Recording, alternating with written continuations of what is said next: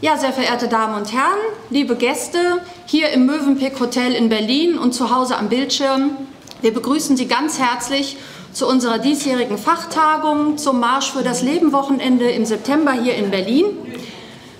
Die Tagung trägt dieses Jahr den Titel Der Mensch als Produkt. Es gibt ja zurzeit sehr viele Themen, die sehr aktuell sind politisch und die auch nach der Bundestagswahl noch sehr aktuell bleiben. Wir haben uns hier diesmal für die Reproduktionsmedizin entschieden, weil auch das ein sehr wichtiges Thema ist, was uns die nächsten Jahre sicherlich noch sehr beschäftigen wird. Der technische Begriff Reproduktionsmedizin verschleiert eigentlich, was dahinter steht. Traurige Schicksale von ungewollt kinderlosen Paaren, die künstliche Herstellung von gewünschten Kindern für Erwachsene, die mögliche Degradierung von Menschen zu Produkten die Umsetzung von Bestellwünschen durch Wunscheltern im Extremfall und die Ausbeutung von Frauen als Leihmütter. Es gibt Wahlprogramme, die explizit Dinge fordern, die in Deutschland noch verboten sind, zum Beispiel eben die Leihmutterschaft oder die Eizellspende. Das Argument ist eigentlich immer Mitleid und eine vielleicht falsch verstandene Gleichberechtigung. Denn was die einen Menschen dürfen, was ihnen erlaubt wird, darf anderen Menschen nicht verwehrt werden. Notwendig hierzu wird wahrscheinlich auch die Abschaffung des Embryonenschutzgesetzes sein, das allerdings zum Beispiel durch die Präimplantationsdiagnostik längst unterlaufen wird. Social Freezing wird immer mehr erlaubt, also das Einfrieren von jungen Eizellen, um sie später für die künstliche Befruchtung zu verwenden.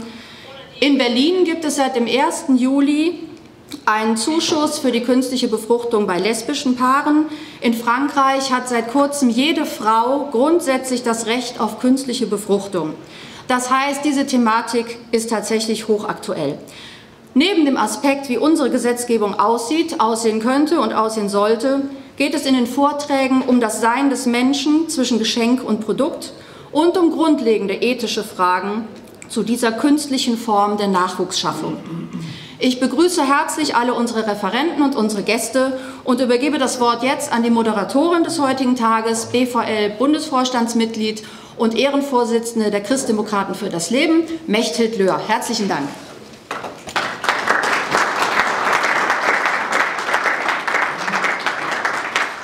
Ja, liebe Alexandra, liebe Gäste, Freunde, liebe Zuschauer, wir haben in der Tat äh, ein äh, Thema, äh, gewählt, das jeden betrifft. Selbst wenn wir als Menschen, als Produkte schon leben können, geht es ja auch um unsere Nachfahren und es geht um Entscheidungen in unseren Familien. Und insofern sind wir von diesen manchmal sehr abstrakt wirkenden bioethischen Diskussionen, die in den Parlamenten geführt werden und in den Zeitungen, doch am Ende alle die, die auch mit ihrem Leben mitentscheiden können. Wir haben äh, für heute drei Referenten, die ich Ihnen jeweils vor dem Vortrag etwas mit ihrer Biografie genauer vorstellen will.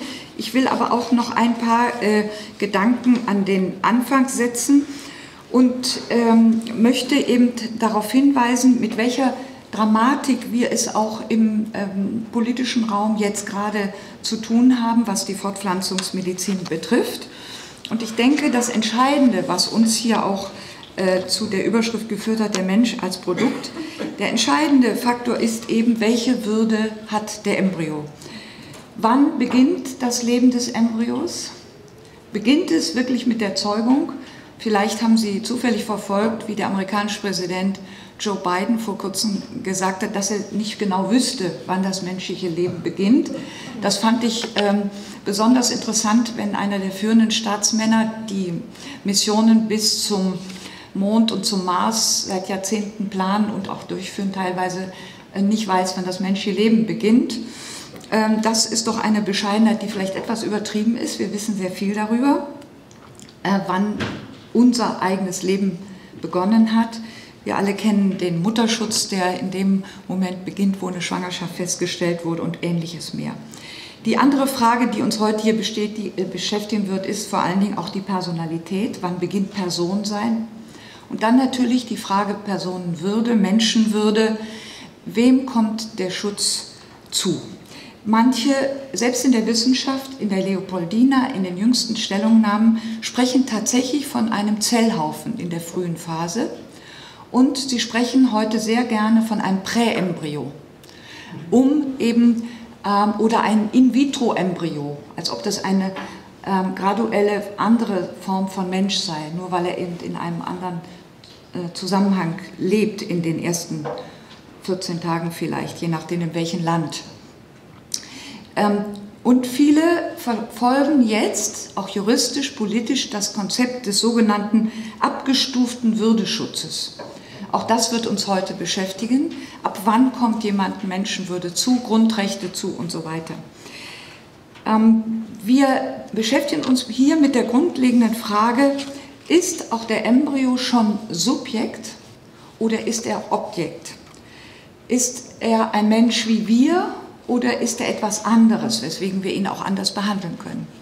Und wir haben, äh, wie ich finde, äh, für den deutschen Sprachraum wirklich äh, optimale Referenten gewinnen können, sind sehr dankbar und ich darf in der Kürze der Zeit, wir fangen ja immer ein bisschen später an, dieses akademische Viertel wird ja meist noch mit, einer, äh, mit dem Ankommen ähm, äh, und den Verspätungen auch der Züge notgedrungen eingehalten. Aber die Referenten äh, sind da, das freut uns sehr, dass sie den Weg nach Berlin auch gemacht haben.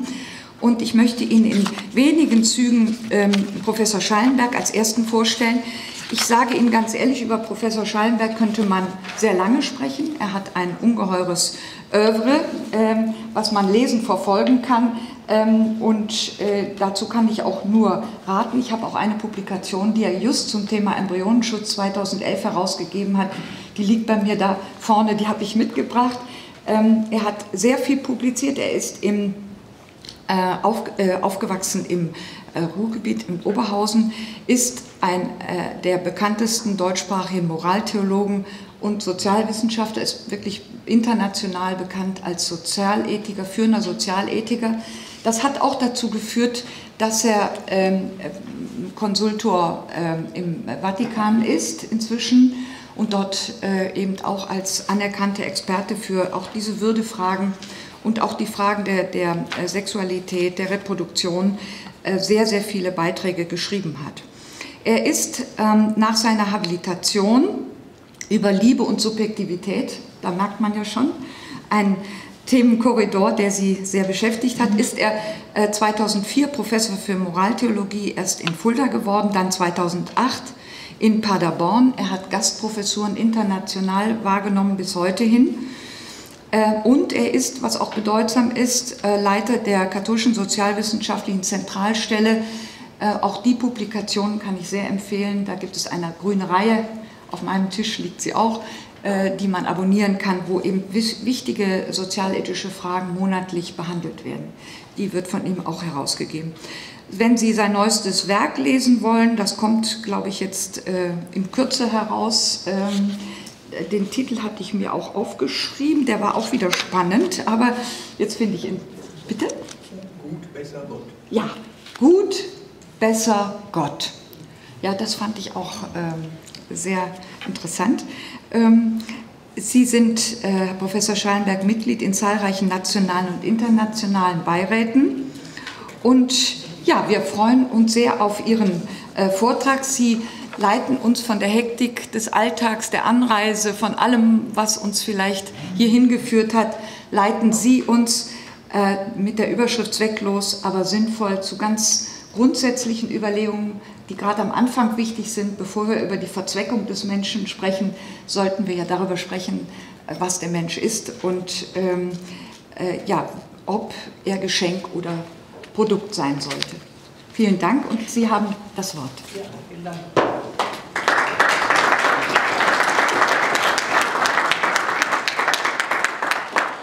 Vielen Dank, Frau Löhr, für die freundliche Begrüßung und die Vorstellung. Meine Damen und Herren, freue mich, dass wir hier zusammen sind, dass ich bei Ihnen äh, sein kann.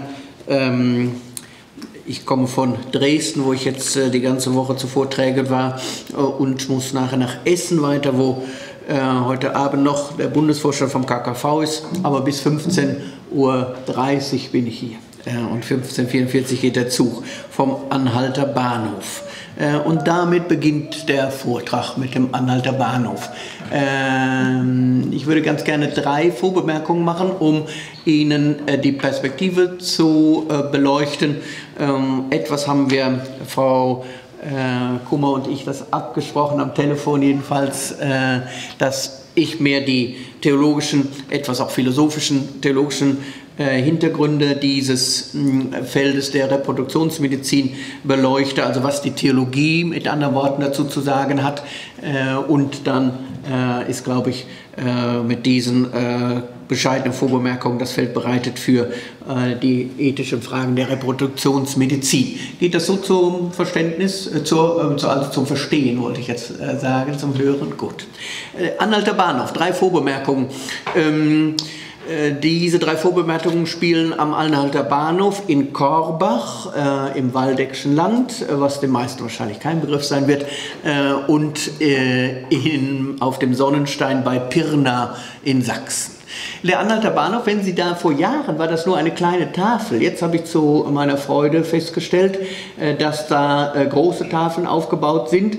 Als ich das erste Mal am Anhalter Bahnhof war, ich glaube, das war damals bei der Guardini Stiftung vor 15 Jahren, ist das bestimmt her.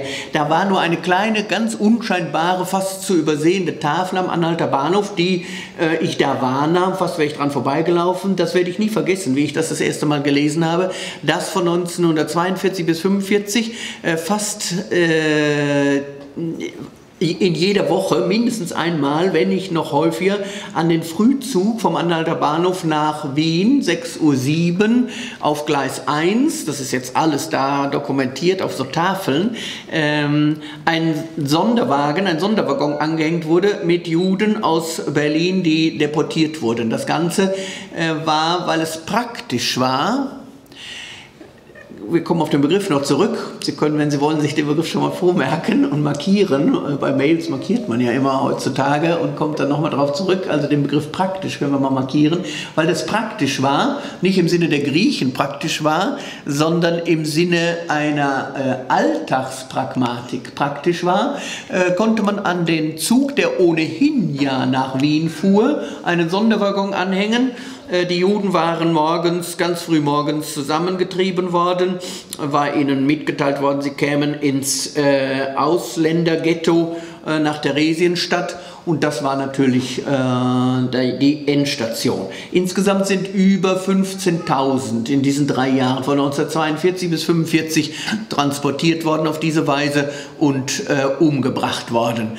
Ähm, das ist deshalb unter, in diesem entsetzlichen Meer von äh, von Brutalität und Menschenverachtung meines Erachtens so bemerkenswert in Anführungsstrichen, so bemerkenswert automatisiert, weil es uns wie vieles andere auch zeigt, äh, mit was für einer Kaltschnäuzigkeit, in diesem Falle passt, glaube ich, das Wort sehr gut, mit was für einer Kaltschnäuzigkeit das NS-Regime dazu übergegangen war, vollkommen unverblümt 1942, als alle Masken gefallen waren, vollkommen unverblümt Menschen auf die mit dem geringstmöglichen Aufwand der maximalsten Lösung zuzuführen, nämlich der Endlösung zuzuführen. Wie umständlich wäre es gewesen, wenn man zusätzliche Transportzüge hätte bemühen müssen. Wie praktisch war es, diesen Zug, der sowieso fuhr, und diese Möglichkeit zu benutzen. Ein Zeichen und ein Merkmal des NS-Regimes war es ja ohnehin, sich zu kamouflieren und zu verstecken in den scheinbar ohnehin noch existenten juristischen Gebäuden, äh, rechtlichen Gebäuden, das Gesetz zum Schutze der Beamtenschaft beispielsweise und ähnliches vieles mehr. Das Ganze war so perfekt kamoufliert und, äh, und, und sozusagen juristisch eingekleidet. Wir kommen auf den Punkt ja noch zu sprechen und Frau Löhr hat das schon angedeutet, äh, dass wir sozusagen immer rechtlich vorangehen. Wir sagen, das sind bestimmte Grundrechte, das Grundrecht also, um hier etwas vorwegzugreifen, das Grundrecht auf Reproduktion, die reproduktiven Rechte, die ein Mensch hat, oder das Grundrecht auf Sexualität. In den letzten äh, äh Wochen konnte man öfter öfters wieder in den Diskussionen, weil es dann natürlich im Vorfeld der Bundestagswahl auch um den Paragraph 218, 219 geht, konnte man mehrfach feststellen, im Blick auf die Wahlprogramme ist ja eindeutig feststellbar, dass, dass die Mehrheit der im Bundestag befindlichen Parteien, in diesem Falle alle Parteien außer CDU, CSU und AfD, dass die Mehrheit der im Bundestag befindlichen Parteien alle eine mehr oder minder radikale Liberalisierung des Paragraphen 218, 219 befürworten. Das heißt, sie befürworten eine eine Veränderung des Rechtes. Das ist entscheidend. Mir scheint das nicht einfach nur ein, ein, eine, eine Quisquilie zu sein. Wir wollen den Vergleich, Sie wissen, wie das heutzutage ist, dass die Vergleiche mit äh, der NS-Zeit äh, immer schwierig und ähm, äh, missverständlich sein können. Äh, aber mir scheint schon bemerkenswert, dass äh, in dieser Debatte um die Veränderung des Rechtes der, der Begriff der sexuellen Autonomie eine große Rolle spielt. Und wenn man dann in Anschlag hält, äh, sozusagen analog zu dem, was äh, Frau Löhr eingangs gesagt hat, dass wir eigentlich sehr gut wissen, wann das menschliche Leben beginnt, wenn man dann in, analog dazu formuliert, dass wir eigentlich sehr gut wissen, ähm, was für Folgen äh, sexuelle Aktivität haben kann, dann scheint es mir nicht besonders strittig zu sein, dass die Autonomie der sexuellen Bestimmung nicht erst dann beginnt, wenn eine Schwangerschaft vorliegt. Noch einmal zu dem Punkt zurück. Mm, das war der Anhalter Bahnhof. Sie können, wenn Sie Zeit haben oder äh, äh, Gelegenheit haben, äh, sich das selber nochmal anschauen. Die maschinelle Vernichtung menschlichen Lebens, was ausgesondert wird, weil es in diesem Falle rassisch nicht passt. Oder jetzt in den beiden nachfolgenden kurzen Fällen, äh, dankenswerterweise haben wir etwas äh, Zeit, um das äh, in den Blick zu nehmen. und ich würde Sie einladen, das viel in den Blick zu nehmen. Und wenn Sie Gelegenheit haben, auf irgendein eine Weise sich dazu vergewissern, was für Spuren der maschinellen äh, Vernichtung äh, in unserer Vergangenheit geherrscht habe, dass man das tut, weil das inspiriert. Das gilt sozusagen aus rassischen Gründen, es gilt aber auch aus eugenischen Gründen. Das sind die anderen beiden äh, äh, Fälle. Das eine war jetzt äh, Pirna, Sonnenstein. Ich weiß nicht, ob jemand schon mal da äh, oben gewesen ist, auf dem Sonnenstein, ob jemand aus Sachsen überhaupt ist äh, oder das gesehen hat. Wenn Sie also mal in Dresden sind oder äh, in der sächsischen Schweiz und kommen nach Pirna, ganz äh, unschuldigerweise, man sieht das Städtchen, man äh, geht da durch, ich hätte es auch nicht gewusst, wenn ich nicht vor zweieinhalb Jahren zum äh, äh, Referat bei der Generalversammlung der Barmatienschwestern, der Vinzentinerinnen gewesen wäre, in Untermarchtal im Schwäbischen. Äh, und da habe ich das Hauptreferat gehalten äh, zum Thema der Würde des Menschen, der menschlichen Würde. Und nach meinem Referat wurde ein Film gezeigt was mich erst, muss ich gestehen, freimütig bekennen, etwas befremdete, äh, dass äh, nach dem Referat einfach ein Film gezeigt wurde. Mir sagte auch der Filmtitel nichts. Der Filmtitel ist Nebel im August. Kennen Sie den Film? Das kann man mal sich aufschreiben, wenn man will. Nebel im August ein ganz bemerkenswerter Film, aber man muss ihn angeschnallt äh, anschauen. Äh, wir haben jetzt schon öfters inzwischen auch mit äh, äh, Jugendlichen, jungen Erwachsenen angeschaut, auch mit Firmlingen, älteren Firmlingen, aber dann kann man es nur machen, wenn man hinterher äh, darüber spricht. Der Film Nebel im August stellt äh, nicht, ist nichts anderes als die filmische, dokumentarische Darstellung der Vernichtung lebensunwerten Lebens in dem ehemaligen Kloster Irsee im Schwäbischen, mh, bei Kaufbeuren gelegen ist das. Ähm, und äh, dieser Film zeigte das, den habe ich damals das erste Mal gesehen und war äh, ungeheuer beeindruckt und äh, ähm, ja, innerlich aufgewühlt. Äh, dann bin ich gefahren nach Irsee, äh, einige Monate später, als ich dort unten in der Gegend war. Das ist ein altes Kloster, das ist säkularisiert worden und diente dann im bayerischen Staat als zunächst, wie man sagt, im 1900 als Irrenanstalt und dann als äh, unheilbaren Anstalt, so sagte man im 19. Jahrhundert. Äh, dort waren barmherzige Schwestern des Heiligen Vinzenz von Paul tätig. Deswegen wurde der Film gezeigt. Und diese Schwestern waren nach Übernahme dieser ähm, dieser Heilanstalt äh, 1933 durch das NS-Regime waren diese Schwestern gezwungen worden, in der Küche weiterzuarbeiten. Sie durften nicht mehr arbeiten äh, in der Pflege, weil sie dort im Wege gewesen wären, aber sie mussten weiterarbeiten ähm, in der Küche. Sie haben versucht, bis zum Kriegsende ähm, das waren hauptsächlich Kinder und Jugendliche, die dort ähm, gelebt haben und vernichtet wurden. Äh, sie haben versucht, möglichst viele zu retten. Äh, einige haben das auch mit dem Leben bezahlt. Äh, all das wird in diesem Film dargestellt. Nebel im August, der ist sehr, sehr beeindruckend. Ähm, den kann ich sehr äh, empfehlen als, als Dokument des Grauens. Äh, der leitende Arzt hat damals äh, die sogenannte Schonkosttherapie erfunden äh, und hat bis äh, in die 50er Jahre in äh, München praktiziert. Einer von den vielen, die nach einem Jahr freigesprochen wurden wegen Mangel an Beweisen. Die Schunkostherapie bestand darin, oder die Schunkostherapie war der zweite Schritt. Der erste Schritt war gewesen, die Einbindung in die T4-Aktion, die Tiergartenstraßenaktion, also das Euthanasieprogramm, Vernichtung lebensunwerten Lebens. Man hatte im Keller dieser Klostergebäude auch Gaskammern eingerichtet. Allerdings hat die Bevölkerung des Dorfes Irsee schon nach wenigen Wochen so energisch protestiert, dass der Anstaltsleiter dort nach Berlin an die Tiergartenstraße berichtete, dass man hier auf diese Weise nicht weiterkäme. Und daraufhin hat er den Vorschlag gemacht, er wäre gerne bereit, ein Alternativprogramm der Vernichtung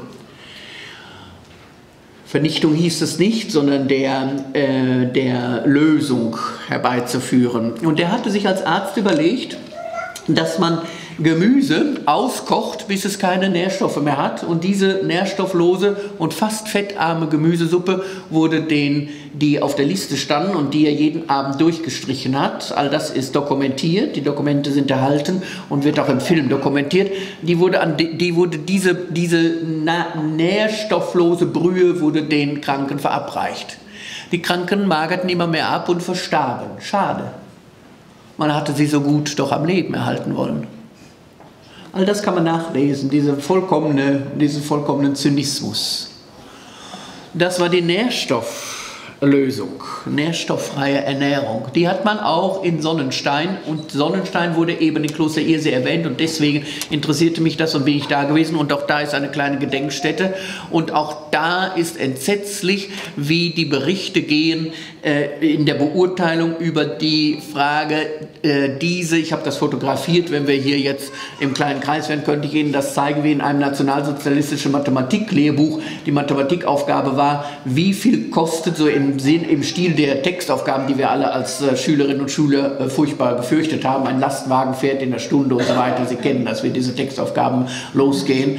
Äh, und diese Textaufgabe beginnt in diesem NS-Mathematik-Lehrbuch, beginnt ein, ähm, ein geistig verblödeter Mensch, äh, verbraucht am Tage so und so viel Kalorien, das kostet den Staat so und so viel, rechne aus, wie viele Menschen mit diesem Gelde gefördert werden könnten, die es wert sind, so ungefähr. Ich kann Ihnen das Foto, wen es interessiert, zeigen oder auch weiterleiten. Äh, das war dokumentiert, das konnte jeder lesen. Das dritte Beispiel ist ganz schnell noch erklärt. Korbach im, im Waldeckschen Land gehört zu unserer Diözese. Ich war eingeladen von der Fakultät dort die Eröffnung mit einem Referat äh, eine Ausstellung zu halten. Äh, die Ausstellung hatte den Titel ähm, ihr, äh, ihr Tod rei reißt nicht die geringste Lücke. Ihr Tod reißt nicht die geringste Lücke, reißt nicht die geringste Lücke. Ich hatte darüber nachgedacht, äh, mich kundig gemacht, das Referat vorbereitet. Ich fuhr von Paderborn aus dahin, das ist aber schon satte zehn Jahre sicher her. Äh, die Ausstellung war in dem kleinen Heimatmuseum Waldeck über die äh, Vernichtung lebensunwerten Lebens äh, bei Kindern und bei äh, älteren Personen, also überhaupt bei stark behinderten Menschen in diesem Gau Waldeck-Pyrmont, der insofern etwas eine Insel im Katholischen ist und insofern ein eigenes Gebiet ist und auch ein eigener Gau war. Ähm, am Beginn der, der Veranstaltung fragte ich den Leiter der Volkshochschule, woher kommt eigentlich dieser Titel? Da bin ich nicht hintergekommen. Oh, sagt, das kann ich Ihnen zeigen. Führte mich zu einer Vitrine. In der Vitrine war ein Brief, also das heißt zwei Briefe. Der eine Brief war vom Gauleiter. Der Gauleiter schreibt, seit einigen Wochen praktizieren wir hier auf Anweisung von Berlin die Aussonderung und Abtransport lebensunwerter Personen. Das ruft bei der hiesigen Bevölkerung starke Beunruhigung hervor, insbesondere der Transport von behinderten Kindern und Kleinkindern. Ich bitte um Anweisung, was in diesem Fall zu tun ist und eventuell um Milderung der Maßnahmen. Die Antwort kam relativ postwendend aus Berlin und hieß, falsches Mit also jetzt zusammengefasst, falsches Mitleid ist nicht am Platze die Zuführung der behinderten Personen, auch und gerade der Kinder, ist unbedingt durchzuführen. Ihr Tod reißt nicht die geringste Lücke. Gezeichnet Heil Hitler. Mir scheint dieser Satz, ich habe diesen Satz immer im Hinterkopf, mir scheint dieser Satz in allen Debatten ein sehr, sehr guter Leitstern zu sein. Und das ist genau der Punkt der theologischen Argumentation.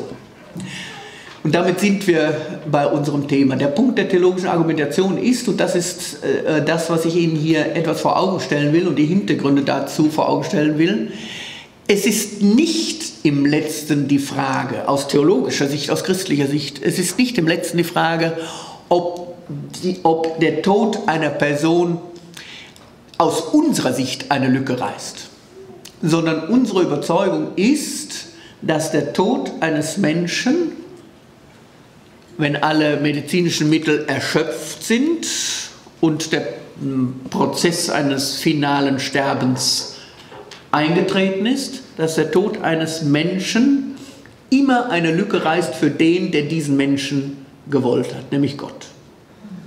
Das ist das theologische zentrale Argument.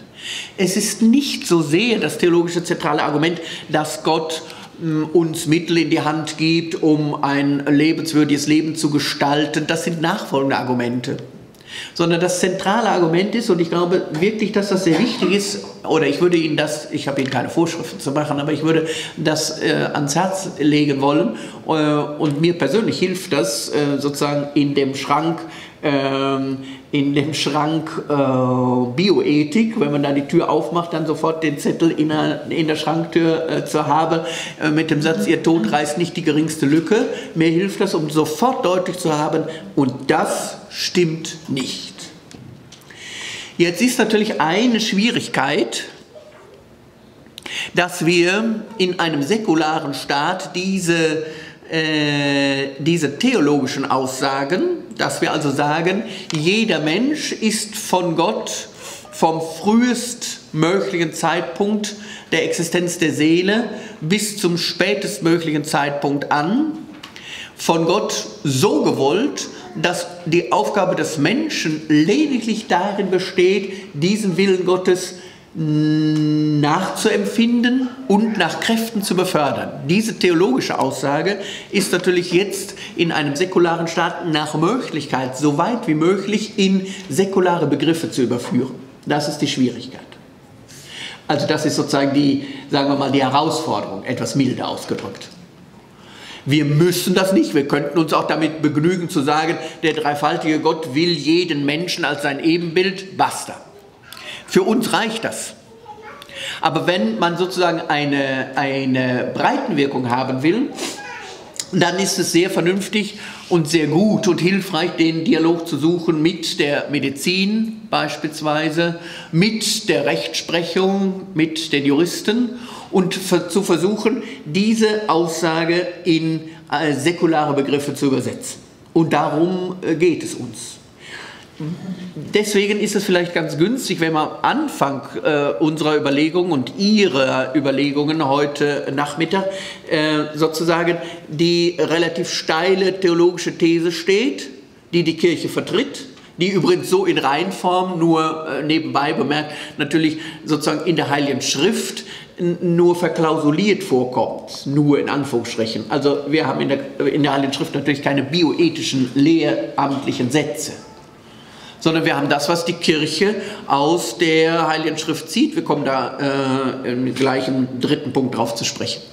Mm, es ist sehr wichtig, glaube ich, sich zu bemühen, dieses jetzt in eine säkulare Sprache nochmal äh, zu übersetzen und zugleich für sich selber zu wissen, und noch einmal, jedenfalls mir hilft das, für sich selber zu wissen, wir sind Sachwalter Gottes an dieser Stelle. Sachwalter für das, was Gott von jedem Menschen sich denkt, dass jeder Mensch ungeachtet seiner moralischen Qualitäten und ungeachtet seiner, seiner funktionellen Qualitäten Ebenbild seiner selbst ist, Ebenbild Gottes ist. Bevor wir zu dem Punkt der biblischen äh, und ähm, dann lehramtlichen Begründung kommen, der Blick auf die, auf die nicht-biblische Tradition. Das, was wir mit Gott Ebenbildlichkeit bezeichnen oder das, was wir mit Unverletzlichkeit des Menschen bezeichnen, also äh, dieses Menschsein als theologische Aussage, das nehmen wir normalerweise als Personalität. Der Begriff der Person ist der entscheidende Begriff. Was heißt der Begriff der Person? Sehr schön hat das umrissen und skizziert Josef Ratzinger, Kardinal Ratzinger, am 5. Juni 2004 anlässlich des 60. Jahrestages der Landung der Alliierten in der Normandie. Dort hat ihn damals als Delegat hingeschickt Johannes Paul II., äh, der schon schwer krank war und ein Dreivierteljahr später gestorben ist. Und er war dort und hat dort sowohl eine große heilige Messe zelebriert, ein Pontifikalamt mitpredigt, wie auch eine Ansprache gehalten. Diese Ansprache ist veröffentlicht, äh, noch nicht in den gesammelten Werken, äh, für den, der das nachlesen will, aber man kann sie, diese Ansprache, wenn man, bei, äh, bei, wenn man googelt, Ratzinger, Normandie, 60. Äh, Jahrestag, da kommt das ungefähr heraus, kann man äh, machen. Oder auch in dem Sammelband äh, Ökologie des Menschen, ein etwas unratzingeresker äh, Titel, äh, der aber die 40 großen Predigten von Ratzinger enthält. Und in dieser Predigt ähm, führt er aus, dass seines Erachtens mit diesem äh, Tag der Landung der Alliierten in der, in der Normandie äh, Europa von denen in die Zivilisation zurückgeführt worden ist, zu denen es einst gegangen ist. Nämlich natürlich wesentlich damals durch ja, die, die englischen Truppen, aber vor allen Dingen auch durch die amerikanischen Truppen. Und er führt dann aus, was ist denn eigentlich dieses Europa oder was ist denn dieser Wesenskern der europäischen Ethik, die hier wiedergewonnen wurde durch die, die einst von dieser Ethik etwas erfahren hatten. Und dann führt er aus und verweist auf eine sehr bemerkenswerte Stelle, die manche von Ihnen kennen, nämlich die Stelle im Mythos des Gorgias von Plato. Plato hat bekanntlich eine ganze Reihe von Schriften uns hinterlassen, anders als sein Lehrer Sokrates, aber Plato behandelt fast immer die Lehren seines Lehrers Sokrates, der nur gesprochen hat und nicht selbst geschrieben hat, aber das schreibt Plato auf und der er veröffentlicht sozusagen diese Anschauung des Sokrates in Form eines Mythos, also das ist eine bestimmte Erzählweise, meistens sind das Dialoge, wenn Sie die schon mal äh, gelesen haben, dann wissen Sie, dass das äh, sehr, sehr äh, eigentümliche Dialoge sind, für unsere Zeit heute eigentümlich, also so kurze Dialoge, Sokrates fragt und der, der Schüler antwortet. In diesem Fall im Mythos des Gorgias, einer der großen platonischen Mythen, die man auch als Reklamheftchen sich äh, erwerben kann und nachlesen kann, da geht es in dem, da geht es insgesamt um die Unsterblichkeit der Seele. Also zur Debatte steht in diesem Mythos des Gorgias, im Grunde ist der Mensch im Unterschied von Tier und Pflanze noch mehr als bloß ein Lebewesen. Dass auch Pflanze und Tiere Lebewesen sind, das steht nicht zur Debatte, auch wenn juristisch Tiere heutzutage wie Sachen behandelt werden. Äh, aber es steht sozusagen für die griechische Philosophie nicht zur Debatte, dass das Lebewesen sind, weil sie ein Telos haben, also ein, anders als der Stein, der unbelebte Stein, der unbelebte Gegenstand, der kann sich nicht selbst bewegen. Also für die Griechen ist äh, äh, entscheidend, dass sozusagen ein innerliches Lebensprinzip vorherrscht, also durch Photosynthese äh, angestachelt die, die Pflanze groß wird oder sich die Sonnenblume zur Sonne wendet.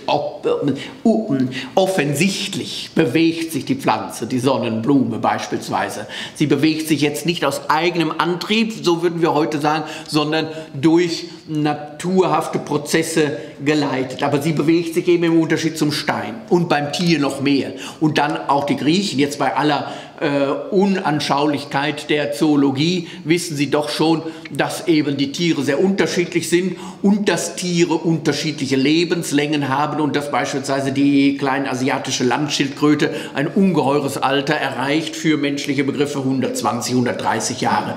Äh, Soweit reicht die Kenntnis schon. Und da machen sie sich jetzt in dieser sokratischen und platonischen Zeit Gedanken drüber.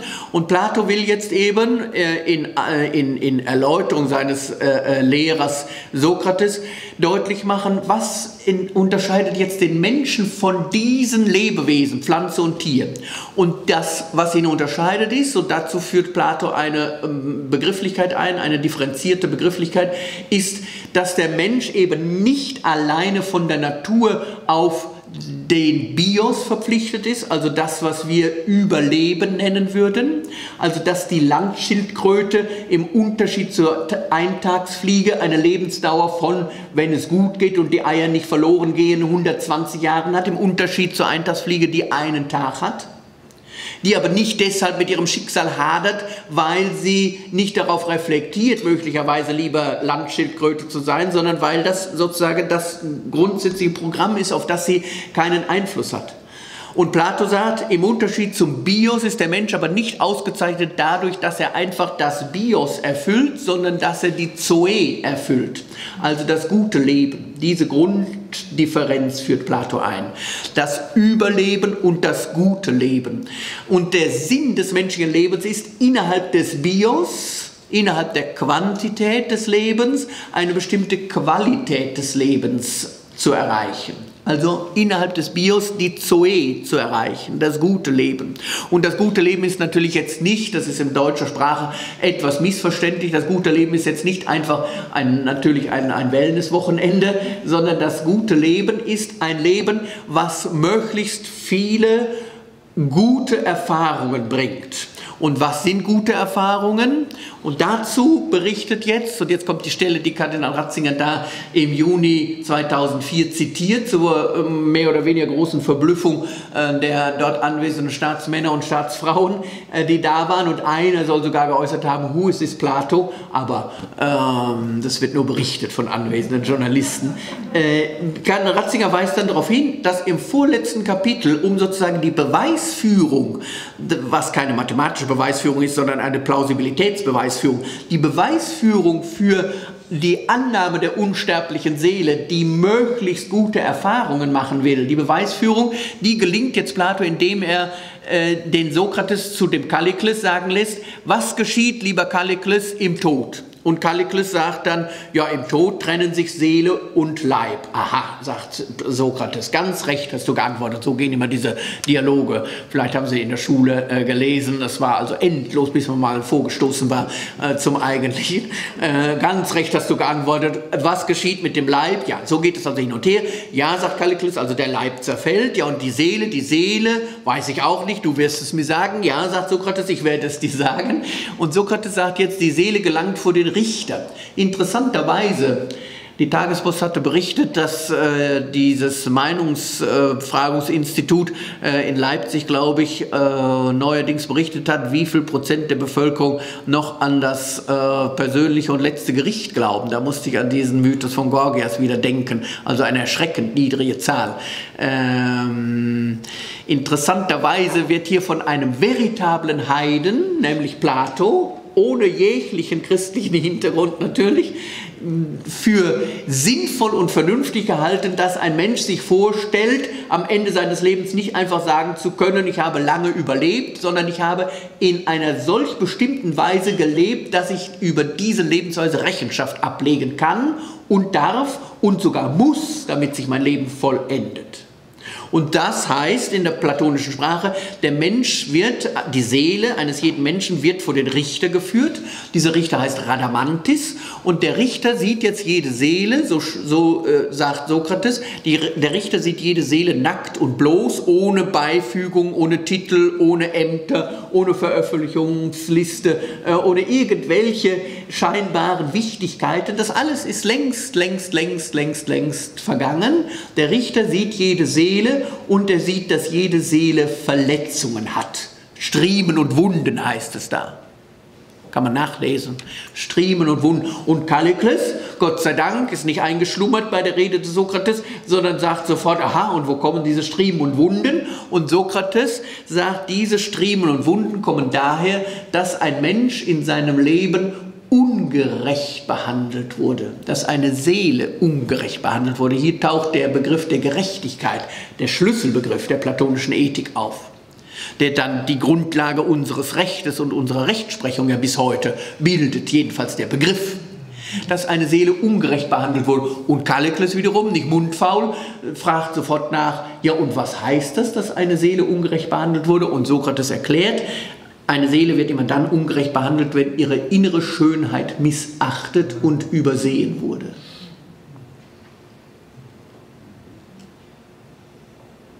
Und da muss ich jedenfalls persönlich oft dran denken, da auf dem Sonnenstein bei Pirna war in den Gaskammern im Keller, die erhalten sind, die nicht gesprengt worden sind, äh, nur die Gasleitungen sind von den Sowjets äh, bei der Einnahme abmontiert worden. Da sind viele, viele Bilder, natürlich nicht alle von den 13.000, die dort vergast worden sind, aber viele Bilder abgebildet äh, von Kindern, von Jugendlichen, von, von, Men von Erwachsenen. Alle, fast allen sieht man die körperliche Behinderung an.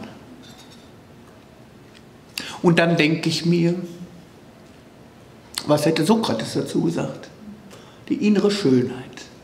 Das ist doch das eigentliche, der eigentliche Anspruch eines, eines, wie wir empfinden würden, eines Rechtsstaates, dass er nicht nach Nützlichkeit, nach, nach Zwecken fragt, sondern dass er dahinter fragt, jedenfalls wäre das der, der Anspruch, den wir aus der, aus der griechischen Antike übernehmen.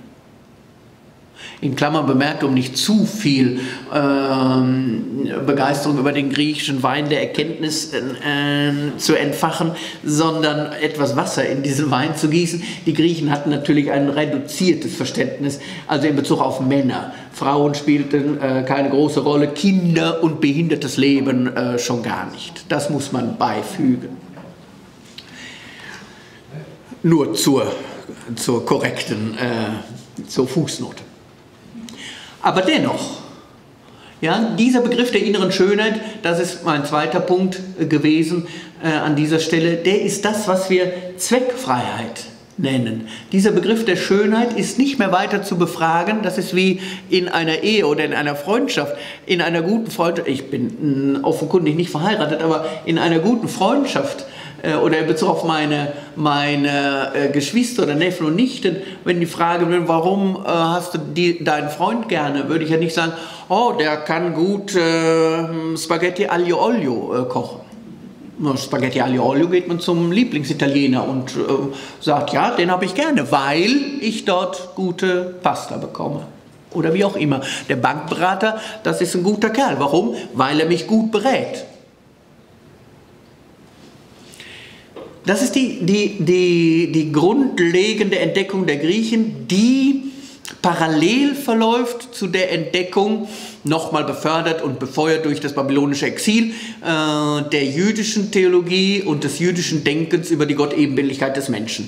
Wir kommen da äh, noch ganz kurz darauf zu sprechen. Aber mir scheint dieses, weil es uns ja um die Übersetzbarkeit von theologischen Aussagen geht, sehr wichtig dass das Letzte des Menschen sich einer Befragung nach dem Warum, nach, der, nach dem Zweck entzieht. Dass das genau das Wesen des Menschen ist, er entzieht sich einem letzten Warum.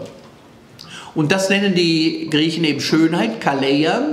Die stoische Philosophie, also Cicero und Seneca, insbesondere Cicero, übersetzt das mit Dignitas und damit sind wir dann äh, bei uns angelangt. In den romanischen Sprachen ist das überall Dignity, äh, bei uns äh, hat das seltsamerweise äh, durch verschiedene hier jetzt nicht zu erörternde ähm, semantische Wechselfälle den altgermanischen Begriff der Würde, was, was äh, ursprünglich ein, ein, ein Aura-Begriff war. Also die Würde war, der, war der, die, die Umgebung des Herrschers. Äh, also auch da natürlich sozusagen äh, der Akzent darauf, dass der Herrscher sich nicht rechtfertigen muss. Wir können übrigens leicht äh, den, den, die Brücke zum paulinischen Denken und zum neutestamentlichen Denken schlagen. Das Wesentliche des Menschen ist nicht zu rechtfertigen. Niemand hat zu erklären, warum er hier ist auf dieser Welt ist. Er ist da und damit ist er unbedingt notwendig. Kant bringt das auf den Punkt dann, äh, er übernimmt das von seinen Lehren aus der deutschen Aufklärung, hat diesen Begriff der Würde und bringt das auf die berühmte äh, Bezeichnung dann, Würde ist das, was keinen Preis oder kein Äquivalent verstattet. Man könnte sozusagen den Wert eines Menschen nicht ausrechnen. Man kann das machen, in, äh, auf dem Sonnenstein in Pirna ist eine kleine Abteilung über Binding und Hoche. Ähm, die äh, renommierte Vorkämpfer für die Euthanasie gewesen sind, Anfang der 20er Jahre und schon vor dem Ersten Weltkrieg auch waren und dann Anfang der 20er Jahre. Und diese Euthanasiebewegung ist in ganz Europa damals mehr oder weniger in ganz Europa sehr populär gewesen. Es ist also keinesfalls, äh, äh, so einfach ist es nicht, keinesfalls eine Erfindung des Naziregimes sondern es ist äh, ganz, ganz leicht möglich, ohne dass wir das jetzt hier täten, weil es ein ganzes Semester füllen würde, aber ganz leicht die Ursprünge in einem Utilitarismus zu finden der mehr oder weniger sehr stark zurückgeht auf äh, John Stuart Mill, 1871 äh, gestorben, äh, der wiederum sehr stark aufbaut auf Jeremy Bentham und, und angelsächsische Philosophen ähnlicher Klasse, äh, auf dem Kontinent das utilitaristische Denken bis jedenfalls zum Tode Kants relativ wenig entwickelt. Noch einmal Kant, die beiden großen Formulierungen des kategorischen Imperativs, erste und dritte Formel, äh, kann man sich auch vielleicht etwas im Hinterkopf oder auf einer Synapse abspeichern. Die erste ist die uns bekannteste, die Universalisierungsformel, handle so, dass die Maxime deines Handels allgemeines Gesetz werden könnte. Auch diese Formel nicht unhilfreich für die Debatte in der Bioethik, denn wir wollen, dass wir am Leben sind und wir hätten auch gewollt, dass wir am Leben sind, wenn wir eingeschränkt gewesen wären. Und, das zwei, und die zweite grundlegende Formulierung, das ist die dritte Formel dann im kategorischen Imperativ, handelt so, dass du die Menschheit in der Person eines anderen Menschen niemals bloß als Mittel zum Zweck, sondern stets als Zweck an sich betrachtest. Das ist diese Zweckfreiheit. Das war dieser Titel, zwecklos, aber sinnvoll. Beides kann man verbinden. Sinn hat das, was einen bestimmten Zweck verfolgt. Oder aber dem gegenübergestellt, sinnvoll ist das, was da ist im menschlichen Leben, was da ist. Das ist natürlich sehr, sehr viel angreifbarer geworden, seitdem es die Möglichkeit, also spätestens seit der berühmten Luise Braun, dem ersten äh, in vitro gezeugten äh, Menschen, äh, seitdem es die Möglichkeit der technischen Reproduktion gibt. Seitdem ist sozusagen, bis dahin, so könnten wir sagen, waren, waren unsere theologisch affizierten bioethischen Aussagen geschützt durch die Gnade des Zufalls. Diese Gnade des Zufalls gibt es, wenn man nicht möchte, sehr viel weniger als früher und wird es demnächst vielleicht sogar kaum noch geben. Und Frau ähm, ähm, Löhr, äh, Frau Löhr hat das schon angedeutet, in was für eine rasante Entwicklung wir einsteigen. Wir hatten das kürzlich im äh, Ethikbeirat unseres Erzbischofs in Paderborn, ähm, äh, wo äh, Claudia Wiesemann äh, darüber berichtet hat, äh, wie die Anstrengungen verlaufen, also nicht konform mit uns, sondern äh, äh, uns entgegen leider, äh, unseren Anschauungen entgegen, wie die Anstrengungen verlaufen, um dieses äh, rettungslos veraltete in deren Augen, auch in den Augen der Leopoldiner äh, und in, in, den Augen fast aller ähm, oder sehr, sehr vieler Medizinethiker der Bundesrepublik, äh, das rettungslos veraltete Embryonschutzgesetz voranzutreiben.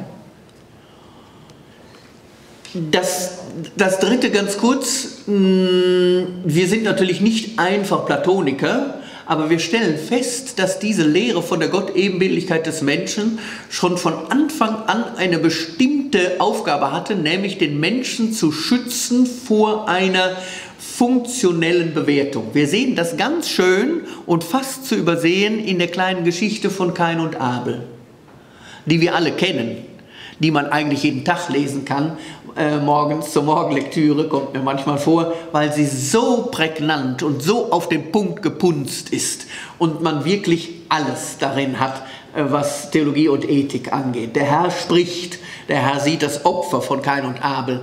Äh, natürlich ist es eine etiologische Geschichte, also eine Geschichte, die einen bestimmten Kultursprung äh, behandelt, nämlich den Kultursprung der, von der, vom Nomadendasein zur Sesshaftigkeit. Also der eine ist schon sesshaft geworden äh, und der andere noch nicht. Und der sesshaft gewordene hat halt Feldfrüchte äh, und ärgert sich über den, der seine Schafe als Nomade über die Äcker und, und, und über die Wiesen führt. Ja, sozusagen die, die, die scharf gewordenen Nacktschnecken, die da alles wegfressen. Und so entsteht Feindschaft unter den Menschen. Das Ganze gekleidet ist aber noch eine Stufe weiter, nicht einfach nur die Feindschaft untereinander, ich bringe den anderen um, weil dessen Nacktschneckenzucht mir äh, den äh, Kohlkopfsalat wegfressen. Das wäre wahrscheinlich noch durch Mediation äh, zu lösen, das Problem. Sondern eine Schicht weiter oder eine Stufe weiter ist, dass dahinter die Frage steht, bin ich eigentlich, weil mein Kohlkopfsalat mir ständig verdirbt und weggefressen wird, bin ich eigentlich vom Schicksal geschlagen? Bin ich möglicherweise in meiner Existenz weniger wert? Bin ich möglicherweise gar nicht so geliebt wie die anderen? Das ist das Grundmotiv des Zweifels an der unbedingten Notwendigkeit der eigenen Existenz. Wenn Ihr Mann äh, Ihrer Nachbarin ständig größere Geschenke machen würde als Ihnen, dann bräuchten Sie schon ein sehr robustes Nervenkostüm, um das auf Dauer auszuhalten und zufrieden zu sein. Und wenn Ihre Freundin sagen würden, seltsam, dass er Annemarie immer so viel schenkt und dir gar nichts, dann müssten Sie schon sehr robust sein, um zu sagen, hm, der ist halt so. Das ist kein. Auf Freien und dessen Opfer schaut er nicht, auf Abel und dessen Opfer schaut er. Es interessiert an dieser Geschichte jetzt jedenfalls uns und in diesem Zusammenhang nicht, ob das wirklich der Fall ist. Weil dahinter auch nochmal die Frage steht, ob Gott derjenige ist, der uns in unserem Leben mit Glück erfüllt oder ob er derjenige ist, den wir lieben, auch wenn er uns scheinbar nichts Gutes tut. Das wäre dann auch nochmal eine Frage für die äh, die Paarbeziehung, ob wir den anderen auch lieben, wenn er uns gar nichts mehr schenkt und der Nachbarin alles schenken würde. Eigentlich wäre das wohl die Herausforderung, aber das ist ein weites Feld und ein schwieriges Feld. Das ist jetzt heute nicht unser Thema, ist sozusagen nur ein Nebenprodukt des Nachdenkens. Für die Geschichte von Kain und Abel ist bemerkenswert, dass Kain, nachdem er den Abel umgebracht hat, von Gott nicht vernichtet wird, sondern dass er am Leben bleibt, bekanntlicherweise, dass er das Keinsmal bekommt, damit er von keinem erschlagen wird. Rastlos und ruhelos sollst du sein, aber er bleibt am Leben. Die Gottebenbildlichkeit des menschlichen Lebens geht so weit, dass dass selbst im Alten Testament und vorexilisch, erst recht danach exilisch, also nach 528, äh, sehr deutlich die Auffassung ist, der Mensch verspielt selbst durch allerübelste Untaten sein Lebensrecht nicht. Er bleibt sinnvoll, auch wenn er scheinbar den Zweck seines Lebens verfehlt.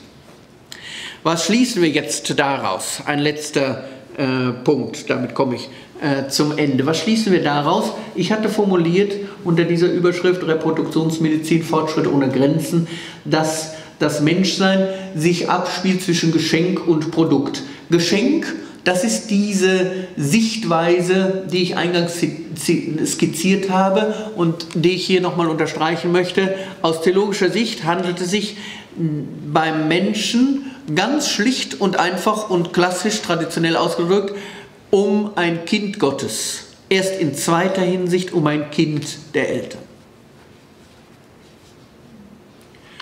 Auch bei der Trauung, das ist jetzt wiederum nicht direkt unser Thema, aber beim Ehesakrament ist es ja entgegen manchmal landläufiger Ansicht nicht so, dass wir einen möglichst feierlichen und umfangreichen Segen erbitten für das, was wir dort vorhaben.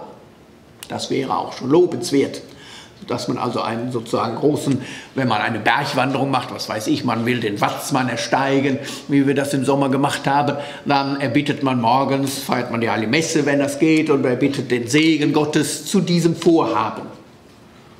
Aber das ist natürlich eine solche Bergwanderung kein Sakrament. Man kann den Segen Gottes erbitten.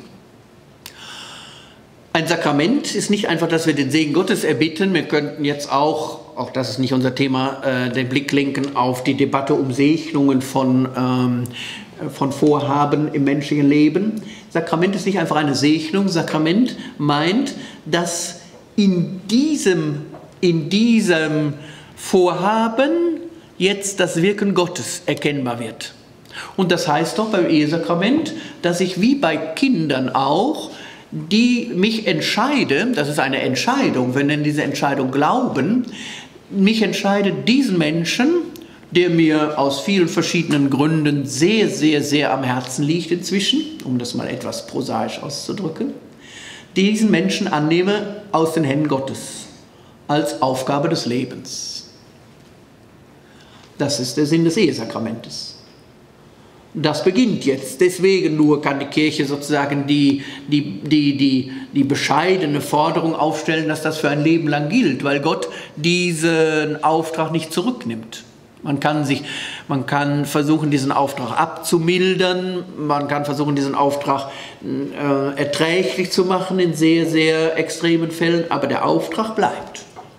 Das Ja-Wort ist nicht einfach ein gegenseitiges Do ut des, ein gegenseitiges Joint Venture Unternehmen, für, die, für das wir eben den Segen Gottes erbitten würden, sondern das ist, es ist der Glaube, der sich dort ausspricht, eben gegenüber zur Kirche. Es ist der Glaube, dass Gott mir diesen Menschen schenkt. Punkt. So scheint es mir zu sein. Jedenfalls haben wir es so beigebracht bekommen. Und bei Kindern ist es genau dasselbe. Das heißt jetzt für den Anfang und für das Ende des menschlichen Lebens und für beide, wir sind hier am Anfang des menschlichen Lebens und der Marsch für das Leben äh, morgen hat natürlich auch den Anfang des menschlichen Lebens mehr im Blick, aber die derzeitige Diskussion um den assistierten Suizid zeigt natürlich auch das andere, äh, dass ein Mensch äh, dass man einem Menschen, um das erst zu nennen, dass man einem Menschen aus christlicher Sicht deutlich machen dürfte,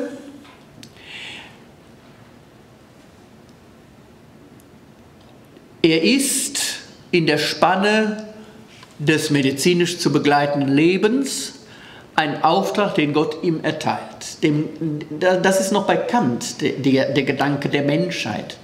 Repräsentant der Menschheit zu sein. Kant schreibt natürlich ein sehr unemotionales Kanzleideutsch. Aber bei Kant ist der Gedanke noch sehr stark, dass der Mensch Repräsentant der Menschheit ist. Das heißt, der Mensch steht im Auftrag Gottes, dieses Leben zu erfüllen, zu entfalten und auszufüllen. Das ist ein sehr starker Gedanke. Weil er so stark ist, ist es natürlich relativ anstrengend, ihn in säkulare Sprache zu übertragen.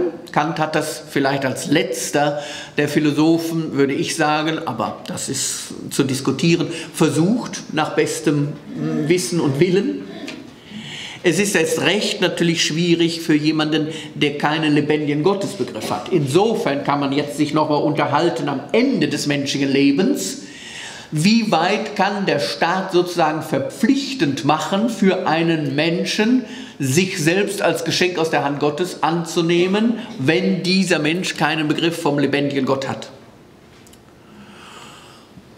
Am Anfang des menschlichen Lebens aber würde ich sagen, gibt es diese Diskussionsmöglichkeit überhaupt nicht, weil wir es ja nicht zu tun haben, analog zu einer Patientenverfügung, nicht zu tun haben mit der Möglichkeit, eine Lebensverfügung abzugeben, sondern weil wir es damit zu tun haben, dass wir ein noch ungeborenes Leben haben, von dem wir freilich ausgehen, dass nach Abschluss der Befruchtungskaskade vollständiges individuelles Leben vorliegt, was wir Embryo nennen und dass dieses ungeborene Leben zum Leben kommen will. Natürlich ist das eine Annahme. Die Moraltheologie nennt das Tutiorismus, äh, von lateinisch tutior, sicherer. Es ist der sichere Standpunkt, davon auszugehen, dass jeder Mensch, selbst der schwerst behinderte Mensch, geboren werden möchte. Das ist die Annahme, die dahinter liegt. Ich glaube, es ist auch ganz gut, und bei einem solchen Marsch hat man ja Gelegenheit, äh, darüber nachzudenken, das ist auch eine bestimmte Zumutung. Ich kann mich an einen Satz meines Lehrers Klaus Demmer in Rom erinnern, der oft sagte, die Theologie ist in sehr vielen Aussagen eine Zumutung aus dem Ewigen. Es ist eine Zumutung. Aber die Kirche hat die Aufgabe, und wir als Christen haben die Aufgabe, so würde ich sagen, diese Zumutung dem Menschen nahezubringen, weil wir durch diese Zumutung vom Menschen groß zu denken, auch von Menschen groß und erfüllt zu denken, die nach äußerer Anschauung möglicherweise aus der Perspektive von Gesunden nicht besonders äh, lebenserfüllt erscheinen, weil wir einen größeren Horizont äh, erreichen, als wenn wir aus unserem Horizont schauen. Ich muss oft daran denken, bei unserer jährlichen Wallfahrt mit den Maltesern nach Lourdes mit vielen, vielen Kranken und Behinderten. Jetzt hatten wir es zwei Jahre nicht durch Corona, aber jetzt nächstes Jahr über Palmsonntag ist es wieder. Äh, und da sind wir fast 1000 Leute dann und davon die Hälfte äh, krank, schwer krank, schwerst behindert mit Lazarettwagen und so weiter. Und man hat Zeit genug in diesen Tagen, äh, dann, wenn man durch die Waggons geht und durch den Zug geht oder auch in Lourdes dann damit schiebt und hilft und so weiter, darüber nachzudenken. Ich glaube, dass es besser ist, so zu denken. Es bedeutet eine Anforderung, eine Zumutung und es muss alles getan werden, um sozusagen diese theologische Zumutung lebbar zu machen. Es ist nicht einfach damit getan, dass wir per Post ins Haus schreiben einmal im Jahr, du bist ein Geschenk Gottes, um das etwas rustikal auszudrücken, sondern dass das muss, das muss lebbar gemacht werden und das fängt an bei den Schwestern von Mutter Teresa am Ende des menschlichen Lebens, über die Hospize, über die Palliativmedizin, über medizinische äh, Möglichkeiten bis hin äh, zu all dem, was Sie viel besser kennen, den äh, Möglichkeiten und Hilfsmöglichkeiten am Anfang des menschlichen Lebens. Es ist nicht einfach damit getan, ins Strafrecht zu schreiben, äh, äh, Abtreibung äh, ist immer und überall unerlaubt. Das stimmt, aber im Evangelium heißt es, derjenige ist der Größte, der die Gesetze Gottes hält, Komma, und halten lehrt. Also die Hilfeleistung zum Halten der Gebote Gottes, das ist eigentlich mindestens so wichtig äh, wie der erste Teil, das Lehren der Gebote Gottes. Und das wäre dann äh, meines Erachtens äh, ausreichend und zugleich unbedingt notwendig gegenüberzustellen den äh, Thesen von reproduktiven Rechten und sexueller Autonomie. Diese, Rechte, diese Redeweise ist immer dann mh, mm, relativ mh, mm, anstrengungsfrei zu diskutieren, wenn nicht Rechte von Schwächeren betroffen sind. In dem Fall, wo Rechte von Schwächeren betroffen sind, die nicht befragt werden können, ist die eindeutige Option, darauf zu legen, dass man ein jedes menschliches Leben für vollkommen zwecklos im Sinne der Mathematik erklärt. Letzter Satz. Plato und die platonische Philosophie unterscheiden zwischen Praxis und Poesis. Eingangs hatte ich Ihnen gesagt, dass die Transporte vom Anhalter Bahnhof praktisch waren. Das ist ein, ein defizienter Begriff von praktisch eigentlich. Besser kann man sich erinnern, dass in der deutschen Sprache, anders als im Italienischen beispielsweise oder auch im, im Englischen, dass in der deutschen Sprache es nicht nur dankenswerterweise den Begriff Arzt gibt, nicht nur Medical Doctor, sondern Arzt von der Prinzessin Theophanu, die damals ihren Archontes mitbrachte aus Byzanz, als sie hier an den Ottonenhof verheiratet wurde. Und deswegen hat sich der Begriff Arzt eingeprägt und Archontes kommt von Archä, also den Anfang des menschlichen Lebens so zu begleiten, dass daraus eine gute, eine gute Vollendung werden kann. Das war die Aufgabe des Arztes am byzantinischen Hof gewesen. Aber schön ist auch, nicht nur, dass wir das Wort Arzt im Deutschen bis heute kennen, sondern dass wir das Wort Arztpraxis kennen. Als Kinder haben wir unseren Papa oft gefragt, warum heißt, das, heißt es eigentlich, wo du arbeitest, Praxis? Und dann hat er uns erklärt, woher das kam, dass es nämlich aus dieser Unterscheidung der Griechen von Praxis und Poesis kommt. Sehr schön im Arztberuf. Der Arzt ist kein Hersteller von etwas, wie ein Handwerker, was sehr rühmenswerte Produkte sind. Wer von uns wollte verzichten auf gute Handwerker, die Poesis betreiben, etwas herstellen, eine funktionierende Toilettenanlage wiederherstellen beispielsweise.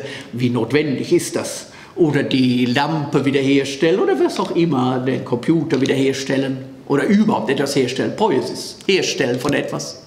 Das ist ein mathematischer Prozess. Am Ende kann man sagen, erfüllt das seinen Zweck wenn nicht, wenn man einen Computer bestellt hat und bekommt eine, eine, mm, eine was weiß ich, Kaffeemaschine, danke, eine Kaffeemaschine bestellt, dann kann man sagen, danke, das war nicht bestellt. Die funktioniert nicht, das ist ja auch eine Kaffeemaschine, dann kann ich sie nicht gebrauchen. Danke, dann nehme ich sie wieder mit. Wunderbar, vielen Dank, dass Sie sie wieder mitnehmen. Bringen Sie dann auch das, was funktioniert, was ich bestellt hatte. Das ist Poesis, herstellendes Tun. Das andere ist Praxis. Das ist der alte Ausdruck bei den Griechen, deswegen die Arztpraxis. Ausdrückendes Tun wenn sie ihre Frau lieben, ihren Mann lieben, wenn sie äh, den, den Kindern verzeihen, weil sie die Vase aus der Ming-Dynastie zersteppert haben äh, und so weiter und so fort. Das ist alles pra Praxis, ausdrückendes Handeln. Das zeichnet den Menschen aus, sagt die platonische Philosophie, dass er nicht nur in der, in der Lage ist, wie ähm, Orang-Utans Instrumente herzustellen, um an Früchte zu kommen, sondern dass er in der Lage ist, etwas auszudrücken. Was drückt ein Mensch in seinem Leben aus? Und dass wir einem Menschen ermöglichen, möglichst viel in seinem Leben auszudrücken.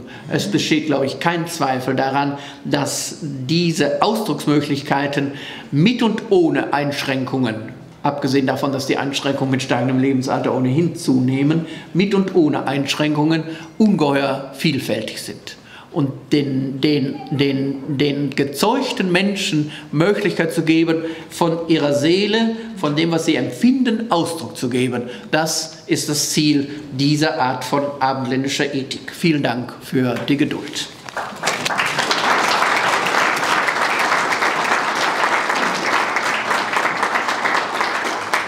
Ja, lieber Herr Professor Scheinberg, ganz herzlichen Dank, dass Sie uns äh, so ähm, eingeführt haben mit sehr fundamentalen Gedanken, äh, wirklich von der frühesten Phase der Philosophie her eben äh, bis zu der Frage, ob wir einen Zweck brauchen, um, um hier zu sein.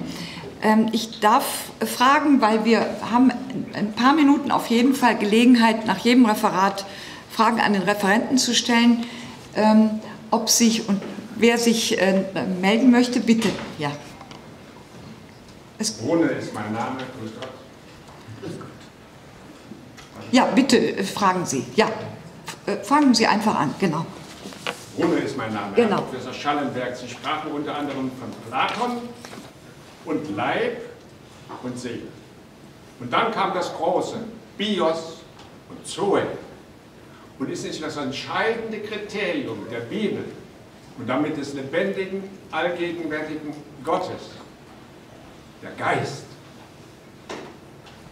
ja, der tot ist oder lebendig. Genau, genau, genau. Ob er Gottesbeziehung hat oder zum Geist nach unten hin regiert wird. Genau.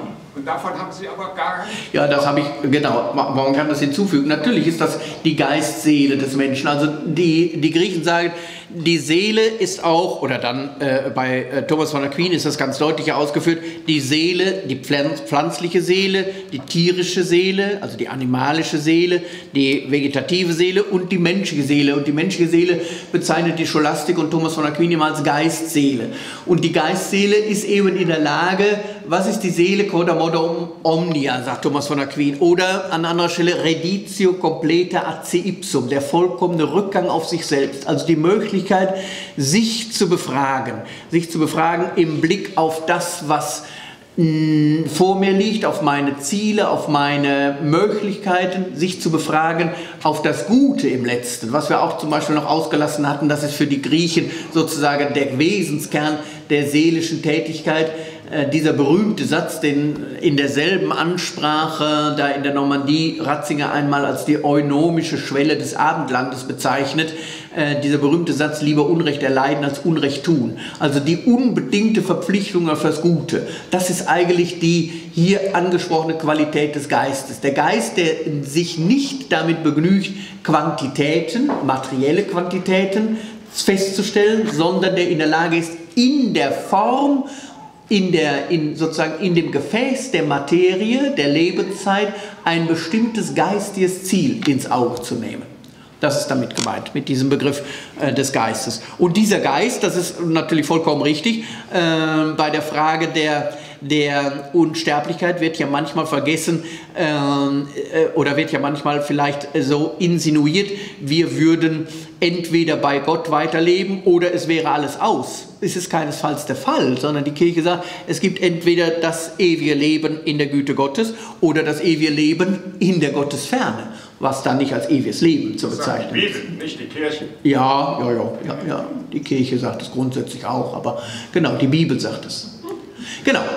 Okay, äh, also das ist sozusagen, der Mensch steht äh, damit an jedem Tag, das ist glaube ich der entscheidende Gedanke, an jedem Tag seiner, seines Lebens vor der Entscheidung, äh, dieses ewige Leben der, der Gutheit, der Liebe, der Gottebenbildlichkeit zu erreichen oder nicht zu erreichen. Insofern zählt jeder Tag.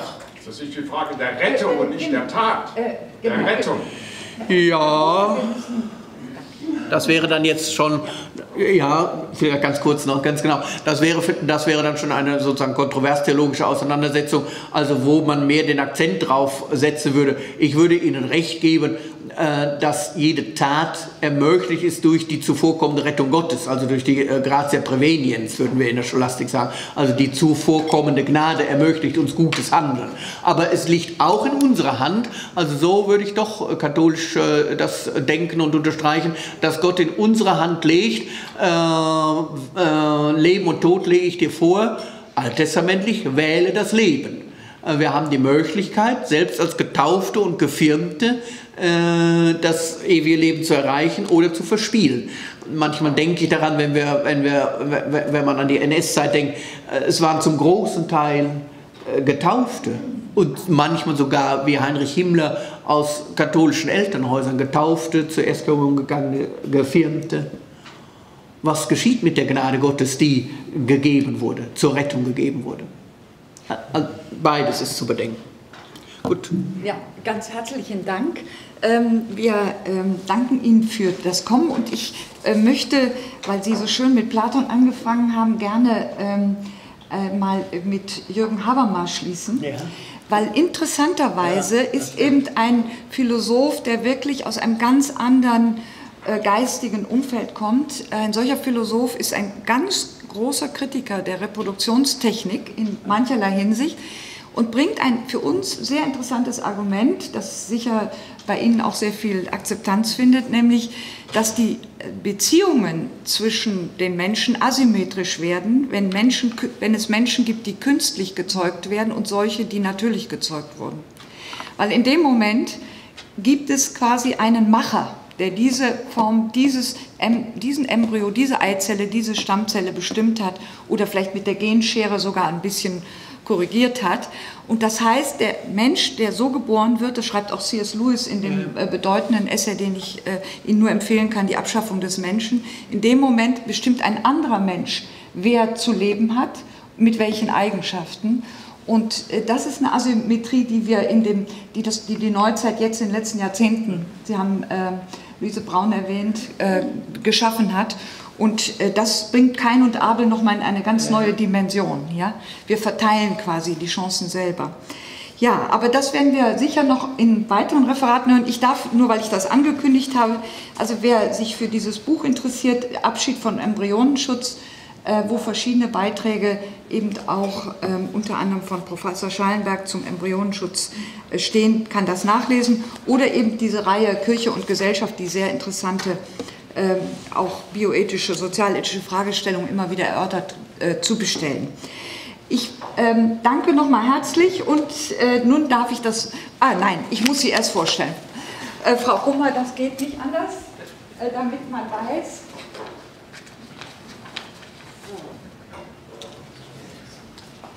Und äh, Herr Professor Scheinberg, wenn Sie gleich davon schleichen, wissen wir warum. Also es ist keine Kritik an der Veranstaltung, sondern Sie müssen zum Zug, genau. Vielen Dank. Ähm, ja, Frau Susanne Kummer ist Wienerin, das werden wir sicher auch ein bisschen hören. Ja? Ähm, und sie hat äh, in Magister in Philosophie und deutscher Philologie gemacht in Wien und Graz, hat dann eine journalistische Ausbildung gemacht, journalistische Tätigkeit übernommen, ähm, ist aber dann in den, sehr früh in den Bereich Wissenschaftsjournalismus auch gekommen und ist dann ähm, seit 2002 äh, stellvert zunächst äh, stellvert, nein, seit 2006 stellvertretende Geschäftsführerin äh, von IMABE in einem aus unserer Sicht in Deutschland noch fehlendem Institut, das ist in Österreich, in Wien sehr bedeutsam, Institut für medizinische Anthropologie und Bioethik, das unter anderem getragen wird von der Österreichischen Bischofskonferenz, aber auch von der Wiener Ärzteschaft, ähm, die sich zum Ziel gemacht haben, verschiedene äh, bioethische Fragen, Fragen, die im Gesundheitswesen jetzt in jedes Krankenhaus langsam hineintropfen, äh, äh, systematisch zu analysieren, auch wissenschaftlich zu begleiten. Sie hat ähm, die Zeitschrift Imago, ähm, die ich auch hier liegen habe, genau, Frau Kummer zeigt es gerade hoch, also eine ganz hervorragende äh, bioethische, äh, biomedizinische Fachzeitschrift, ähm, die sich diesen äh, ethischen Fragen widmet, äh, mit herausgegeben ist, Schriftführerin zunächst und als Geschäftsführerin seit 2012 für das gesamte Institut verantwortlich. Ähm, und äh, sie hat zahlreiche Symposien, Tagungen durchgeführt. Sie ist in österreichischen Medien bekannt als eine der oder die, die Stimme der Bioethik aus christlicher Perspektive. Ähm, dort wird sie sehr oft eingeladen. Da scheint mir in Österreich die Debatte im öffentlich-rechtlichen noch etwas offener zu sein. Ähm, solche Vertreter der Lebensschutzbewegung habe ich in den letzten zehn Jahren im öffentlich-rechtlichen nicht gesehen. Diese kleine Fußnote kann ich mir jetzt doch nicht verkneifen. Aber in Österreich ist das also nach wie vor möglich. Ähm, IMABE, das Institut, gibt einen Newsletter heraus, den zu abonnieren ich auch nur sehr, ich meine, ich mache keine Schleichwerbung, es ist alles umsonst, ähm, aber sehr, sehr hochkarätig, ähm, immer sehr interessant, ich profitiere jeden Monat davon. Äh, Fachjournale, Schwerpunkthefte, also ein wirklich spannendes Institut. Und ähm, sie hat sehr viel publiziert zum Leben Anfang, zum Lebensende. Und wir freuen uns sehr, dass Sie sich aus dem schönen Wien in das schöne Berlin aufgemacht haben.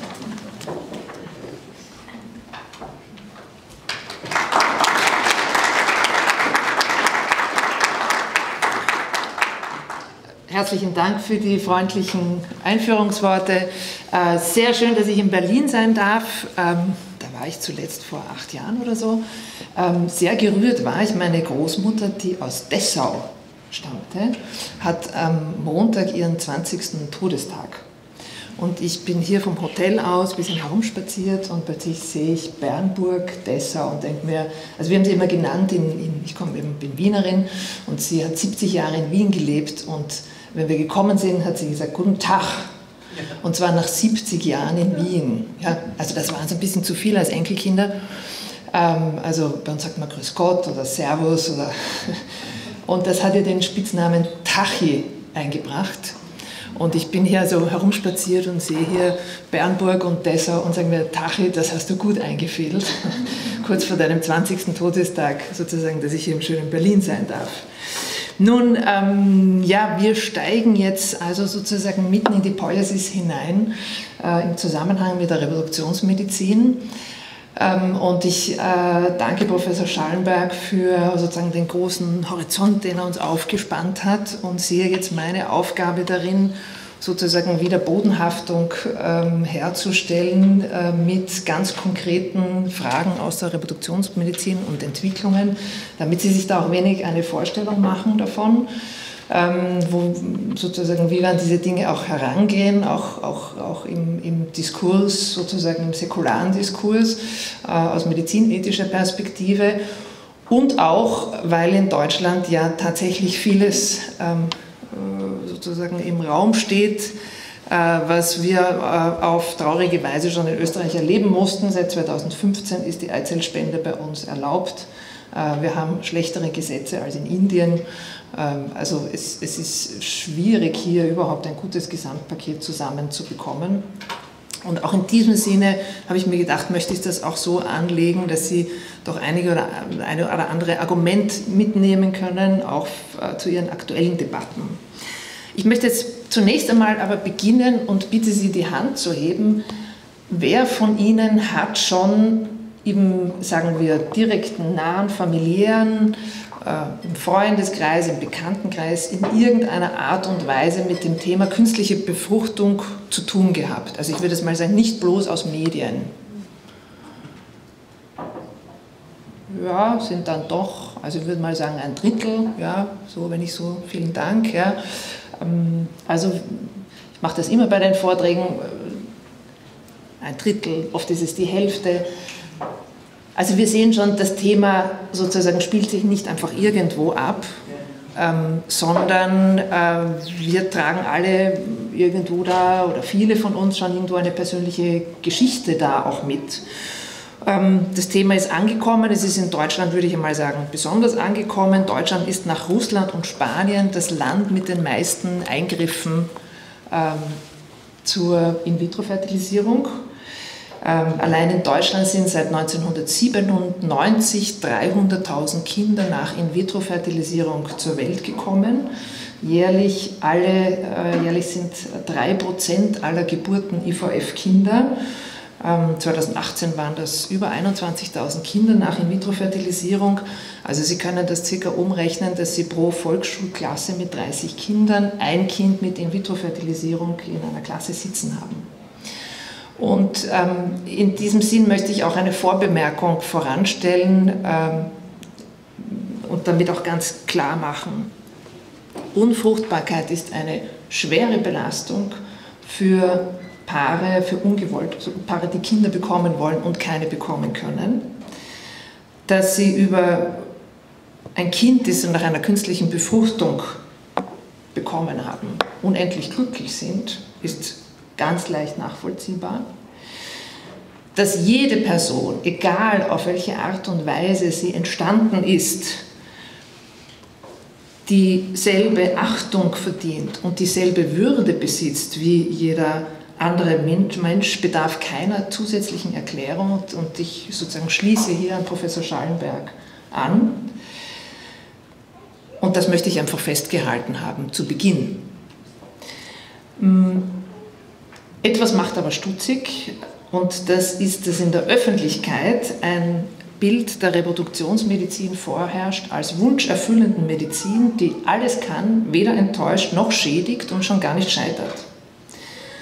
Sie finden äh, Webseiten der Anbieter, da stoßen Sie auf lachende Kinder, glückliche Eltern, Slogans wie entspannt schwanger werden im Kinderwunschinstitut, Ihr Kinderwunschteam sorgt für Glückskinder, Ihr Weg zum Wunschkind und so weiter. Wir sehen, Reproduktionsmediziner präsentieren ihre Angebote im Lichte einer erfolgreichen und unproblematischen Machbarkeit, aber das ist nur die eine Hälfte der Geschichte. Über die Schattenseiten wollen wir heute sprechen. Ungewollt kinderlose Paare Weltweit schätzt man ca. 6% der Paare im fruchtbaren Alter, die davon betroffen sind, machen viel durch. Enttäuschungen, Trauer, Tabu, Schuld. Für den Kassenarzt sind sie eine sehr lästige Klientel, denn ähm, Paare, die ein Problem haben, ein Kind zu bekommen, sind kompliziert. Sie brauchen Zeit, sie brauchen auch äh, Know-how. Das ist oft weder das eine noch das andere vorhanden. Deshalb schiebt man gern ähm, ein Kärtchen hinüber, äh, da gehen Sie doch bitte zur Wunschbabyklinik. Ähm, und dort wird dann suggeriert, wenn Sie es nur oft genug versuchen, einmal wird es schon klappen. Mm, Sie sehen hier sozusagen die Einsamkeit ähm, äh, der Frau, äh, die Belastung, die, denen die Paare ausgesetzt sind, denn natürlich taucht die Schuldfrage auf. Es ist die, die Trauer, dass es eben nicht so funktioniert, wie man sich das erhofft hat, das aufgearbeitet gehört. Nicht selten zerbrechen Paare an ungewollter Kinderlosigkeit, aber nicht selten zerbrechen Paare, nachdem das erhoffte IVF-Kind zur Welt gekommen ist. Das, was wir hier bemerken, ist, ähm, diese Paare geraten in der Not, in den Sog einer Machbarkeit, die vielfach falsche Hoffnungen weckt. Und ich möchte Sie jetzt kurz befragen, ähm, was glauben Sie von 100 Frauen, die sich einer IVF-Behandlung äh, unterziehen, wie viele von diesen 100 Frauen gehen am Ende mit einem Baby nach Hause? Schätzen Sie mal.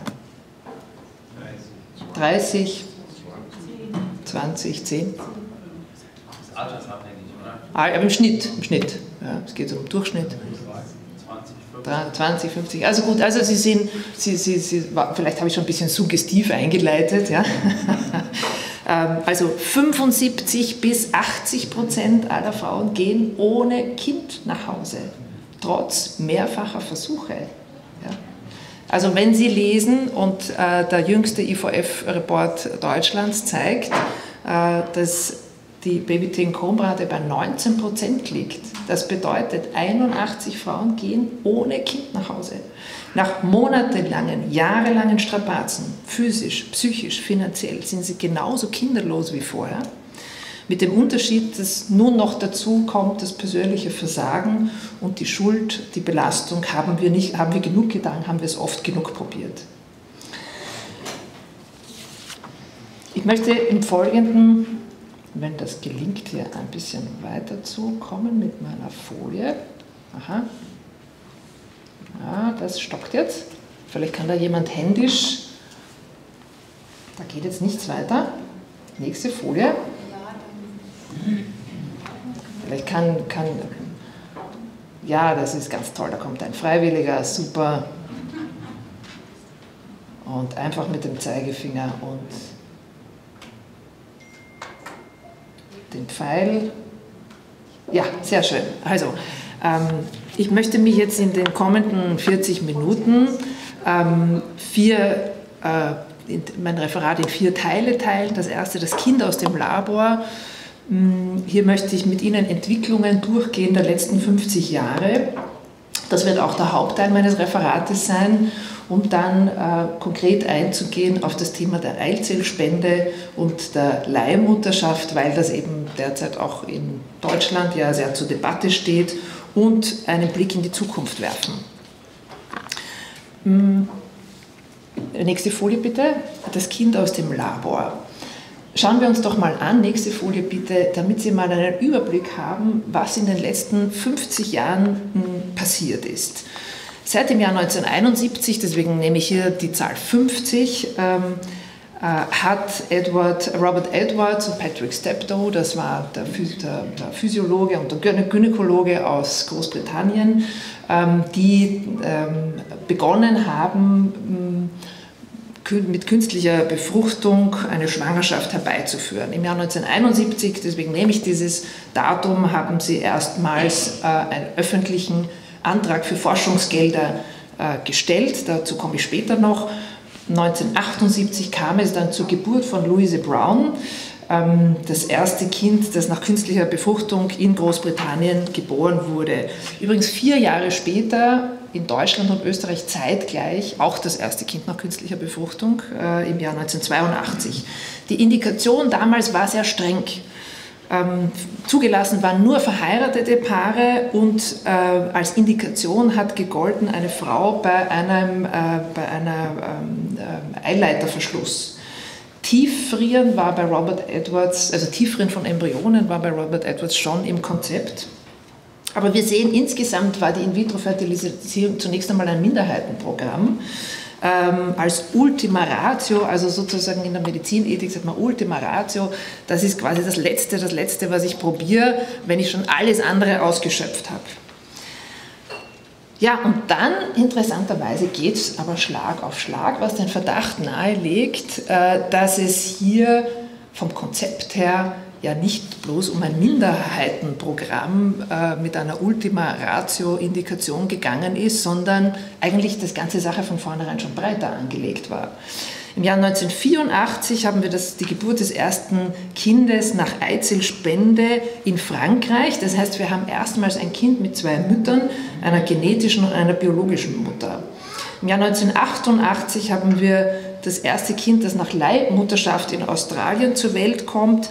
Äh, die eine Schwester bringt mit der Eizelle der anderen Schwester, die mit einem Fremdsamenspender befruchtet wurde, in Australien das Kind zur Welt. Äh, wir sehen schon, hier beginnt eine Logik der Entgrenzung ähm, in der Revolution. 1990 ähm, äh, kommt der nächste Gedanke, die Logik der Qualitätskontrolle, also quasi die Produktlogik setzt ein in dem Moment, wo der Vorgang der Menschwerdung aus der Intimität der, der des personalen Aktes herausgenommen wird und in ein technisches Labor verlegt wird, beginnt der Zugang auf den Embryo als einem, als einem Objekt. Und äh, äh, es beginnt die Logik der Qualitätskontrolle schlagend zu werden. Wir haben also 1990 zum ersten Mal ein Kind, das nach Prä-Implantationsdiagnostik äh, geboren wird. Also Gencheck eines Embryo vor Implantation. In dem Fall ging es um Geschlechtsselektion, um eine bestimmte Krankheit zu äh, verhindern. Kinder werden aussortiert, Embryonen werden aussortiert und nur bestimmte werden eingesetzt. Ähm, das geht dann weiter. Im Jahr 2003 kommt das erste Rettergeschwisterkind zur Welt, auch in Großbritannien. Da geht es darum, dass äh, diese Familie gab es ein Kind mit Leukämie. Es konnte kein entsprechender Knochenmarkspender gefunden werden. Daraufhin haben die Eltern, die ja auf natürlichem Weg Kinder bekommen konnten, weil sie, glaube ich, schon drei hatten, äh, beschlossen, dass dieses nächste Kind werden sie über In-vitro-Fertilisierung bekommen um unter den mehreren Embryonen, die dann hergestellt sind, jenen auszuwählen, der als Knochenmarksspender am ehesten in Frage kommt. Und dieser wird dann implantiert und so ist es auch geschehen.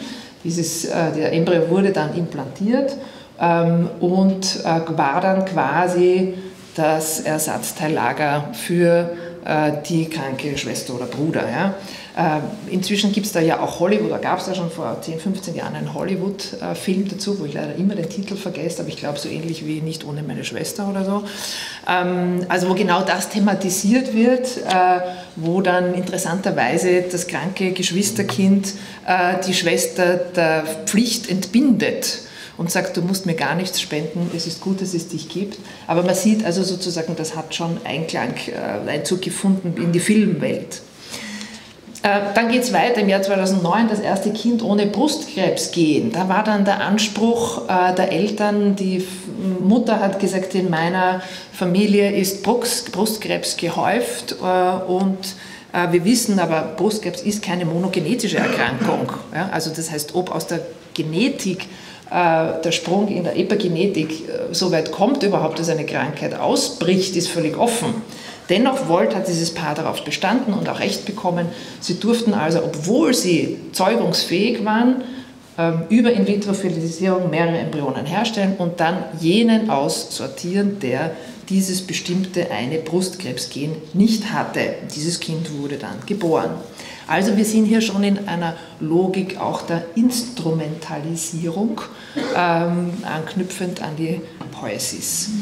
Ähm, Im Jahr 2014 haben wir das äh, erste Kind geboren nach Uterustransplantation in Schweden. In diesem Fall ging es um eine 34-jährige oder 36-jährige Frau, die ohne Gebärmutter, soweit ich mich erinnere, selbst geboren war, aber selbst ein Kind zur Welt bringen wollte. Eine 61-jährige Freundin der Familie hat dann ihren Uterus gespendet. Das ist natürlich ein ganz experimentelles Verfahren. Es ist wie bei der Organspende, dass dann die Empfängerin natürlich ähm, ähm, wie sagt man da, Immunsuppression nehmen muss, das ganze Leben, wie jeder, der ein Organ gespendet bekommt. Ähm, und, und das setzt natürlich auch die In-vitro-Fertilisierung voraus, die dann angewendet wird. Also tatsächlich sind weltweit, ich habe jetzt nur die Zahlen gefunden bis 2019, weltweit 17 Kinder nach Gebärmuttertransplantation geboren worden. In Deutschland bereits zwei Kinder 2019, ebenfalls nach Gebärmuttertransplantation. Nachdem das Kind geboren ist, wird dann die Gebärmutter wieder der Frau entfernt. Ähm, das hat äh, relativ bald ähm, die Transgender-Bewegung auch schon auf den Plan gerufen, die gesagt hat, also wenn jetzt den Frauen Gebärmütter implantiert werden, muss das doch auch für Männer möglich sein. Und schon äh, ist hier eine neue Debatte entstanden, dass auch Männer Mütter werden wollen.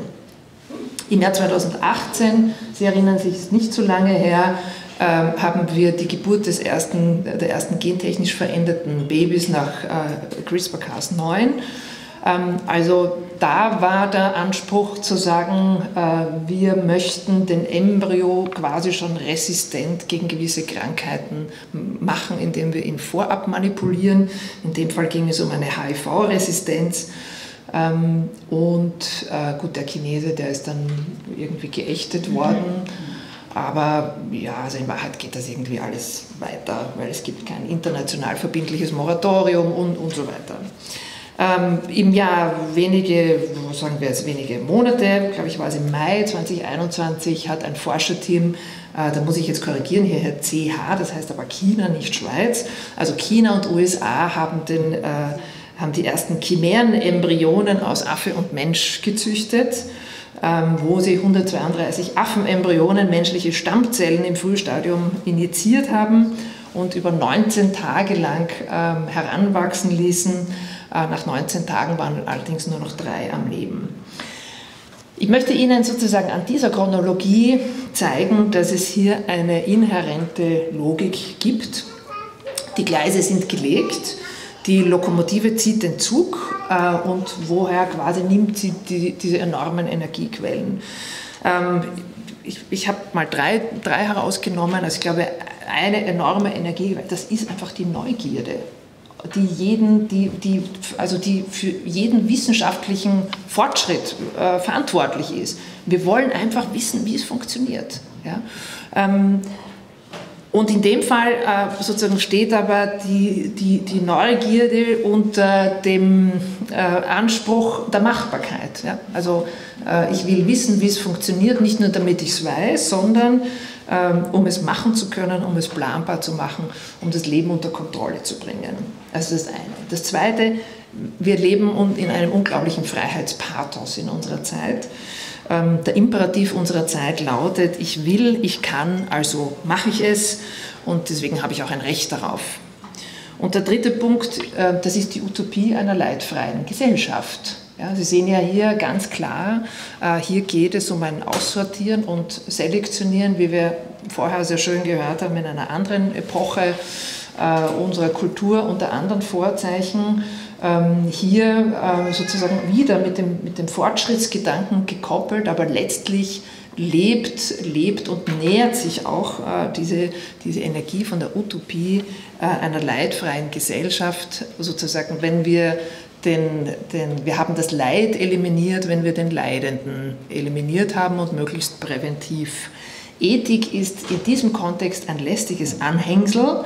Ähm, also wenn, wenn das so ein, sagen wir so ein 300 Kilometer Eurojet ist, komme ich mir manchmal mit unserem Institut vor wie so eine kleine Fahrradklingel. Ja? Noch blim, blim, blim, blim. Ähm, aber ähm, sozusagen auch, auch wir leben davon, dass wir sagen, äh, in jede Zeit muss hineingesprochen werden, was Sache ist. Ähm, und wir müssen den nächsten Generationen sozusagen Fundamente legen. Auch äh, wenn wir vielleicht nicht mehr selber erleben werden, dass es zu einer Trendwende kommt. Aber ich schaue mir das halt dann von oben an.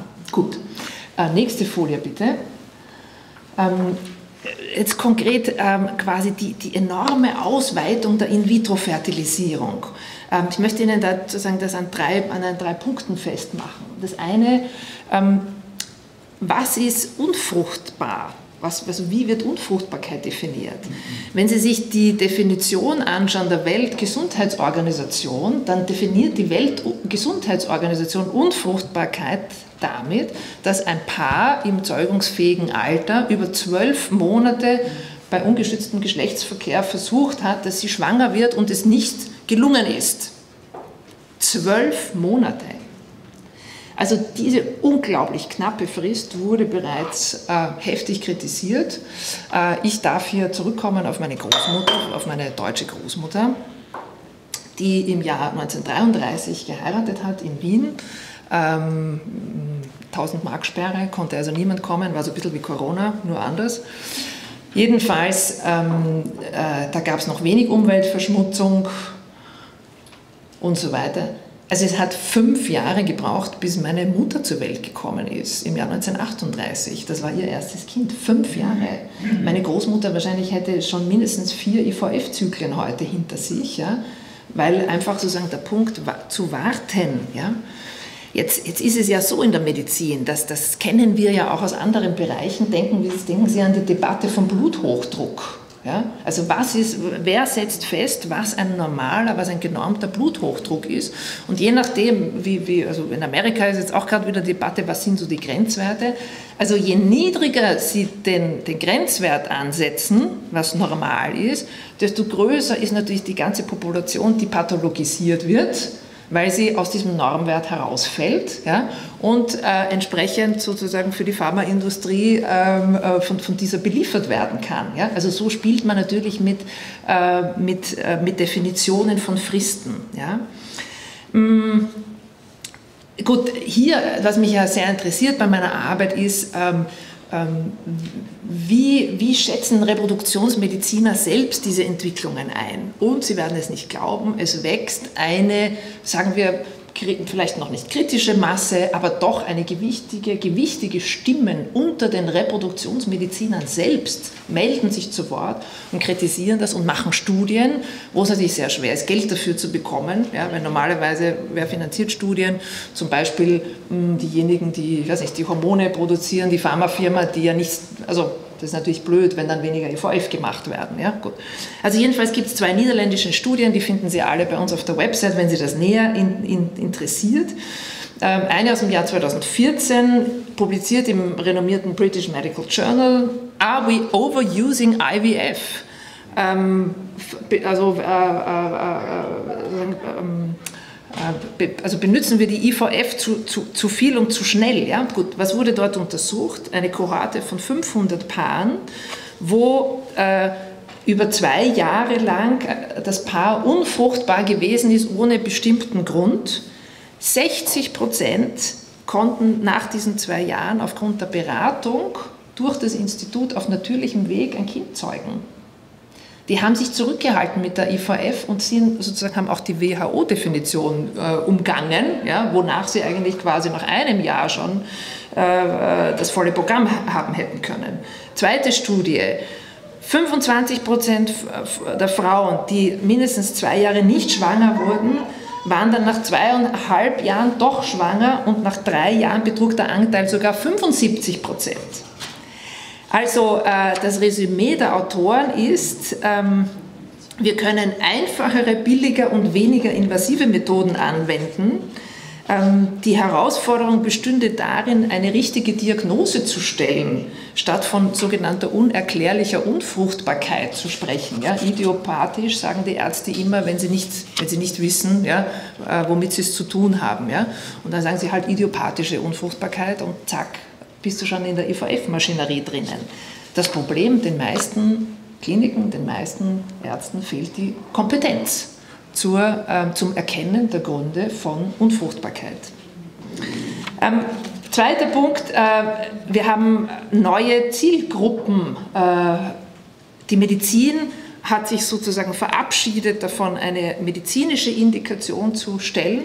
Das heißt, sie wird eigentlich immer mehr zur wunscherfüllenden Medizin. Der Patient ist eben kein Patient mehr, sondern er tritt auf als Kunde, der gewisse Dienste in Anspruch nehmen möchte. Und äh, dann haben Sie also Frauen, die meistens schon 20, 25 Jahre lang Verhütungsmethoden angewendet haben. Dann haben Sie möglicherweise den Partner gefunden oder Sie sagen, ich will jetzt ein Kind, aber ohne Mann und es klappt und es klappt und es klappt nicht. Ähm, Sie haben Lebensgemeinschaften, Singles, Frauen nach der Menopause, die sagen, aber jetzt wäre doch Zeit für ein Kind. Ich will einfach nicht alleine sein. Jetzt brauche ich aber eine Eizellspende. Alleinstehende, Witwen, lesbische Paare mit Samenspende, homosexuelle Paare, die dann eine Eizellspende brauchen und auch eine Leihmutter brauchen.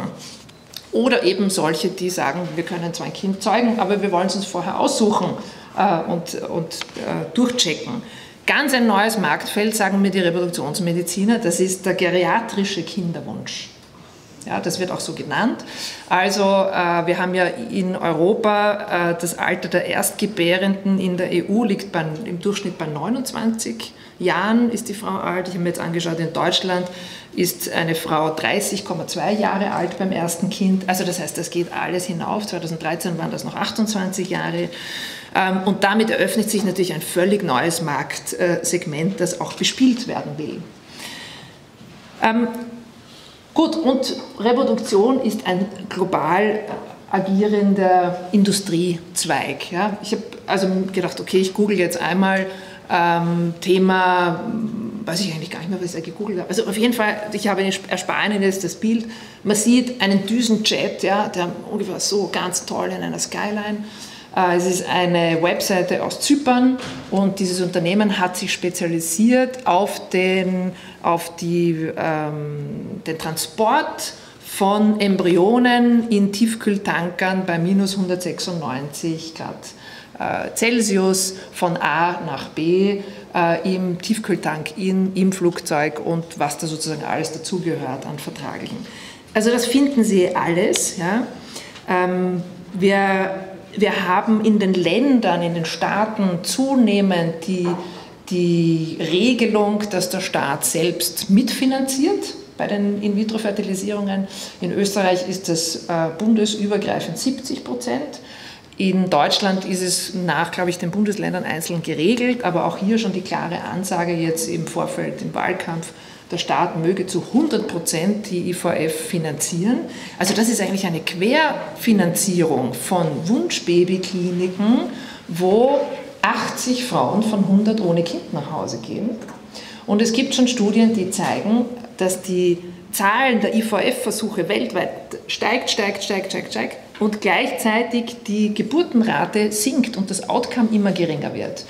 Und ähm, Norbert Gleicher, der in, selber Reproduktionsmediziner ist, ein Prominenter äh, in New York, sagt, ähm, er macht die Industrialisierung der Reproduktionsmedizin dafür verantwortlich und äh, sagt als Hauptargument, weil die Staaten mit Steuergeldern die IVF mitfinanzieren, verschiebt sich in den Wunschbabykliniken das Outcome-Ziel. Also früher war das Outcome-Ziel ein Kind.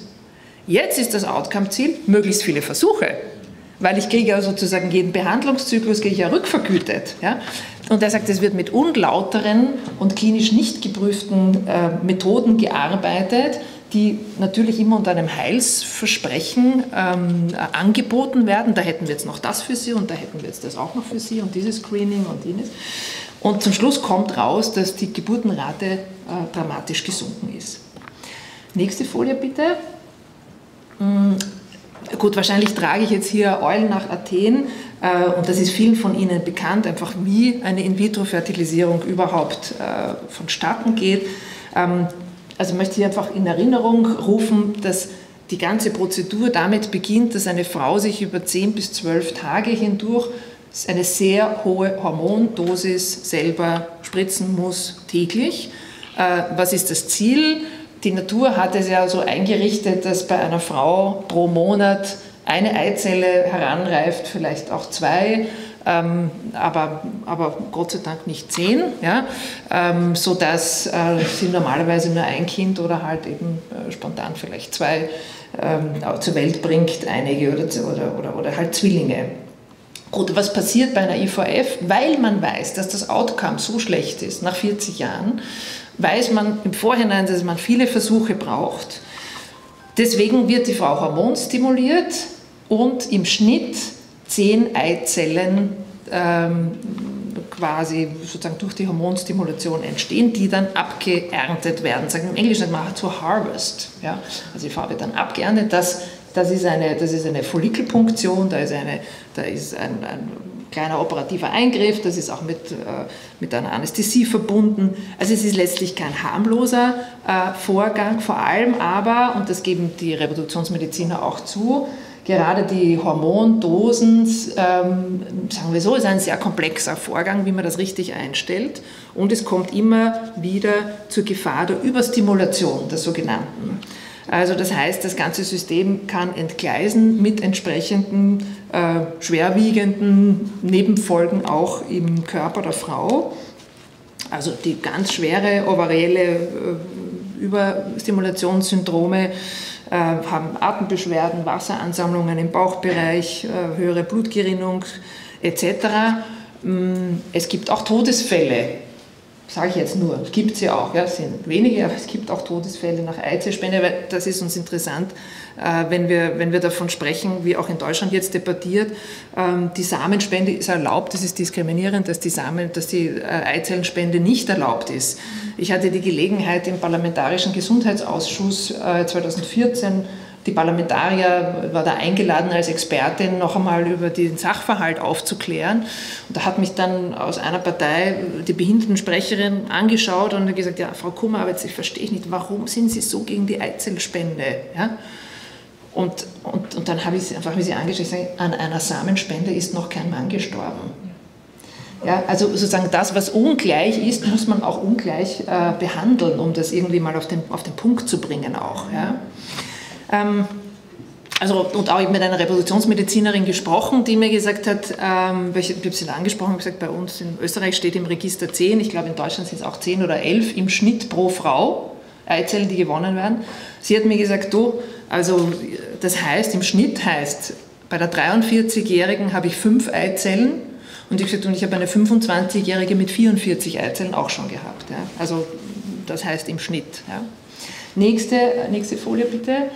Ähm, gut, auf, auf der Seite ähm, des, des Mannes, also wie gesagt, das Spermium wird, ähm, wird gewonnen, äh, das erspare ich Ihnen jetzt, auch anonym per Internetbestellung.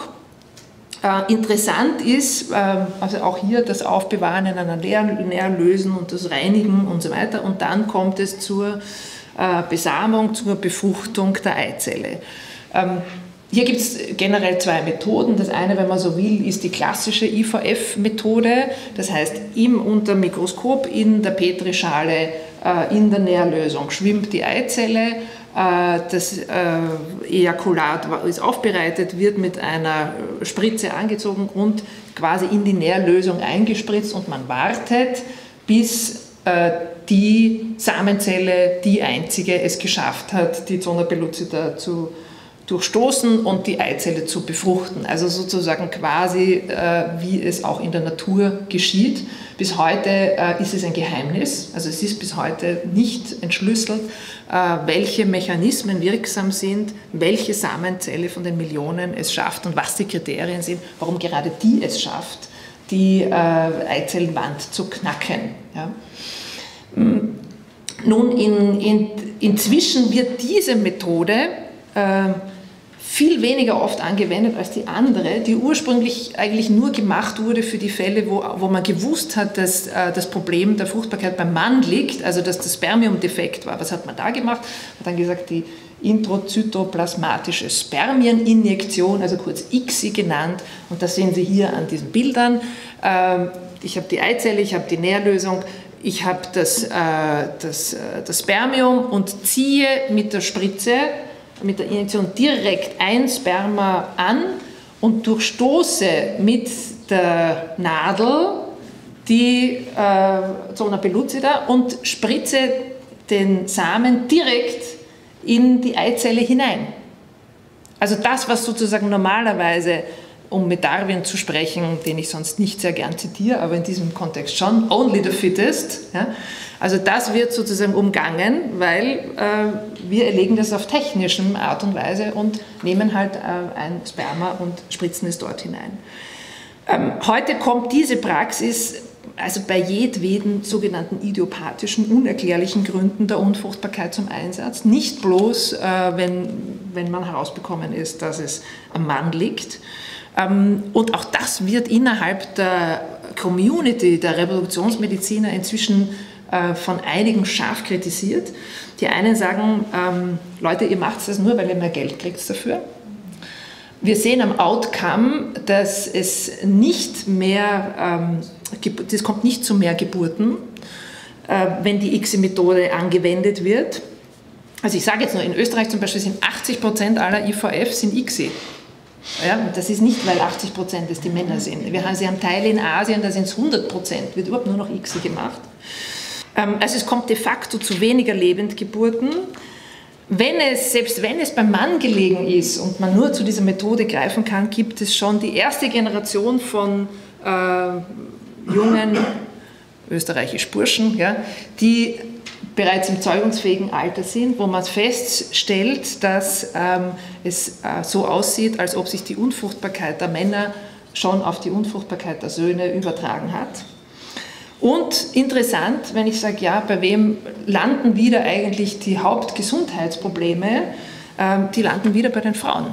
Also es gibt ähm, Studien, die zeigen, dass bei einer Schwangerschaft, bei einem Kind, das nach dem ICSI-Verfahren hergestellt wurde, ein beinahe vierfach erhöhtes Risiko für Komplikationen äh, da ist, Verwachsungen im Mutterkuchen, ähm, Bluthochdruck bei der Mutter schwangerschaftsinduziert, dass es eine höhere Rate von Fehlbildungen bei Kindern gibt. Hans Evers, Reproduktionsmediziner, top, Chefredakteur des Fachjournals Human Reproduction. Also Human Reproduction wurde gegründet von Robert Edwards, ja, dem Pionier und Vater, dem technischen Vater von Louise Brown. Also Hans Evers ist nicht irgendwer. ähm, sagt, er, er führt die unnötig hohe Zahl von ICSI-Behandlungen auf eine therapeutische Illusion im großen Stil zurück. Der Einsatz der ICSI-Methode sei ineffizient und kostspielig. Und ich möchte das noch, nächste Folie, ähm, sozusagen schon noch ein bisschen weiter, ähm, ja, weiter spinnen ähm, dass sozusagen die, die, die Schattenseiten und die, die quasi harm, harmlose Zugang, ja, also dann lasse ich mir das jetzt halt einfach, das lasse ich mir jetzt halt einfach machen von der Kinderwunschklinik, ja, mm, dass, dass dieser harmlose Zugang eben kein so harmloser ist und hier äh, eine öffentliche Debatte dringend notwendig wäre. Und wenn wir schon von Ethik reden, in diesem Zusammenhang auch eine ethische ähm, Verantwortung der, der Ärzte auch da ist, ganz klar über diese Risiken zu sprechen. Also wir haben das ganze Thema der Nährlösung. Ja. Es ist ja unglaublich kompliziert und wie man sieht, eben äh, sehr schwierig machbar, eine natürliche Schwangerschaft nachzubauen ja, im technischen Baukasten. Ähm, Sie haben also hier zu Beginn schwimmt der Embryo in einer Nährlösung. Ähm, Hans Evers sagt, äh, ich weiß mehr über die Zutaten meiner Erdnussbutter als über den Chemiecocktail, in dem der Embryo in dieser Frühphase schwimmt und eingelagert ist. Ähm, das sind Produkte von bis zu 80 Zutaten, Aminosäuren, Lipide, Hormone, die das Wachstum anregen sollen. Ähm, interessant, das läuft unter Medizinprodukte, deshalb äh, können die Firmen das zurückhalten. Bis heute äh, weisen die nicht bis ins Letzte aus, was sie da alles verwenden, damit der Embryo in der Petrischale weiter wächst. Und das ist eine unglaublich heikle Phase, in der das Genom und das Epigenom des Embryos umgebaut wird, wo es ähm, in der Modifikation des Erbguts ähm, auf molekularer Ebene zu gesundheitlichen Langzeitschäden kommen kann. Ähm, es gibt eine erste Langzeitstudie, es gibt ja recht wenig noch, ja, äh, Langzeitstudien äh, auch an Kindern und Jugendlichen. Äh, eine hat recht viel Aufsehen erregt in der Schweiz, eben äh, von Urs Scherer im Inselspital in Bern der Jugendliche äh, begleitet hat über, glaube ich, jetzt sind die im 17. und 18. Lebensjahr und hat 2018 gezeigt, dass IVF-Kinder ein signifikant höheres Risiko für Bluthochdruck schon im Jugendalter haben. Und zwar jeder siebte Jugendliche ja, einen, einen ähm, Bluthochdruck hat, der gesundheitsschädigend ist. Und äh, Scherer sagt ganz klar, müsste die In-vitro-Fertilisierung in der Familienanamnese, also wenn Sie zum Arzt kommen und sagen, ja, was hat denn Ihre Mutter, was sind denn für Familienkrankheiten liegen denn vor? Ja? Und er sagt, die Art der Herstellung muss in diesem Fall irgendwo festgeschrieben sein, damit hier auch eine adäquate medizinische Behandlung, Behandlung ins Auge gefasst werden kann. Ja, zum Thema Qualitätskontrolle haben wir schon äh, gesprochen. Also das Aussortieren der Embryonen aufgrund ihrer Morphologie, äh, die da in Güteklassen eingeteilt werden. Äh, ich habe jetzt gesehen, im deutschen IVF-Report spricht man vom idealen Embryo und vom nicht idealen Embryo und hat dann sozusagen entsprechende Fotos auch dazu, welche man besser auswählt und welche, welche besser nicht ganz ein, also eine ganz dramatische Erfahrung für Frauen, die sich einer In-vitro-Fertilisierung unterziehen, ist das Thema der Mehrlingsreduktion. Also äh, wenn, weil die Technik an sich nicht und nicht wirklich besser wird, ähm, hat, hat man vor allem in früheren Jahren äh, nicht nur einen Embryo eingesetzt, sondern zwei oder drei, weil man gewusst hat, äh, hoffentlich geht überhaupt einer an und nistet sich ein, es kommt zu einer Schwangerschaft. Also dass es da eher also Drillingsschwangerschaften gegeben hat. Ähm, allerdings ist interessanterweise kommt es auch öfters zu Spontanteilungen bei IVF. Also das führt dazu, man weiß natürlich, eine Drillingsschwangerschaft ist eine Hochrisikoschwangerschaft, eine IVF-Schwangerschaft ist überhaupt eine Hochrisikoschwangerschaft für die Frau. Und ähm, in diesen Fällen quasi wird implizit dann angeboten oder explizit dann angeboten, naja, also drei, das ist jetzt nicht so gut. Wir könnten, wir könnten jetzt einen äh, selektiv entfernen. Ja, und dann stellen Sie sich das einmal vor, dass die Frau sozusagen liegt, der Ultraschall fährt über den Bauch und sie mehr oder weniger gefragt wird, welchen von den dreien sollen wir denn jetzt wegnehmen. Ja? Und so hat man also die Erfahrung von alles zu tun, um ein Kind zu bekommen und die Todeserfahrung und auch die Tötungserfahrung, ja, alles nebeneinander, äh, was für diese Frauen oft kaum auszuhalten ist. Ja. Ähm, ein, ein, vierter Punkt ist die ganze Frage der Tiefkühllagerung der Embryonen. Also auch das ist ja gerade in Deutschland, äh, glaube ich, auch ein Thema im Fortpflanzungsmedizingesetz, äh, mehr Embryonen herzustellen, zu befruchten äh, tief zu frieren. Und das, was wir hier sehen, also sozusagen, wir führen diese Debatte, weil, weil wir den Embryo schon rational und emotional so weit von uns weggeschoben haben und so verdinklicht haben, dass wir gar nicht mehr quasi hm, mit annehmen, äh, dass jeder von uns einmal so begonnen hat zu sein. Und erst diese Versachlichung und diese Verdinglichung erleichtert es uns quasi mit dem Embryo wie mit einer Sache zu hantieren. Nur das funktioniert nicht immer mit den, mit den betroffenen Frauen. Ja. Ich äh, bin viel in Kontakt mit Psychotherapeuten, Psychotherapeutinnen, äh, Kinderärzten, die Frühgeburten betreuen und da sind recht häufig eben auch IVF-Kinder dabei. Und eine der Ärztinnen hat mir erzählt, sie war, also in ihrer Ambulanz äh, kommen die dann regelmäßig und es war eine Mutter mit ihrem Sohn. Sie also die, die, die, Ärztin nach so vielen Jahren Erfahrung hat sich fast schon zugetraut zu sagen, sie glaubt, dass das ein IVF-Kind ist, aufgrund des Verhaltens, das ich jetzt nicht, das das nicht näher ausgeführt, aber ich habe das also interessant gefunden, diese Bemerkung. Jedenfalls, äh, nach mehreren Monaten sitzt eines Tages die, die Mutter dieses kleinen Buben äh, bei ihr am Tisch und bricht in Tränen aus. Und die Ärztin fragt sie und sagt, was ist los? Ja?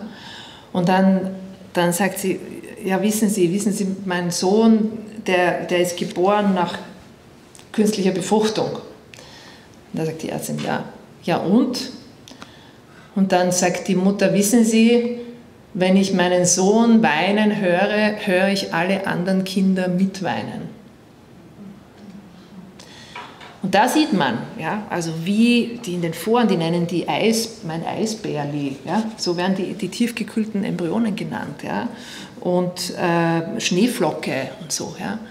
Also sozusagen, wie denn für die Frauen ist das nicht einfach ein Bindegewebe? Im tiefsten, im tiefsten, im tiefsten, ja, geht die emotionale Nabelschnur geht bis in die Tiefkühltruhe. Und die Psychotherapeuten sagen mir, äh, ja, von den von den Gynäkologen, also die Gynäkologen kümmern sich nicht mehr um diese Frauen. Ja. Äh, nachher, die, die, die Wunschbabyklinik, der, niemand kümmert sich mehr. Die Psychotherapeuten sagen mir, wir müssen das alles aufwischen. So, so hat es mir eine gesagt. Ja. Wir, wir, bei uns landet das dann alles. Ja. Und ihr könnt euch eigentlich nicht vorstellen, was, sozusagen, was für ein Leid hier ja, äh, auch zu bewältigen ist. Nur damit Sie sich überhaupt ähm, also quasi in der Größenordnung äh, mal vorstellen, um wie viele tiefgefrorene Embryonen es geht. Äh, also um einen Single-Embryo-Transfer will heißen, einen einzigen. Ja?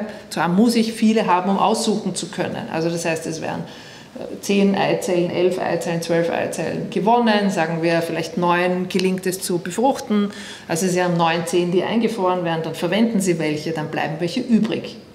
In Großbritannien hat man in zehn Jahren 3,5 Millionen Embryonen hergestellt und davon sind 1,7 Millionen Embryonen übrig geblieben.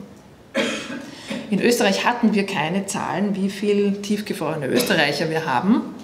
Ähm, wir haben, die sind erstmals jetzt, glaube ich, vor vier Jahren herausgekommen, also 30.000 die gemeldet wurden. Ja, also Sie können das immer für Deutschland verzehnfachen, also wahrscheinlich haben Sie mindestens 300.000 bis 500.000 tiefgefrorene Embryonen in Deutschland. Gut, letzter Punkt, Verwirrspiel der Baby-Take-Home-Rate. Ja, ähm, also Sie werden, wenn Sie auf die Internetforen und auf die Seiten gehen, werden Sie Zahlen finden wie, wir haben eine Schwangerschaftsrate von 38 oder 40 Prozent. Achtung, ja, also was ist eine Schwangerschaftsrate? Das heißt, eine Frau ist schwanger geworden. Aber dass eine Frau nach IVF schwanger wird, heißt noch nicht, dass sie mit einem Kind nach Hause geht. Wir haben eine ganz hohe Zahl von Fehlgeburten, ähm, äh, Aborten, manchmal auch Abtreibungen nach IVF, äh, weil eine Behinderung festgestellt wird. Also ähm, auch, auch Sie finden im deutschen IVF-Register, der äh, redlicherweise dann aber differenziert, die Zahl 23,5 ähm, pro, pro ähm, Transfer. Ja? Muss man aber auch sagen, Entschuldigung, ähm, also wenn du sagst pro, pro Embryo-Transfer ist es auch verzerrt, weil du müsstest alle Frauen mit hineinzählen, die vielleicht äh, gar keine Eizellen gehabt haben, die das abbrechen mussten frühzeitig. Also wenn wir, wenn wir redlich sind, landen wir bei 19 Prozent ähm, Baby-Take-Home-Rate und dann sind wir bei den 81 Frauen von den 100, die ohne Kind nach Hause gehen. Ja. Ähm, ich möchte jetzt auf einen anderen Punkt eingehen, die inhärente Logik der Selektion in der In-vitro-Fertilisierung. Und wir möchten, möchten einen Schritt zurückgehen in das Jahr 1971, als Robert Edwards gemeinsam mit Patrick Steptoe äh, einen offiziellen Antrag gestellt hat für Forschungsgelder. Äh, Edwards und Steptoe haben, die, ähm, also sagen, haben das begründet, warum sie würdig sind, millionenfach Forschungsgelder zu bekommen, äh, mit, mit, drei, mit drei Begründungen. Die erste Begründung war, wir werden in Zukunft in einigen Fällen Unfruchtbarkeit lindern können. Der zweite Punkt, ganz interessant, Unsere Forschung wird dazu dienen, neue Verhütungsmethoden zu entwickeln. Ganz interessant, oder? Wie das ne? hat schon seine Logik. Drittens, die IVF wird dazu helfen, um die Geburt von Kindern mit bestimmten Erbkrankheiten abzuwenden. Also was sehen wir hier? Ähm, wir haben von Anfang an im Bereich der In-vitro-Fertilisierung einen eugenischen Gedanken mitgehabt bei den Erfindern. Äh, Robert Edwards war Mitglied der Eugenic Society, das ist das heutige Garden Institut, ein sehr dunkles Kapitel äh, im anglosächsischen Raum äh, seit dem 19. Jahrhundert, also ideologisch geprägt von der Frage, wie kann man dafür sorgen, dass nur noch intelligente Menschen sich fortpflanzen und Menschen mit Behinderung ausgemerzt werden. Edwards war selbst ein Vertreter dieses Gedankenguts und hat in einem Interview 1999 ganz klar gesagt, bald wird es eine Sünde für Eltern sein, ein Kind zu haben, das die schwere Last einer genetischen Krankheit trägt.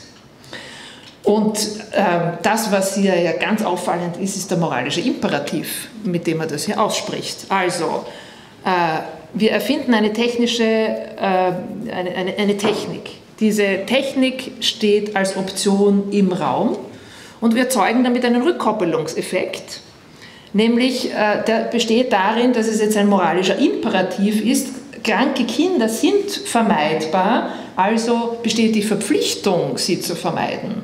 Ja? Ähm, Edwards hat übrigens hm, hat sich also nie, nie distanziert auch von seiner Mitgliedschaft bei der Eugenic Society. Und im Jahr 2010 äh, hat er den Nobelpreis bekommen für die Entwicklung der IVF. Hm, nächste Folie bitte. Hm, also wir haben sozusagen das, was wir kennen aus der Pränataldiagnostik, die Schwangerschaft auf Probe, haben wir durch die Präimplantationsdiagnose im Zuge der IVF, haben wir die Zeugung auf Probe und in der Leihmutterschaft haben wir die Bestellung auf Probe. Sie erinnern sich vielleicht an das Nicht-Wunschkind im Fall Gammy aus dem Jahr 2014, das durch die Medien gegangen ist. Was war da passiert? Ein australisches Paar ähm, hatte über eine Agentur ihr Wunschkind in Auftrag gegeben bei einer thailändischen Leihmutter. Die hat Zwillinge erwartet. Dann hat sich aber herausgestellt, dass eines der beiden Kinder behindert gewesen ist mit Down-Syndrom. Daraufhin haben die Bestelleltern die Abtreibung verlangt. Aber die Leihmutter, die 21-Jährige, hat sich geweigert ähm, und hat gesagt, ich kümmere mich um das Kind. Sie hat bereits zwei Kinder gehabt, drei und sechs Jahre alt, und sie hat die Leihmutterschaft deshalb begonnen, um ihre Schulden abzuzahlen. Es kam dann in die Medien, das Ganze äh, hat dann übers Internet, wurde Geld gesammelt für diese Mutter. Also sie hat dann tatsächlich beide Kinder zur Welt gebracht. Das australische Paar hat das gesunde Kind abgeholt und das Kranke zurückgelassen. Ähm, und ähm, ja, interessant war in der FAZ ein Artikel, dass der Vater, der Bestellvater, ähm, schon wegen Pädophilie verurteilt gewesen ist. Also ähm, aus den Wunschkindern kommen auch die Nicht-Wunschkinder. Und ähm, nächste Folie. Ähm, wir haben hier ein Zwischenergebnis, sagen wir, aus der Ethik, dass es der Würde des Menschen entspricht, dass er bedingungslos angenommen wird und nicht nur unter bestimmten Bedingungen hinsichtlich eines Zweckes. Ja. Dass aber der Logik der technischen Herstellung sozusagen die, die ganze äh, Qualitätskontrollenlogik inhärent ist, die Produktlogik, die Objektlogik. Es ist wie ein Konsumgut, ja, das produziert wird und ich freue mich, äh, Professor Spieker hier zu sehen, der hier den Begriff der zertifizierten Zeugung geprägt hat, ja, äh, der das eigentlich sehr schön auf den Punkt äh, bringt, dass, dass das eine notwendige Folge der Herstellung ist. Übrigens, was Sie hier sehen, das ist, ähm, ähm, wenn Sie eingeben im Internet Rainbow Baby Bilder, das ist so, ein, so eine eigene Kunstform geworden, wie Eltern äh, sämtliche Spritzen, Kanüllen ähm, und Fläschchen und Verschlüsse und Gläser, die im Zuge der In-vitro-Fertilisation verwendet wurden, sammeln und anschließend das in sozusagen ein künstlerisches Bild gießen, äh, wo man also sozusagen sieht, dieses Kind, wir sind so dankbar für dieses Kind, das dank der Technik ähm, letztlich äh, sozusagen zu uns gekommen ist. Ja? Ähm, nächste Folie bitte. Wir haben es also zu tun mit einer Entpersonalisierung der Weitergabe des Lebens.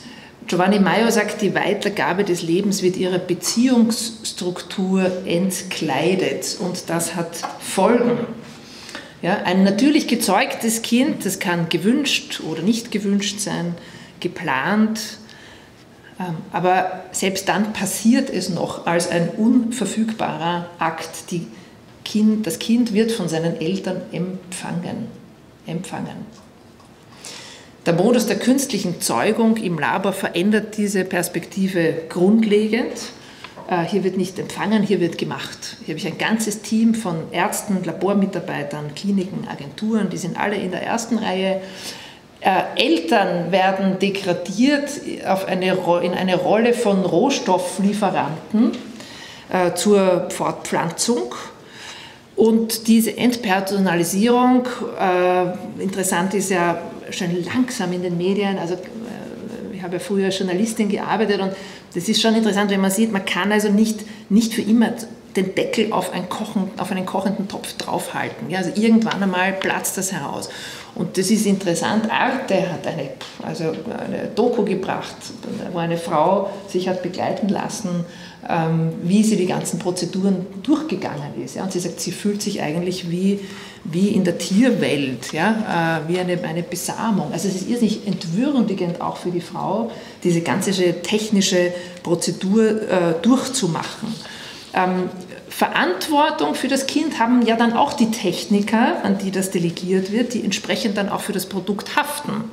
Es war ja äh, im Jahr 2016 in einer Klinik in den Niederlanden, wurde äh, der, der, Samen, äh, der falsche Samen verwendet und entsprechend kamen die falschen Kinder zur Welt. Was ist ein falsches Kind? Was ist ein falsches Kind? 26 Frauen hatten falsche Kinder, neun haben die Kinder bereits geboren und Schadensersatzerforderung an die Ärzte gestellt wegen dem falschen Kind. Äh, nächste Folie bitte. Ähm, also die Frage, die Grundfrage, ja, reproduktive Rechte auf Kosten wessen? Was heißt das Recht auf ein Kind? Wir haben ja hier eine eigenartige Verschiebung des Rechtsbegriffs, der ja ursprünglich ein, ein Abwehrrecht ausformuliert hat. Ja? Also Recht, eine Familie zu gründen, heißt, wenn Sie, wenn Sie denken, ja, Sie sind Leibeigene, ja, also dann, dann irgendwann der Bauer darf der Markt nicht verbieten, dass sie eine Familie gründet. Sie darf, ja, niemand darf mir verbieten, eine Familie zu gründen. Aber niemand würde auf die Idee kommen, beim Recht, äh, äh, eine Familie gründen zu dürfen, zu sagen, der Staat ist verpflichtet, mir einen Mann zur Seite zu stellen. Ja, es ist, das, das ist das Anspruchsrecht. Und das ist, was hier passiert ist. Ja? Also Recht, äh, Kinder zu haben, ist vom Abwehrrecht, niemand darf mir das verbieten, gekippt in ein Anspruchsrecht. Ähm, ich, die, die, der Staat muss quasi meine Kindererzeugung äh, mitfinanzieren und alles muss mir zur Verfügung stehen. Künstliche Befruchtung wird damit auch zu einem normativen Imperativ. Denn wenn Sie heute ungewollt kinderlos sind, in der Sinnkrise stecken und trotzdem immer noch keine In-vitro-Fertilisierung in Anspruch genommen haben, dann müssen Sie sich rechtfertigen, noch nicht alles versucht zu haben, um Ihr Leid zu bewältigen und Ihr Sinnproblem zu lösen. Also es fehlen uns alternative äh, Strategien in der Bewältigung von ungewollter Kinderlosigkeit. Ähm, ich, ähm, die, die, Frau Löhr, die, die schaut schon so aus, wie wenn ich keine Zeit mehr habe. Da, darf ich noch ein bisschen, oder? Mal, der Kaffee lockt. Ja. ja ähm, also ich, ich bräuchte noch sicher zehn Minuten. Ja, das ist vielleicht. Das ist zu viel. Ja, wenn Sie es noch ein bisschen. Ja, dann, dann, dann gut, dann, dann, dann raff ich. Äh, ja, gut, ja, dann raff ich. Ja, dann raff ich. Ähm, ist Kinderlosigkeit eine, eine Krankheit? Also das Kind wird ja quasi als Lebensziel definiert, mm, das es zu erreichen gilt. Es kann sein, dass Nachwuchs ausbleibt, dass ich das sozusagen als ein, als ein Lebensziel äh, mitdefiniert habe, aber es eben einfach nicht geht, weil die Altersgrenze überschritten ist, weil kein Partner für die Kinderwunscherfüllung gefunden wurde. Muss ich mich deshalb als krank bezeichnen? Ja, nicht jeder Mensch, der ein Lebensziel nicht erreicht hat, ist deswegen krank. Die WHO geht noch weiter in ihrer Logik. Ähm, sie hat eine Arbeitsgruppe eingesetzt 2016 und redet dort von der sogenannten sozialen Unfruchtbarkeit, die erarbeitet werden soll. Das heißt, per Definition sollen Menschen auch dann als unfruchtbar gelten, wenn sie einfach keinen geeigneten Sexualpartner gefunden haben, also Singles oder auch homosexuelle Männer mit Kinderwunsch oder Frauen. Mm, gut, das, dann mache ich vielleicht eine Folie zur Eizellspende, aber ohne dass Sie mehr Folien aufmachen. Äh, also vielleicht jetzt genau, Autonomie oder Ausbeutung.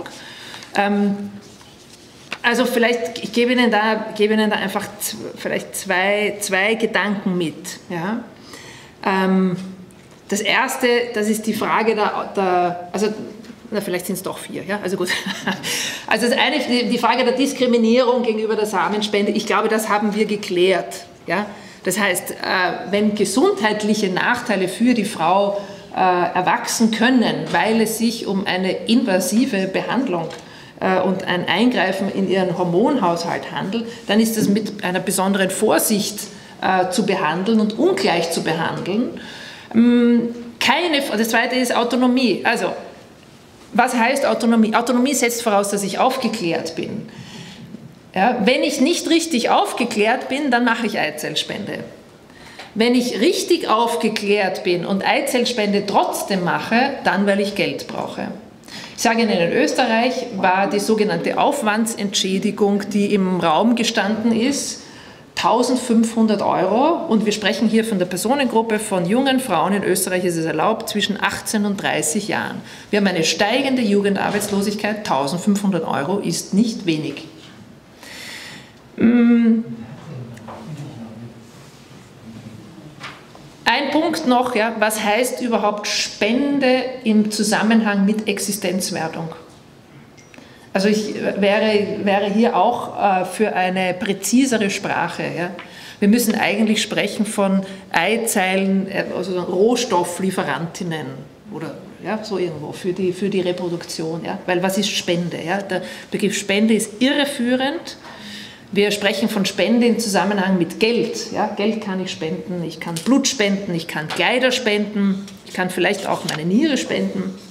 Aber sozusagen, ich veräußere etwas äh, jemand anderem zu dessen kompletten Gebrauch. Ja, und es besteht auch keine innere Bindung mehr zwischen mir und dem Gegebenen.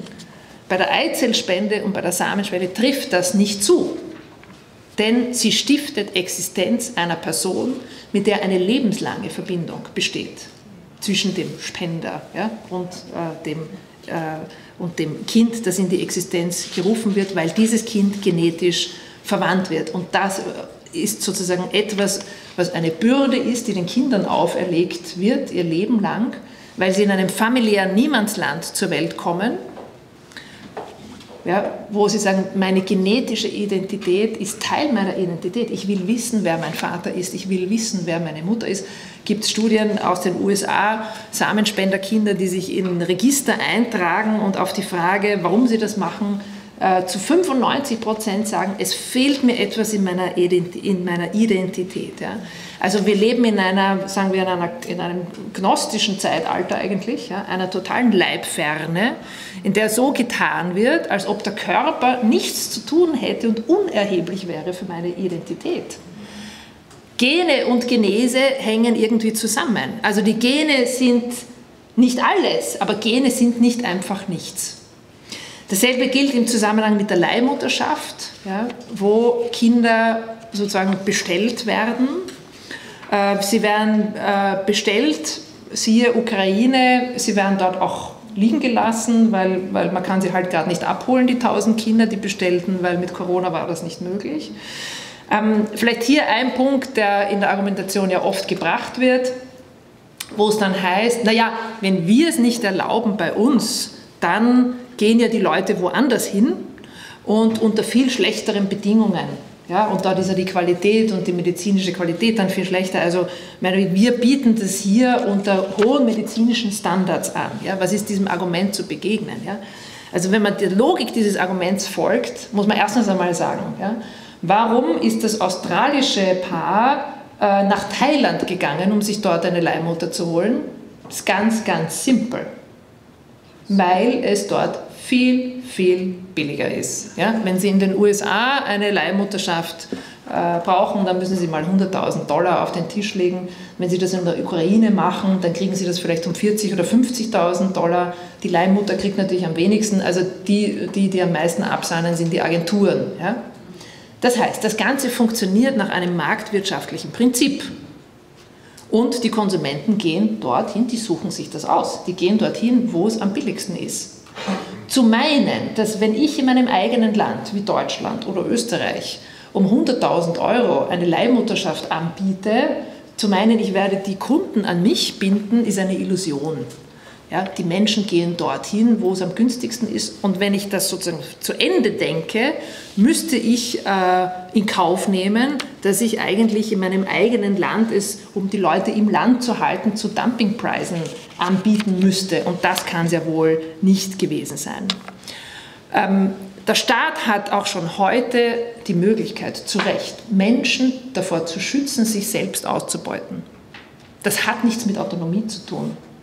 Also dass der Organhandel verboten ist, dass ich äh, mir eine Niere herausschneiden lasse und diese verkaufe, ja, dieses Verbot ist zum Schutz von Menschen, die möglicherweise in eine schwierige finanzielle Lage kommen und sowas andenken und in die Hände von Agenturen fallen, die ihnen sowas anbieten.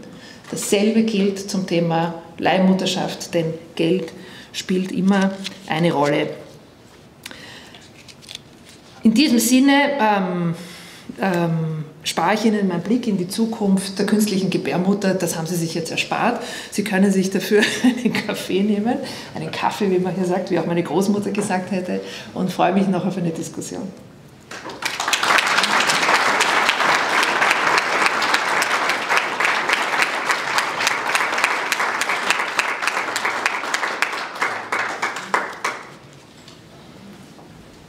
Ja, liebe Frau Kummer, das war wirklich ein brillanter Bogen. Wenn, der, wenn das nicht verbraucht wird, würde ich sagen Regenbogen, weil wie Sie die Schöpfungsprozess gezeigt haben. Ähm, und ich muss sagen, in dieser Dichte habe ich das selten je gehört und ich habe auch schon eine ganze Weile mich damit befasst. Also sehr, sehr beeindruckend. Es ist eine Einladung, wirklich Ihre Publikationen bei Imabe auch zu verfolgen. Ich muss allerdings sagen, auch wenn es mich schmerzt, ich kann keine Diskussion mehr zulassen, hoffe aber, dass Sie einen Kaffee Haferl mit uns trinken, äh, sodass also die, die brennenden Herzen sind, dann auch Sie ansprechen dürfen. Aber äh, Sie sind sehr diskussionsfreudig, das haben wir gemerkt. Äh, Sie sind von hoher Fachkompetenz und man kann Ihnen schreiben. Sie werden Gott sei Dank auch öfter eingeladen. Also ich glaube, Sie haben wirklich die Augen vielen geöffnet hier sind doch etliche Experten, aber am Bildschirm vielleicht nicht. Und Sie haben wirklich da erstmal ähm, etwas aufgemacht in einer solchen Breite und Tiefe, äh, dass wir alle, glaube ich, jetzt auch einen Kaffee brauchen. Ja?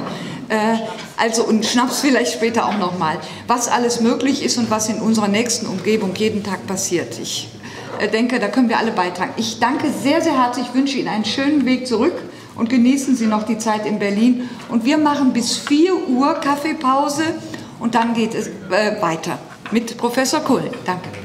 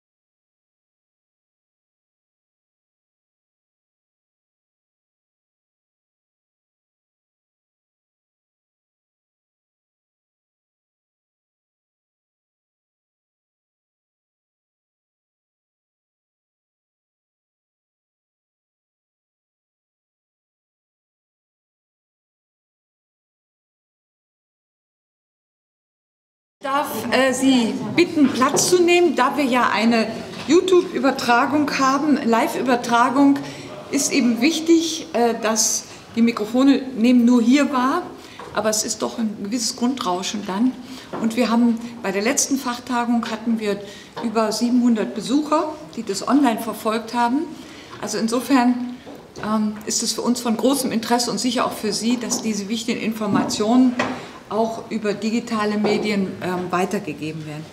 Ich habe die große Freude, Ihnen wirklich einen weiteren ja, Fels in der Brandung der Debatte der Bioethik in Deutschland vorzustellen. Ähm, viele von Ihnen werden von Professor Kullen, wenn Sie ihn nicht persönlich kennen, schon Dinge gelesen haben. Er ist ähm, Vorsitzender der Ärzte für das Leben. Und ich denke, Sie sind neugierig, seinen Lebenslauf auch ein bisschen kennenzulernen, ähm, äh, weil er doch auch wirklich eine Ausnahmeerscheinung ist.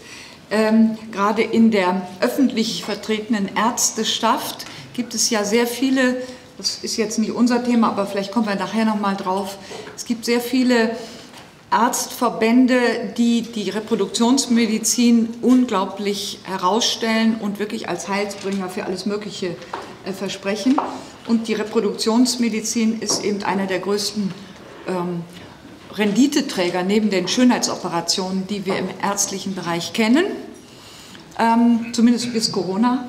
Wir haben ja in Deutschland 100, über 130.000, äh, über 130, Entschuldigung, äh, äh, Fruchtbarkeitszentren und die müssen ja entsprechend viel unternehmen, ja, damit äh, die Mitarbeiter und all das auf einem gewissen Niveau auch geschehen kann.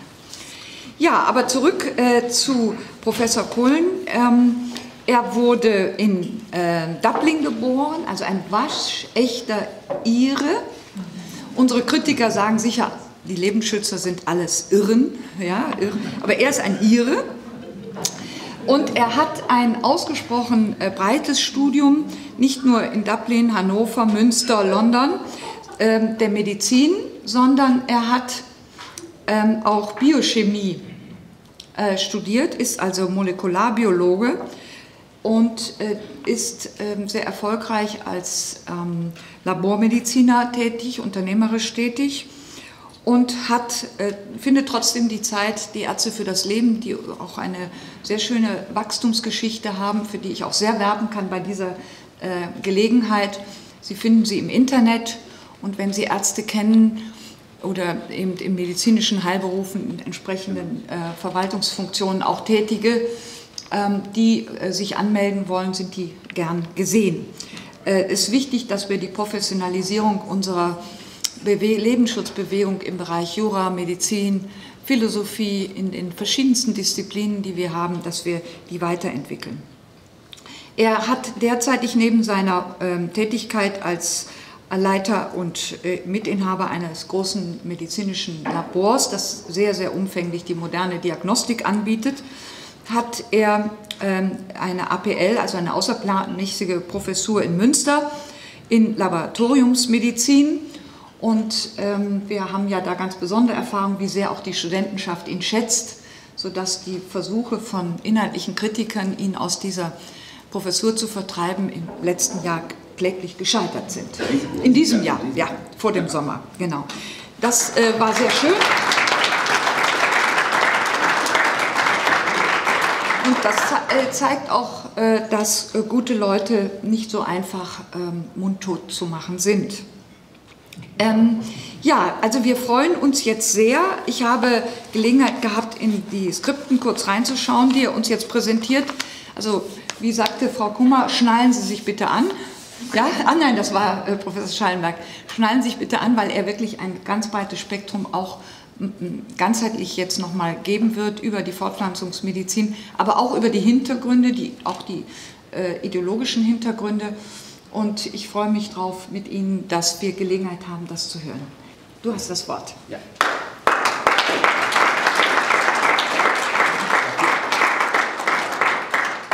Vielen Dank, Mechtelt, für die einleitenden Worte. Ähm, ich danke auch, ich bin auch sehr dankbar, dass ich heute äh, hier zu Ihnen sprechen darf über dieses Thema. Was ich ansprechen werde, ist ein bisschen, sage ich mal, hartes Brot, weil es ziemlich in die Gesetzgebung hineingeht, in die sozusagen die, die, wie solche Veränderungen in unsere Gesellschaft herbeigeschafft werden. Das ist ein ganz wichtiges Thema. Ähm, und bevor ich das vergesse, ich, es gibt ähm, zwei, ich habe das in zwei Artikeln ähm, festgehalten, einen in der Tagespost und dann in der äh, Zeitschrift für Lebensrecht. Genau, genau. Und ich habe ein, Schleichwerbung. Genau. Ich habe ein paar Kopien mitgebracht für die, die das jetzt mitnehmen wollen. Sonst ist das äh, auch im Internet abrufbar, wenn Sie sich da ein bisschen mehr mit, dem, mit diesen Themen befassen. Und was Frau Kummer uns vorhin erzählt hat, äh, das stimmt natürlich alles. Es ist eine Industrie. Wir haben eine Reproduktionsindustrie. Und ähm, wie, wie werden solche Veränderungen in der Gesellschaft herbeigeführt? Die werden so herbeigeführt, dass man fängt an, die Ideen mussten irgendwo keimen. Und wo keimen diese Ideen? Die keimen in den Universitäten, die keimen in den, in den sozusagen Fachgremien. Und ähm, ich werde jetzt ein bisschen äh, äh detaillierter darauf eingehen später über die Aktivitäten der Leopoldina. Und die Leopoldina ist die Nationale Akademie der Wissenschaft und es gab ähm, zwei sehr wichtige Veröffentlichungen der Leopoldina in den letzten Jahren. Genau. Und um, es ging um das Thema Reproduktionsmedizin in Deutschland. Und es ist interessant, unsere Krise ist eine Krise der Fertilität. Wir haben zum Beispiel eine absolute äh, die, die Spermienqualität ist in, in ganz äh, Europa, also in vielen Bereichen der Welt, sehr viel schlechter geworden in den letzten Jahren. Das wäre eine Frage zum Beispiel, wo man denken würde, da würde sich die Reproduktionsmedizin darum kümmern. Die meisten Menschen wollen mehr Kinder haben, als sie bekommen, aber man beschäftigt sich nicht um diese Themen, sondern man beschäftigt sich praktisch allein um die assistierte Reproduktion. Und ein, in Deutschland haben wir ein sehr gutes Gesetz, das Embryonenschutzgesetz aus dem Jahr 1991. Und dieses Gesetz ist sozusagen das letzte Bollwerk, was es über sozusagen zwischen jetzt und der freien Verwendung Menschenembryonen steht. Und die Leopoldine hat in, also alle Geschütze aufgefahren in den letzten äh, drei Jahren, um dieses Gesetz sturmreif zu schießen. Und das will ich jetzt mit Ihnen auseinander. Ich will mich jetzt damit auseinandersetzen mit Ihnen gemeinsam und die Details sind in diesen beiden Veröffentlichungen, können Sie dann nachlesen, falls Sie das möchten.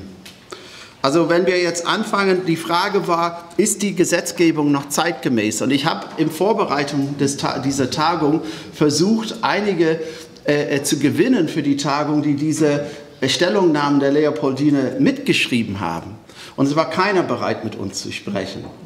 Ähm, weil ich hätte, ich hätte tatsächlich das als, als, als äh, Forum gewünscht. Wir hätten eine Diskussion oder vielleicht zwei Kurzvorträge und so weiter. Aber es war keiner bereit zu kommen, also muss ich das selber machen. Äh, aber es ist nur interessant äh, als Beobachtung. So, wenn wir jetzt sagen, wo ist der Art, was ist eigentlich die, die, die, die, die Grundsätze, was sind die Grundsätze ärztlichen Handels? Okay? Das ist äh, äh, Christoph Huferland, der ist sozusagen der, der, der Schutzheilige ist vielleicht das falsche Wort, aber der Patron unserer äh, äh, äh, Vereinigung Ärzte für das Leben. Und er war der Leibarzt von Goethe, äh, er war auch, ähm, ist in der Aufklärung sehr, hat er gewirkt. Und da gibt es einen Grundsatz in der Medizin, das heißt auch Latein salus e groti suprema lex. Das heißt, das Wohl des Patienten ist das höchste Gut. Äh, das vergessen wir gerade in diesen Zeiten ein bisschen, aber das ist es eigentlich. Und der Arzt, also wir haben früher, also vorhin hat Frau Kummer über die, über die Selektion gesprochen, die Wertigkeit von Menschen. Und was der, der von Huflang gesagt hat, ist folgendes. Der Arzt soll und darf nichts anderes tun, als Leben erhalten, ob es ein Glück oder ein Unglück sei, ob es Wert habe oder nicht. Dies, dies gehe ihn nichts an und maßte sich einmal an, diese Rücksicht in sein Geschäft mit aufzunehmen, so sind die Folgen unabsehbar und der Arzt wird der gefährlichste Mensch im Staat. Und das erleben wir jetzt an allen Stellen, äh, weil wir anfangen, das Leben zu bewerten. Und also zum Beispiel, wenn man das jetzt mit, mit Kant, Immanuel Kant begründet, Kant hat ja gesagt, Nun sage ich, der Mensch und überhaupt jedes vernünftige Wesen existiert als Zweck an sich selbst, nicht bloß als Mittel zum beliebigen Gebrauche für diesen oder jenen Willen. Im Reich der Zwecke hat alles, und das haben wir gerade, wo wir über Preise gesprochen haben, hat alles entweder einen Preis oder eine Würde. Was einen Preis hat, an dessen Stelle kann auch etwas anderes als äquivalent gesetzt werden, was dagegen über allen Preis erhaben ist, mithin kein Äquivalent verstattet. Das hat eine Würde.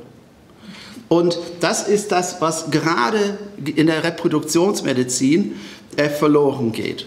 Nur ein bisschen jetzt sozusagen präperdeutig würde man sagen als Mediziner, wann beginnt das Leben? Ich glaube, wir sind hier uns alle einig, das Leben beginnt mit der Verschmelzung von Ei und äh, Eizelle und Spermium. Ich könnte das begründen, aber ich glaube, hier in diesem Kreis brauche ich das nicht. Bei Wikipedia, wenn man das äh, nachliest, man sagt, many members of the medical community accept fertilization at the point at which life begins. Das heißt, diese Frage, hat übrigens der Papst auch gestern gesagt, ist, ist biologisch nicht umstritten. Und äh, das ist natürlich, wie, Sie werden es später sehen in der Leopoldine, man versucht, um diesen Punkt herumzukommen. Man sagt, ja, das ist ein Mensch, aber das ist noch, hat nicht die volle äh, Wertigkeit eines Menschen, aber die biologische Tatsache steht fest. Und ich glaube, jeder, der ehrlich ist in der Biologie, wird das auch zugeben inzwischen. Und das ist schon ein Fortschritt. Das war ja nicht immer so. Und wenn man guckt in unser Grundgesetz, Artikel 1 Satz 1 kennen wir alle, aber es lohnt sich, das nochmal zu rekapitulieren. Die Würde des Menschen ist unantastbar. Sie zu achten und zu schützen ist Verpflichtung aller staatlichen Gewalt. Das heißt, das ist eigentlich das, wofür der Staat da ist. Und wir haben gerade gesehen, die Würde ist das, was keinen Preis hat. Ja? Also da muss man einfach ein bisschen über diese Grundkonzepte nachdenken. Und wenn man jetzt guckt, es gibt verschiedene Urteile, über Lebensrecht im Grundgesetz. Und es gibt ein paar, so, das sind ein, ein, ein, paar so Kommentare zum Grundgesetz, die ich ausgesucht habe. Ich will das nicht alles jetzt vorlesen. Aber es ist auch so, wenn man hier guckt, was in Rot ist, was geschützt werden muss, ist das eigene Lebensrecht des ungeborenen Kindes, nicht erst Recht durch die Annahme der Mutter. Das heißt, das Kind hat ein Recht auf Leben, grundgesetzlich gesehen, ob die Mutter das Kind annimmt oder nicht. Es, hat, es, gibt so, es geht sogar weiter. Rechtlicher Schutz gebührt dem Ungeborenen auch gegenüber seiner Mutter. Ein solcher Schutz ist nur möglich, wenn der Gesetzgeber ihr einen Schwangerschaftsabbruch grundsätzlich verbietet und damit die grundsätzliche Rechtspflicht auferlegt, das Kind auszutragen. Und das gilt auch, hat das Verfassungsgericht gesagt, für die Dauer der ganzen Schwangerschaft. Ganz vom Anfang bis zum Ende. Also das, sind nur die, das ist sozusagen die Rechtsposition, wie, sie, wie die jetzt in der Wirklichkeit ist. Das jetzt steht im anderen Blatt. Aber das ist sozusagen heute, also 17. September 2021, äh, ist die rechtliche Position in Deutschland nach wie vor. Und das, ja, das haben wir gerade gesehen. Und dann ist hier, jetzt geht's, geht's los. Jetzt kommt die Leopoldine ins Spiel. Und die Leopoldine hat zum Beispiel in diesem Dokument, was die Frau Löhr uns da gezeigt hat, äh, Fortpflanzungsmedizin in Deutschland für eine zeitgemäße Gesetzgebung. Da steht auf Seite 26, zwar ist es biologisch unstrittig, dass schon die befruchtete Eizelle menschliches Leben darstellt. Das ist unstrittig. Die normative Frage jedoch, ab wann und mit welcher Intensität menschliches Leben in seinen frühen Entwicklungsphasen schutzwürdig ist, lässt sich nicht automatisch mit Verweis auf, einen biologischen Beginn und nicht allein mit Einsichten oder mit empirischen Befunden der Naturwissenschaften beantworten. Ich würde sagen, warum nicht? Aber gut. Hier kommen ethische Wertungsfragen ins Spiel, die seit Jahrzehnten weltweit erörtert werden und noch nicht annähernd zu einem Konsens geführt haben. Das finde ich auch bemerkenswert, dass Sie das zugeben. Aufgrund des weltanschaulich-kulturellen Pluralismus in modernen demokratischen Gesellschaften ist auch künftig kein Konsens in der Statusfrage zu erwarten. Das heißt, man sagt es und dann nimmt es wieder zurück. Und wir werden sehen, wie das, wie das hinführt. Also das ist hier, das ist jetzt ähm, ähm, eine, eine äh, junge Stadträtin, glaube ich, war das der, der, der, der Linkspartei, die hat gesagt, über, es ging um eine Debatte über Spätabtreibung 2010. Und die Assi Huberti heißt sie, die hat gesagt, dass ein, ein Fötus befindet sich in einem Zustand der Dämmerung etwa vergleichbar mit dem unbewussten Gefühlsleben einer Pflanze und befindet sich im besten Falle auf der evolutionären Stufe einer Kaulquappe. Ähm, da, so, das, so wird, mit solchen Begriffen wird, äh, wird argumentiert in der Öffentlichkeit, nur dass sie das Feld jetzt erstmal begreifen. Grundsätzlich gibt es natürlich äh, äh, diese vier Argumente, die sogenannten Skip-Argumente. Und ich will sie jetzt hier aufführen, weil die Leopoldine beschäftigt sich sehr stark damit, äh, warum ein, ein, ein, äh, ein, ein Embryo oder ein befruchtetes Ei äh, zur Spezies Mensch gehört. Das sind die Skip-Argumente, also so, alle Angehörige der Spezies Mensch haben Würde. Das Embryo gehört zur Spezies Mensch, das S. K ist Kontinuität. Die Entwicklung verläuft ab der Befruchtung kontinuierlich an, ohne dass es Zäsuren gibt, die man identifizieren könnte. Identität, das Embryo ist dieselbe Person wie das Baby, das Baby dieselbe Person wie der Erwachsene. Man sagt nicht, man sagt, als ich noch nicht geboren wurde, man sagt nicht, als das Wesen da war, woraus ich dann wurde, als die Geburt stattfand. So drückt man sich nicht aus. Und die, das vierte Argument ist das sogenannte Potentialitätsargument. Das ist ein ganz wichtiges Argument. Bereits in der befruchteten Eizelle ist alles enthalten, woraus der Mensch wird. Also außer jetzt Nährstoffe und so weiter. Es kommt keine, es kommt kein, keine Information, würde man sagen, von außen hinzu. Also der Mensch ist da komplett in sich und entfaltet sich nur danach. Also das sind die vier Argumente, die Skip-Argumente.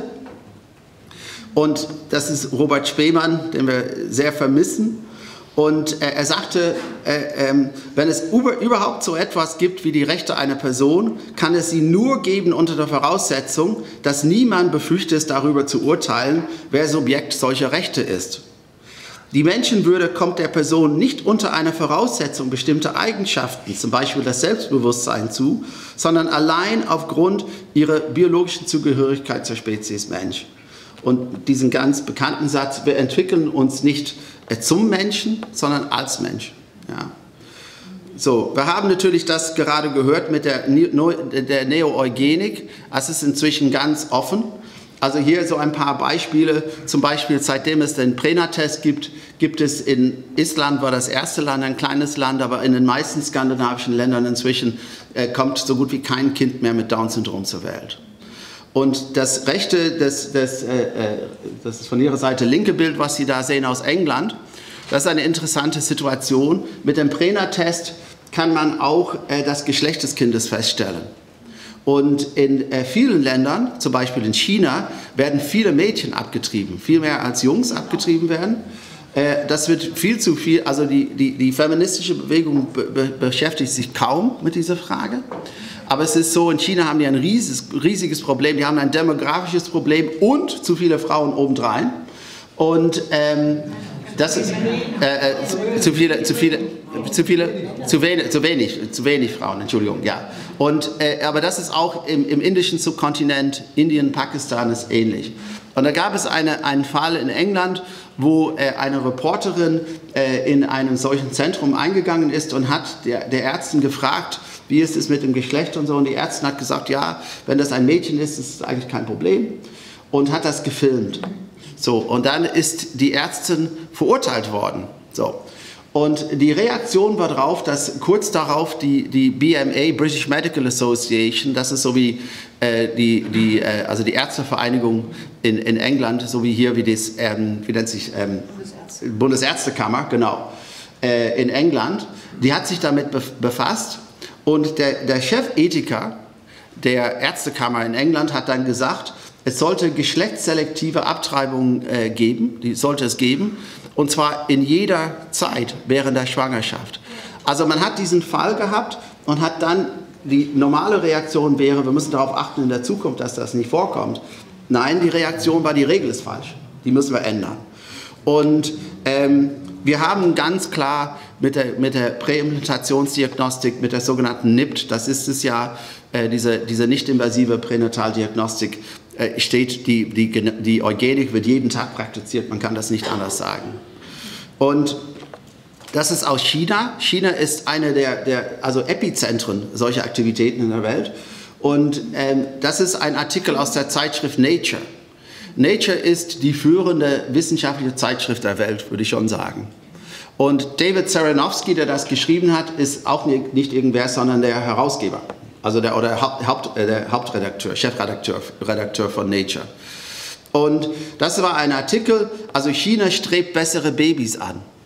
Und wenn man sich fragt, ja, was sind bessere, die Frage ist, was sind bessere Babys? So, was sind, so. Und, aber das ist so, und der sagt dann, die Zeit ist reif, genetische Erkrankungen sind mit einem schweren Makel belegt, Menschen mit Behinderungen bekommen kaum Unterstützung und einen ethischen oder religiösen Widerstand äh, gegen der vorgeburtlichen Diagnostik existiert so gut wie nicht. So. Und dann hat, hat, hat, hat, man für diesen Artikel eine, eine Fruchtbarkeitsspezialistin, Frau Ji, Präsidentin einer großen Universität in, in Beijing, und die hat gesagt, es gibt ethische Probleme, aber wenn man die Erkrankung ausmerzen kann, ist es meiner Meinung nach gut für die Gesellschaft. Und dann hat David Zaranowski gesagt, die man selten, eine Sache, die man ganz selten sieht, weil er hat über Geld geredet. Und es wird ganz selten über Geld offen gesprochen bei diesen Sachen. Und er hat gesagt dann, die Entwicklung könnte ein Segen für das Land sein. Eine Studie hat die durchschnittlichen Kosten der vorgeburtlichen Diagnostik zur Vermeidung der zystischen Fibrose, das ist Mukoviszidose, für die also eine schwere Lungenerkrankung, aber man kann heutzutage mit der Mukoviszidose 60 Jahre alt werden. Also das ist jetzt, früher starb man leider vor dem 20. Lebensjahr, das ist heute nicht mehr der Fall. Aber äh, also die vorgeburtlichen Diagnostik zur Vermeidung der zystischen Fibrose umgerechnet 49.000 Euro. Nur mit den durchschnittlichen Gesamtkosten der medizinischen Behandlung während des Lebens des Patienten vor 2,1 Millionen Euro. Also hat die, die Rechnung aufgemacht. Und das ist ganz selten. Da gab es ein paar Arbeiten dazu in den 90er Jahren, aber seitdem schweigt man fast vollkommen zu dieser. Aber der hat, der hat da die Katze aus dem Sack gelassen. Nur eine kleine Anekdote, was ist normal? So, wir fragen, was ist normal? Ähm, diese, das ist ein ganz äh, bekannter Fall, ungefähr 20 Jahre alt jetzt inzwischen. Aber das ist ein Paar, zwei Frauen, die wollten ein Kind haben und äh, über IVF äh, und äh, die waren beide taub. Die hatten sich in eine, in eine Klinik, das ist oft so übrigens, weil man lernt sich dann kennen in den Schulen und so weiter. Und die waren zusammen und wollten ein Kind haben und die sagten, unsere Kultur ist die Taubheit und wir wollen ein Kind haben, was auch taub ist, wie wir. Weil für uns ist das die Normalität. Und sie haben ihren Spermienspender gefunden, indem sie einen tauben Freund aus einer Familie mit erblicher Taubheit seit fünf Generationen, also richtig taub, äh, die Frauen, die, war, die waren beide Fachkräfte für psychische Erkrankungen, beteuern, das Kind auch zu lieben, wenn es hören kann. Ein Baby mit Gehör wäre ein Segen. Ein taubes Baby wäre ein besonderes Segen. Ähm, ich, ich sage das jetzt nicht, diesen Fall, um diese Frauen zu verurteilen oder sonst irgendwas. Ich sage nur, um zu, das, was man sieht, dass dieser Begriff, selbst wenn man jetzt äh, äh über solch, in solchen Kategorien denkt, das ist vollkommen nebulös, was gerade jetzt passt. Ja? So. Und gut, als eine Sache, äh, Dystopie mit Ansage, die Grenzen der Genetik, die Utopie wird ausbleiben. Äh, Frau Kummer hat erzählt, eine der, der, der Haupt sozusagen äh, äh, Treiber dieser Sache ist diese Idee einer utopischen Gesellschaft. Ich kann Ihnen als Genetiker sagen, das ist, wird nicht passieren. Also dafür verstehen wir die Genetik viel zu wenig und Genetik hat oft andere Effekte, als man denkt. Also man, man, man entdeckt ein Gen und man denkt, es hat die Funktion und dann stellt man später, es hat andere Funktionen, die vielleicht wichtiger sind. Und die Idee, man könnte das jetzt diese gesunde Gesellschaft bekommen, ist, ist vollkommen illusorisch. Man handelt sich auch mehr Probleme ein, als man löst. Aber das hilft dann nicht, das, das hindert nichts an, diese, an diesen Impuls, das dann zu machen. Im Übrigen ist es auch so, in unserer Gesellschaft ungefähr, nur ungefähr 4% der Behinderungen sind bei der Geburt da. 96 Prozent aller Behinderungen in unserer Gesellschaft resultieren durch Unfälle oder Krankheit nach der Geburt. Das heißt, selbst wenn man hier perfekt wäre, hätte man äh, nur vier, vier, nur, ich will jetzt nicht so sprechen, aber man hätte trotzdem natürlich viel Behinderung in der Gesellschaft. Gut, das will ich jetzt überspringen. So, ich will jetzt äh, äh, eine Sache also ich glaube, dass, worüber wir vergessen, ist diese, dieses Prinzip der Unverfügbarkeit. Wir stehen anderen grundsätzlich nicht zur Verfügung. Und wir hatten ja My Body, My Choice. Was ist jetzt, wir haben jetzt diese Impfdebatte. Da frage ich mich, wo ist da My Body, My Choice? Die, so, aber ich, ich, ich glaube, My Body, My Choice ist richtig. Es sind nur manchmal zwei Bodies. Aber diese, diese, dieses Prinzip, dass ich über mich verfüge und dass ich über meinen Körper verfüge und dass ich über mich grundsätzlich verfüge und anderen grundsätzlich nicht zur Verfügung stehe, wie ein Sklave, das ist ein ganz wichtiges Prinzip und das ist das, worüber wir jetzt sprechen. Und wir wollen uns jetzt erstmal Revue passieren lassen, dass ich glaube, Hartmut Steb, du, du warst ja damals bei dieser Gesetzgebung, glaube ich, involviert ein bisschen damals. Und äh, ich habe nur, dass wir uns jetzt Revue passieren, die ersten, also ab, erst Absatz 1 aus dem Gesetz zum Schutz von Embryonen, das Embryonenschutzgesetz aus 1990.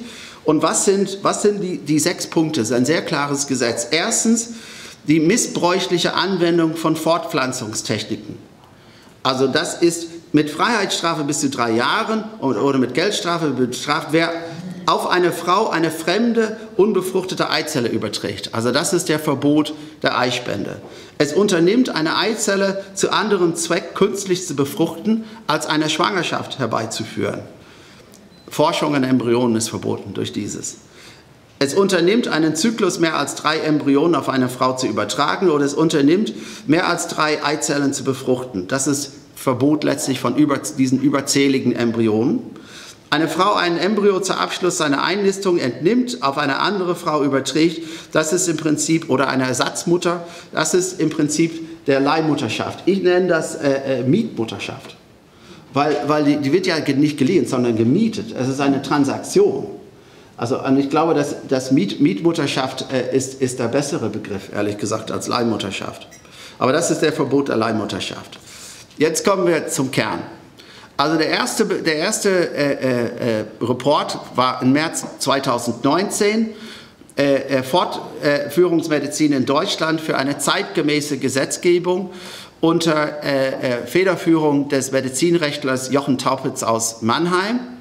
Und das Ding hat es in sich, muss ich ehrlich sagen. Also 124 Seiten lang, 438 Fußnoten, vier Medizinrechtler, ein Molekularbiologe, Fertilitätsforscher. Also das ist richtig eine dicke Kanone und die haben das, es ist auch, muss ich sagen, nicht schlecht gemacht. Also technisch einwandfrei, super gemacht. Äh, äh, und man muss, um das zu penetrieren, äh, da habe ich, ich weiß nicht wie lange gebraucht, mit Sicherheit anderthalb Wochen oder so, äh, weil man muss das mehrfach lesen und so weiter und in die Tiefe gehen. Und ich habe versucht, äh, das hieraus zu, zu destillieren, das Wichtige, aber nicht nur ich, äh, zusammen mit Michael Kiewer, der da sitzt, und Axel Bauer äh, aus, aus Mannheim auch. Und wir haben dann einen Artikel geschrieben für die Zeitschrift für Lebensrecht. Und äh, das ist die, äh, das, äh, eine Analyse und Wertung aus der Perspektive des Lebensrechts. Und das möchte ich Ihnen jetzt vorstellen. Und wie gesagt, das ist abrufbar auf unserer Webseite, aber sonst im Netz oder man kann das, ich kann das jemandem zuschicken, wenn man sich, oh, äh, hier, die, Lukas. Die Zeitschrift ist auch online. Lukas, Lukas, die, die Strom ist ausgegangen. Kann ich was machen? Äh, nur von deinem Laptop oder auch vom Nein, von dem, von dem Laptop ist der. Äh, dann ist vielleicht, warte mal. Haben wir, haben wir, ja, nein, nein, wir brauchen ein, ein, ein, ähm, ein Stick für was?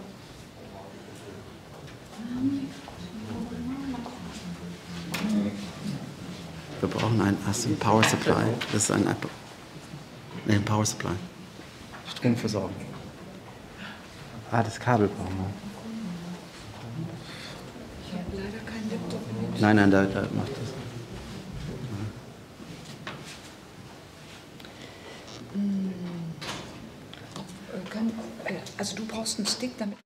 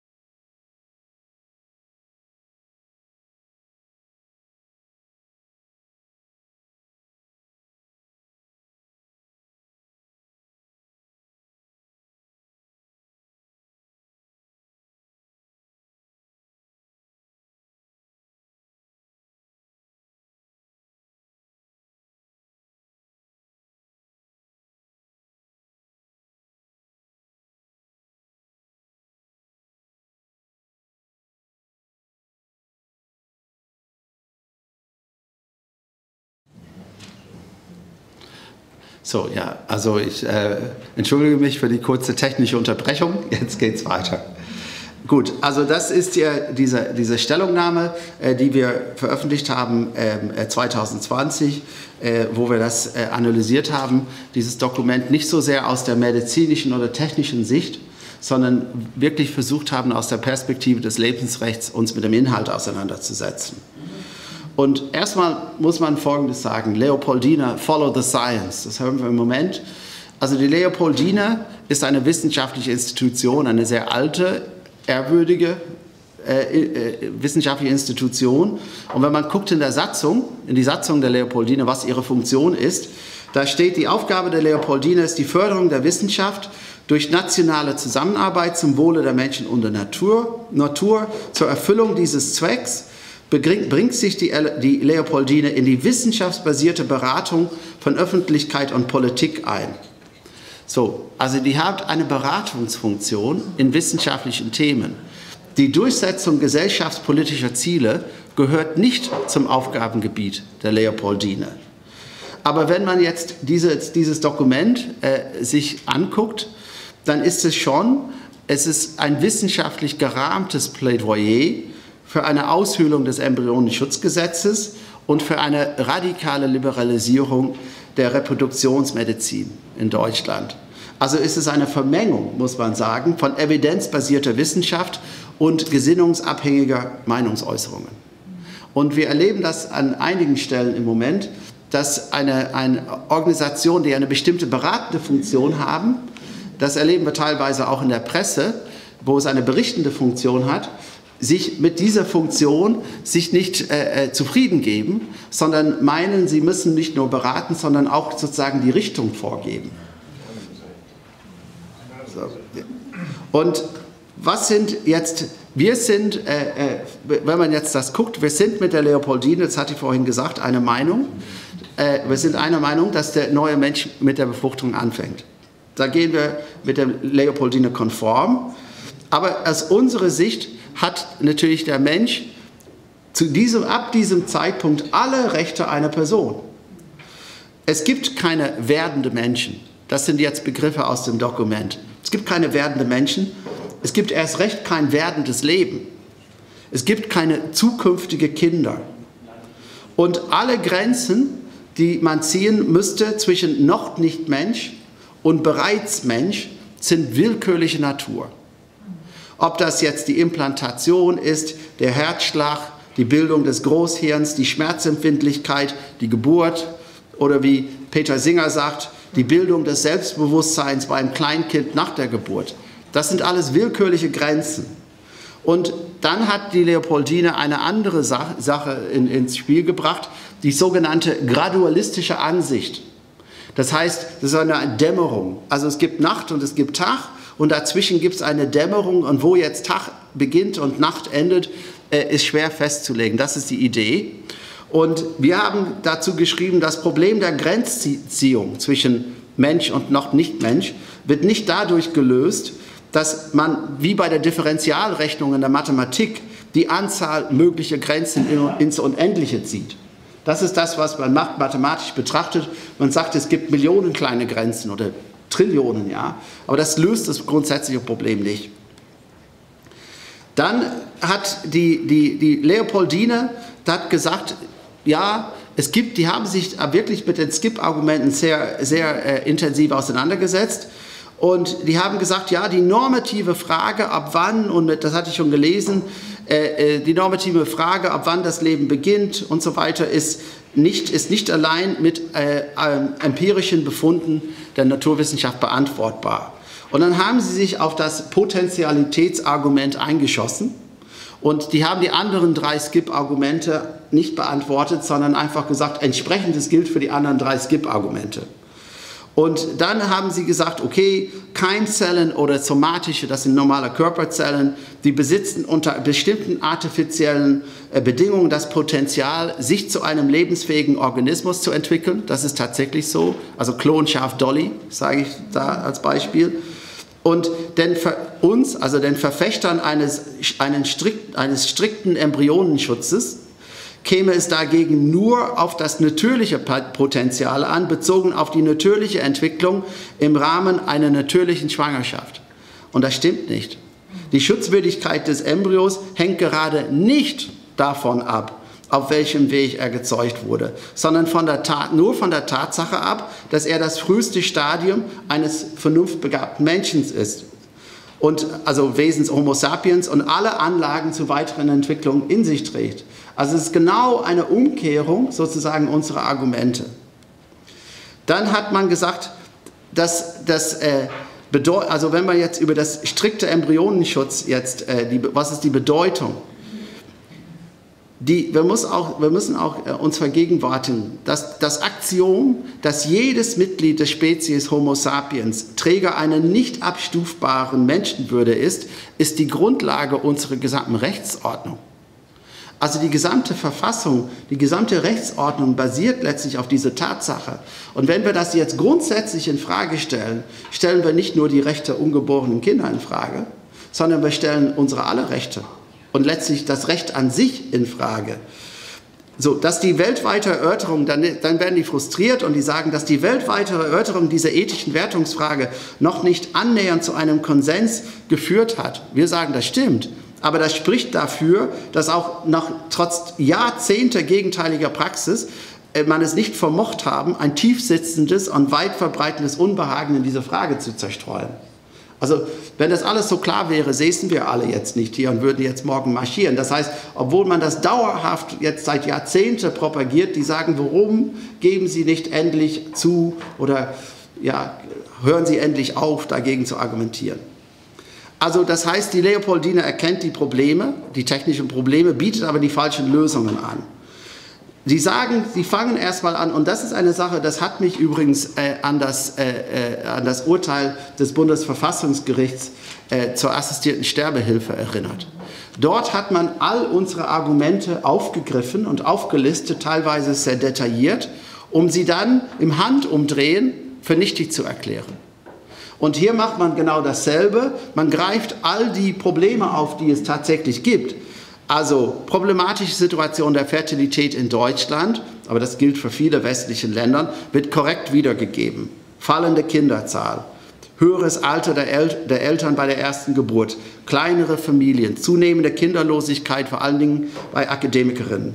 Einbindung der Frauen in die Arbeitswelt und der Männer in, der, in die Kindererziehung nicht das Problem, aber nur als, als Zustand. Geringere Bedeutung der Ehe für die Familiengründung, größere Akzeptanz der Homosexualität, zunehmende Bedeutung der Reproduktionsmedizin, zunehmende Bedeutung postmaterieller Werte. Das heißt, die haben die Probleme alle aufgelistet und das Fortpflanzungsrecht, haben wir auch gerade gehört, ist ein Abwehrrecht, das den staatlichen Angriff verbietet und hieraus erwächst natürlich kein Recht auf Kinder und das sagen die auch. Also die sagen, das ist ein Abwehrrecht, da gibt es kein Recht auf Kinder und es, es gibt erst recht keinen Leistungsanspruch des Staates in dieser Frage. Das sagen die selber. Aber dann sagen die, nachdem sie das alles gesagt haben, ist der ganze Duktus der Stellungnahme, geht in die, exakt die andere Richtung. Die, die wollen, ist im Prinzip, wenn man das so versteht und liest, soll jeder, ob verheiratet oder nicht, in einer Paar- oder sonstigen Beziehung oder Single, ob hetero, homo, alle haben grundsätzlich ein Recht auf Kinder. Das ist im Prinzip, was der Bericht aussagt, obwohl Sie anfangs das Gegenteil behaupten, sagen Sie dann hinterher genau das Gegenteil. Ob eigene oder fremde und der Staat stehe in der Pflicht, diesen Wunsch organisatorisch und finanziell zu unterstützen. Übrigens schreiben Sie, was ich bemerkenswert fand, äh, von einer wissenschaftlichen Organisation, die haben sich das Urteil erlaubt, die bürgerliche Familie, sagten Sie, sei eine kulturgeschichtliche Ausnahme. Fand ich auch eine interessante das Problem, ich sehe das folgendermaßen, ich habe ich hab neulich ein, ein, ein Interview gehört äh, äh, zwischen Norbert Bolz und einem Soziologen und es ging um Cancel Culture.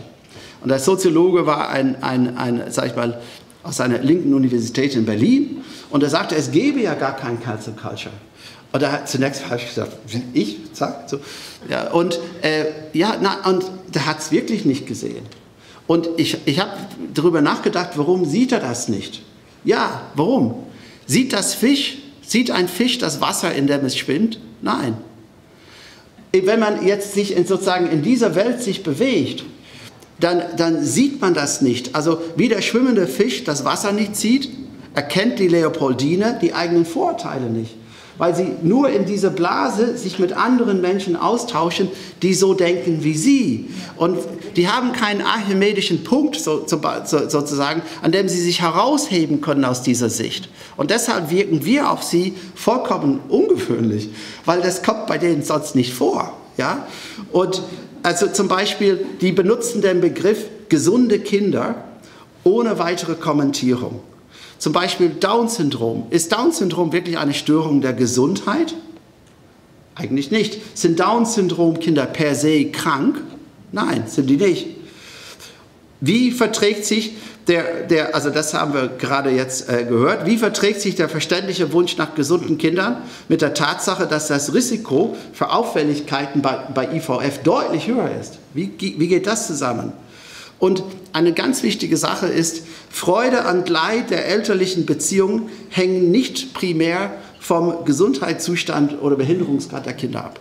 Das werden viele äh, äh, Eltern, die, die behinderte Kinder haben, äh, attestieren. Und wer normale, gesunde Kinder hat, die können einem auch das Herz brechen. Also es, das ist aber wirklich so. Also das heißt, das, heißt das, das, hängt, das hängt nicht damit zusammen, aber das blenden die komplett aus. Und das, was ich vorhin gesagt habe, diese Idee, dieser utopische Gedanke, man könnte jetzt die, die, die, die sozusagen diese leidensfreie Gesellschaft haben, völlig utopisch. Wir erfassen sowieso nur einen Bruchteil aller Sachen mit diesen Tests. Und die, das Problem ist auch natürlich die Fixierung auf die Gesundheit, die schafft eine problematische Erwartungshaltung. Und dieser Begriff auch zukünftige Kinder ist auch natürlich sehr gefährlich, weil das impliziert, es kommt nur auf das Endprodukt an. Das ist das Entscheidende. Das Endprodukt. Die, die Eltern wollen gesunde Kinder nach Hause mitnehmen, das ist es. Und äh, das ist, was sie äh, ist. Und wenn man das auf den Punkt bringt, man muss einfach konstatieren, es stehen die Interessen der Wunscheltern im Mittelpunkt und nicht die der Kinder. Das muss man knallhart so sagen.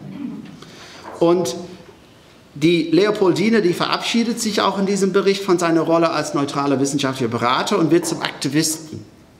Die sagen, die, die kritisieren zum Beispiel die Restriktion des Embryonenschutzgesetzes sehr hart. Das Kernargument ist die Notwendigkeit eines embryonalen Scorings als Vorbereitung für des Transfers des besten Embryos. Wir haben das gehört aus Österreich, wie das passiert, in die Gebärmutter beim IVF, um Risiko von Mehrlingsgeburten zu senken. Und dann sagen sie, diese Dreierregel, was im Gesetz festgelegt ist, wird in der Praxis umgeben. Man, hat man nennt das den deutschen Mittelweg. Und es entscheidend ist nicht die Anzahl der befruchteten Embryonen, sondern der befruchteten Eizellen, sondern der Anzahl der transferierbaren Embryonen. Und hierdurch natürlich werden überzählige Embryonen, und das war ja die Intention des Gesetzes, sie zu vermeiden, werden dadurch in Kauf genommen. Und die sagen dann aber eine Sache, die ganz interessant ist. Die sagen, es gibt ja verschiedene Wertungswidersprüche und das stimmt. Also ein Wertungswiderspruch, was sie ins Feld führen, ist die Zulassung der Pille danach, also Nidationshemmer. Das sind, also man verhindert die, die Einnistung des äh, fertilisierten äh, äh, des Embryos in die Gebärmutter äh, übrigens, die, das Argument wird anders gesagt, nein, es verhindert die Einlistung nicht, aber hier, das, das nehmen Sie an, geben Sie zu, die sagt, die verhindern die Einlistung und die sagen, ja, deshalb, wenn man das macht, warum soll man dann die Embryonen dann in einem anderen Setting mehr schützen? Und das ist richtig. Nur man kann dieses Problem andersherum auflösen. Man muss natürlich, der Widerspruch muss so gelöst werden, dass man sich fragen muss, warum sind Nidationshämmern überhaupt zugelassen? Das ist genauso eine, eine Auflösung. Und die Gesetz sei auch natürlich für die freie Wissenschaft äh, ohne Einschränkungen schädlich und das alte Argument, Deutschland gerate durch seine äh, äh restriktiven Gesetzgebung ins Hintertreffen. So, Zwischenfazit erstmal. Die Stellungnahme der Leopoldine fordert, dass in einem weltanschaulich neutralen Staat jeder grundsätzlich das Recht haben muss, sich nach seinen persönlichen, moralischen, religiösen und weltanschaulichen Überzeugungen zu richten. Dagegen ist nichts einzuwenden, sofern in der Konsequenz nicht wichtige Rechte anderer Personen substanziell beschnitten werden. Und welche Rechte konnten wichtiger sein, als das Recht überhaupt zu existieren oder zu leben?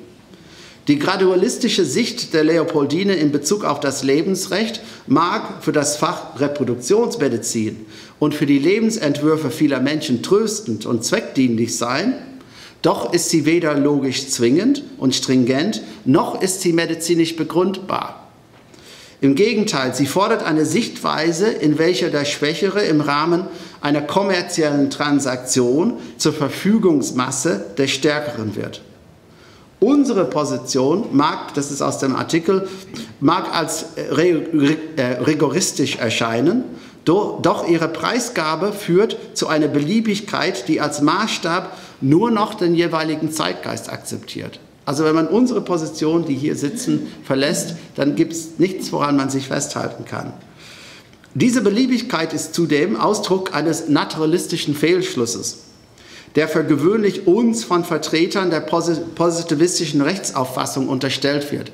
Also man stellt uns vor, man sagt, das ist ein naturalistischer Fehlschluss, nur weil es natürlich ist, muss es richtig sein. Nur weil die Gesellschaft so ist, wie sie ist, kann nicht deduktiv geschlossen werden, dass dieser Zustand normativ zwingend richtig ist. Auch der Leopoldine übrigens sind diese Widersprüche bekannt, die fragt, ob es logisch möglich ist, das Wohl einer Person durch die Verhinderung ihrer Geburt zu schützen? Das fragen Sie selber. So, also die Leopoldine, die plädiert für die Freigabe äh, aller Methoden der Fortpflanzungsmedizin. Der Grund für die restriktive, den fragen Sie, warum gibt es eine restriktive Gesetzgebung in Deutschland? Jawohl, warum?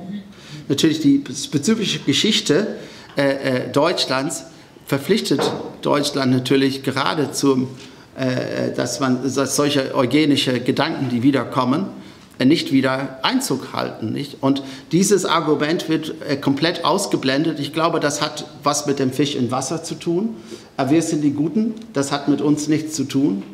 Und aufgrund des neuen technischen Möglichkeiten, das ist meine Meinung oder unsere Meinung, äh, bedarf das Embryonenschutzgesetz tatsächlich einer Revision.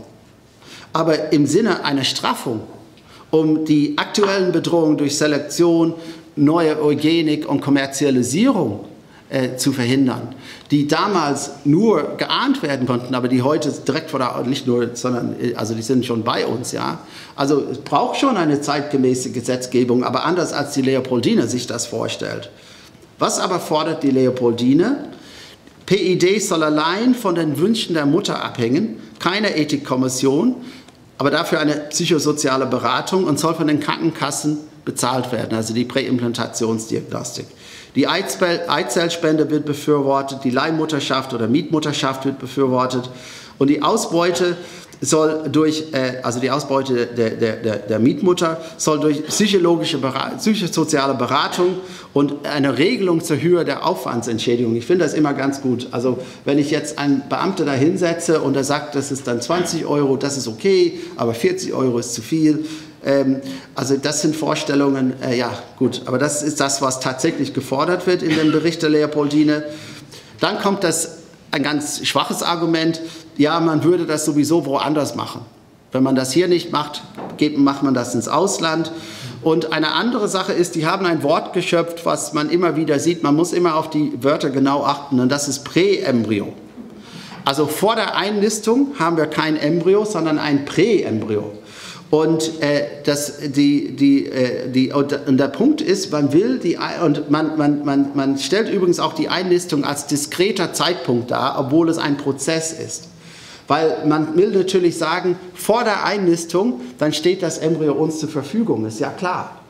Und dadurch kreieren sie einen neuen Begriff Präembryo. Was ist ein Präembryo? Es gibt kein Präembryo.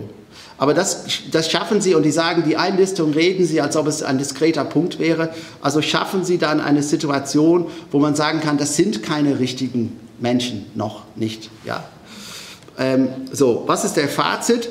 Dieser Text ist ein unverhohlenes Plädoyer für die Freigabe des kompletten Spektrums der äh, Reproduktionsmedizin für jedermann für, also ich habe das jetzt abgelistet, die, das Embryonenschutzgesetz soll in einer Weise entkernt werden, dass weder vom Begriff Embryo, das hatte ich gerade gesagt, noch vom Begriff Schutz etwas übrig bleibt.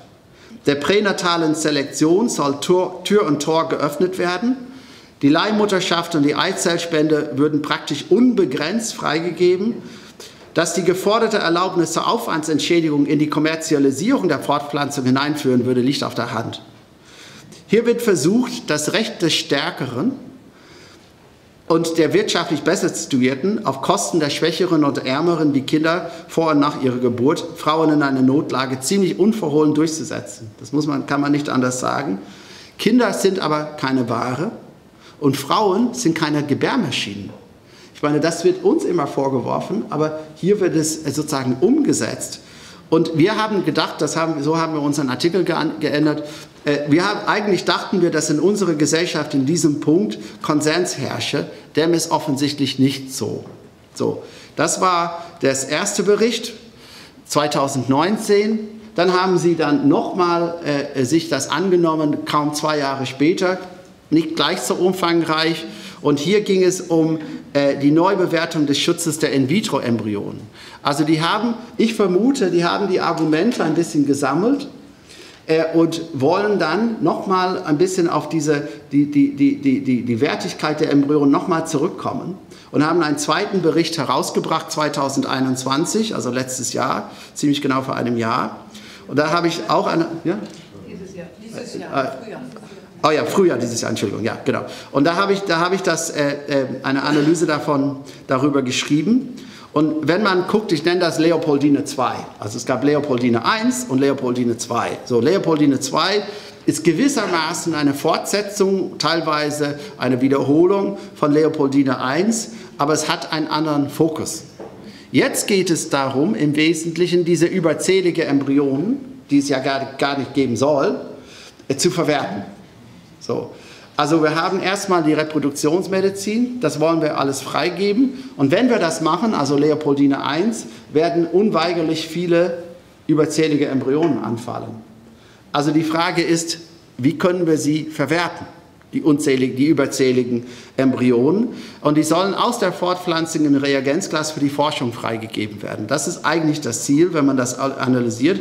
Die gehen nochmal gezielt auf äh, diesen Status des menschlichen Embryos und beschäftigen sich wieder damit. Und das ist für mich eine interessante Sache. Ich vermute, die haben die Kritik gelesen, aber die zitieren uns. Es gab keine einzige Veröffentlichung, die haben ja viele veröffentlicht, nichts von uns wird zitiert, null. Die Argumente zwar, aber als ob die Argumente aus dem, sozusagen wie Manna aus dem Himmel gefallen wären.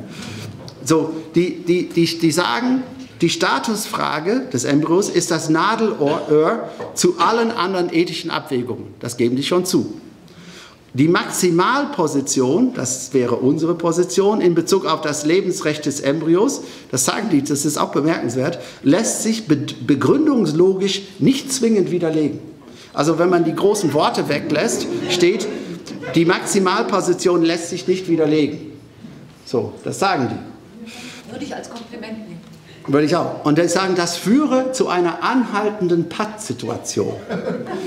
Und, so, und dann, dann, haben die, dann, dann gehen sie nochmal auf das Potentialitätsargument ein und die sagen, weitere Faktoren, die bringen jetzt, also nachdem ihr Hauptargument in Leopoldina I nicht gefruchtet hat, bringen sie aus meiner Sicht schwächere Argumente äh, hier in, in einem zweiten Bericht zum Tragen. Die sagen, weitere Faktoren, etwa die Einnistung in die Gebärmutter, sind notwendig, damit das Embryo sein Potenzial entfaltet. Deshalb wird die moralische Verpflichtungskraft des Entwicklungspotenzials als nicht überzeugendes ethisches Postulat abgetan. So, dann sagen sie, durch molekularbiologische Manipulation lasse sich die Entwicklung des Embryos stören. Außerdem sei es zumindest im Tierversuch möglich, aus Körperzellen durch biochemische Manipulation funktionsfähige Embryonen zu züchten. Das ist tatsächlich so. Und der Punkt ist folgendes, die, die, dass, dass, die, dass die fortgesetzte Existenz eines Menschen in allen Phasen seiner Entwicklung von einer Vielzahl äußerer Faktoren abhängt, ist eine Banalität, muss man sagen. Das, hat, das nicht, gilt nicht nur für Embryonen, das gilt für jeden. Im Übrigen gibt es zum Beispiel äh, theoretisch das, das, äh, die, die künstliche Gebärmutter, die ist ja in der Entwicklung. Und da kann man zumindest postulieren, dass die Einlistung, so wie wir sie heute haben, auch vielleicht eines Tages nicht nötig ist.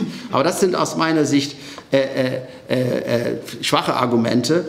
Und wie ein Embryo geschaffen wird, das sagt nichts, ändert an seiner Potentialität auch nichts. Also das sind für mich schwache Argumente. Ich war ein bisschen enttäuscht, aber das, das haben sie gebracht. Und die sagen, die selbst Verfasser des Berichts sind von den eigenen Begründungen nicht überzeugt und argumentieren, die sagen, ja, am Ende sagen sie, die schwächeren Schutzpositionen die sind weit verbreitet und die entsprechen Intuitionen deutlich besser als die Position des maximalen Embryonenschutzes. Also die sagen, ja, diese schwache, diese schwache Embryonenschutz, das würde jetzt weit verbreiteten Intuitionen entsprechen. Aber natürlich die, eine Intuition ist, ist keine Begründung für eine tragfähige moralische Position. Also am Ende, die haben keine Argumente und dann sagen sie, wenn man das jetzt platt ausdrückt, die sagen, gut, ich kann es nicht mehr argumentieren, aber jeder denkt es so und basta. So, das ist ein Basta-Argument. Die, äh, die Inkonsistenz, das ist auch, das sagen die nochmal, die Inkonsistenz der rechtlichen Positionen um das Lebens, rund um das Lebensrecht werden erneut thematisiert. Zulassung von Pille danach, dann sagen sie, bereits heute ist das Überleben der Embryonen vollständig von der Einwilligung der Frau zur Einnistung abhängig. Wenn die Frau das nicht will, bei der IVF werden die Embryonen verworfen, das stimmt. Das, die Einschränkung des Embryonenschutzgesetzes gelten nicht für auf natürliche Weise gezüchtete Embryonen und die gelten auch nicht für Embryonen, die nach der Einnistung der Gebärmutter entnommen werden, zum Beispiel zur Verwendung in der Impfstoffherstellung. Ja? Und aus der Differenzierung, das sagen, das ist auch ein ganz wichtiger Punkt, die sagen, es gibt zwar die, die Paragraph 280 218, mit, der, mit dass, dass die Abtreibung rechtswidrig, aber straffrei sei unter bestimmten Bedingungen. Und die sagen ja, aus dieser Formulierung ergeben sich äh, keine nennenswerten Rechtsfolgen. Das stimmt auch. Das heißt, die, sagen, die zeigen die Inkonsistenzen auf, aber die lösen sie in die, in die falsche Richtung auf. Ja? Man, könnte, man, man müsste, wenn man jetzt diese Maximalposition, die zwingend äh, richtig ist, dann müsste man diese, diese Diskrepanzen, die es gibt, in die andere Richtung auflösen. So, dann sagen sie, die streben einen politischen Kompromiss an zwischen der Rechtswirklichkeit und der lebenswirklichen Praxis. So. Das ist die vollkommene Zulassung aller Forschungsfelder an menschlichen Embryonen. Die sagen, jetzt haben wir das gemacht, das ist so, wie es gesehen wird und jetzt, das ist jetzt, was wir jetzt empfehlen oder was wir wollen. Also die, die, die wollen, warum wollen sie alle Forschungsfelder haben? Die wollen die Reproduktionsmedizin verbessern. Das erinnerte mich an, an die Begründung, die äh, Herr Edwards damals für seinen Forschungsantrag, wir wollen das verbessern. Die wollen Stammzellgewinnung für die Zellersatztherapie, Analyse von Keinbahneingriffen mittels der Genschere, also CRISPR-Cas9-Technologie. Auch ganz interessant äh, äh, und bedrohlich, Erzeugung von embryoähnlichen Strukturen äh, aus im Reagenzglas erzeugten äh, Keimzellen. Das heißt, das sind so kleine Embryonen, da kann man an, an, an, an, an, diesen, an den forschen. Erforschung von Embryonen, und das ist auch ein wichtiger Punkt, das ist, äh, ähm, wird, äh, in vielen Ländern gibt es ein Moratorium ab 14 Tagen. Das heißt, Embryonen, die, selbst Länder, die die Forschung erlauben, erlauben das nur in den ersten 14 Tagen.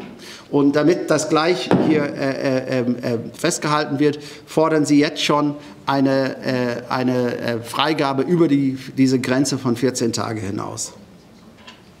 So, Fazit. Aus wackeligem argumentativen Fundament, ich weiß, die Technik ist gegen mich heute. Alles dead. Everything is dead. So. Auf einem wackeligen argumentativen Fundament wird die nahezu vollkommene Freigabe der Forschung an menschlichen Embryonen bis hin zu Keimbahnmanipulation gefordert. Forschung mit embryonalen Stammzellen, muss man einfach wissen, äh, äh, hat bisher zu keinen nennenswerten äh, Erfolgen in der Medizin geführt. Also man hat uns von dieser Stammzelltherapie alles äh, versprochen, aber es hat bisher keine großen Erfolge äh, gehabt in der, in der Therapie, also in der medizinischen Behandlung. Und ich würde jetzt als Fazit ziehen, zusammengenommen offenbaren beide Berichte der Wissenschaftsakademien ein erbarmungslos utilitaristisches Menschenbild, das muss man sagen, das unter der Oberfläche also wir haben eine Patina, eine wissenschaftliche Patina. Aber unter dieser Oberfläche gibt es den alten, es lässt den alten Traum der Selbstperfektionierung des Menschen durchschimmern. Und die Idee ist, wir könnten uns selber, wir verstünden, verstünden das selber, könnten uns selber perfektionieren. Und ähm, das ist ein bisschen, ähm, äh, wenn man jetzt guckt, die Leopoldiner, ihnen, der Leopoldine steht aus meiner Sicht solche äh, äh, Begründungen nicht zu. Die können die wissenschaftliche Status darstellen, aber das ist das, äh, was sie fordern. Und ich finde das schon bedrohlich. Und daraus kommen dann die Entwicklungen später. Und hier, damit wird es begründet. So, damit bin ich am Ende. Vielen Dank.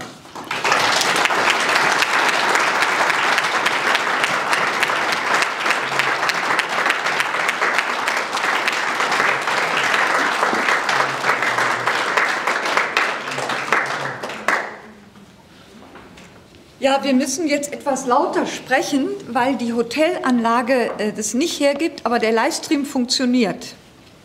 Also virtuell geht besser als real, ist auch eine äh, nicht überzeugende Erfahrung.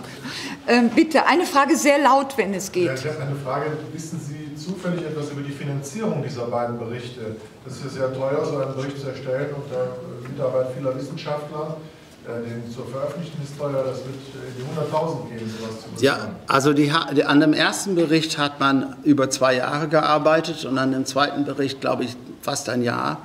Ähm, das werden die aus den Eigenmitteln der Leopoldina, auch aus den die Wissenschaftler, die dort beigetragen haben, die werden ja alle an Instituten und so weiter arbeiten. Äh, also ich glaube nicht, dass das jetzt eine Finanzierung gab aus dritter Seite, nur für diesen Bericht. Die, die, die, die, die bringen solche Berichte regelmäßig raus, nicht nur zur Reproduktionsmedizin. Also das ist ihr Auftrag. Aber was auffällt bei diesen Berichten, ist diese, dies, das, diesen starken Aktivismus in einer bestimmten Richtung. Aber das sehen wir in vielen anderen Sachen gerade in der heutigen Zeit, dass man, dass, anstatt dass man, man kann pro und contra und dann muss die Politik oder die Gesellschaft letztlich entscheiden. Aber das tun sie nicht, sondern, sondern die, die, die, die geben sozusagen eine, eine Richtung ganz klar vor und sagen, das müssen wir jetzt machen. Ja. Ja, und was vielleicht auch noch auffällt, ist, äh, dass die Zusammensetzung, wenn man sich die Personen anschaut, äh, zum Beispiel der Professor Taupitz, der hier federführend war, der diese Kommission geleitet hat, ist gleichzeitig der Leiter des wissenschaftlich-ethischen, der wissenschaftlich-ethischen Kommission der Bundesärztekammer. Also das ist, man berät ja. sich selbst. Ja? Ähm, äh, also da sind, wenn man die Personalien sich genauer anguckt, wird es noch interessanter und dann sieht man, dass das ein relativ geschlossener Kreis ist, der aber ähm, extrem gut vernetzt ist und natürlich ähm, äh, sind da auch viele Fortpflanzungsmediziner dabei, die genau. eigene Zentren haben, äh, deren Umsatzgrößen natürlich sieben- und achtstellig sind. Also siebenstellig auf jeden Fall, sonst funktionieren die gar nicht. Entschuldigung, da war noch eine Wortmeldung?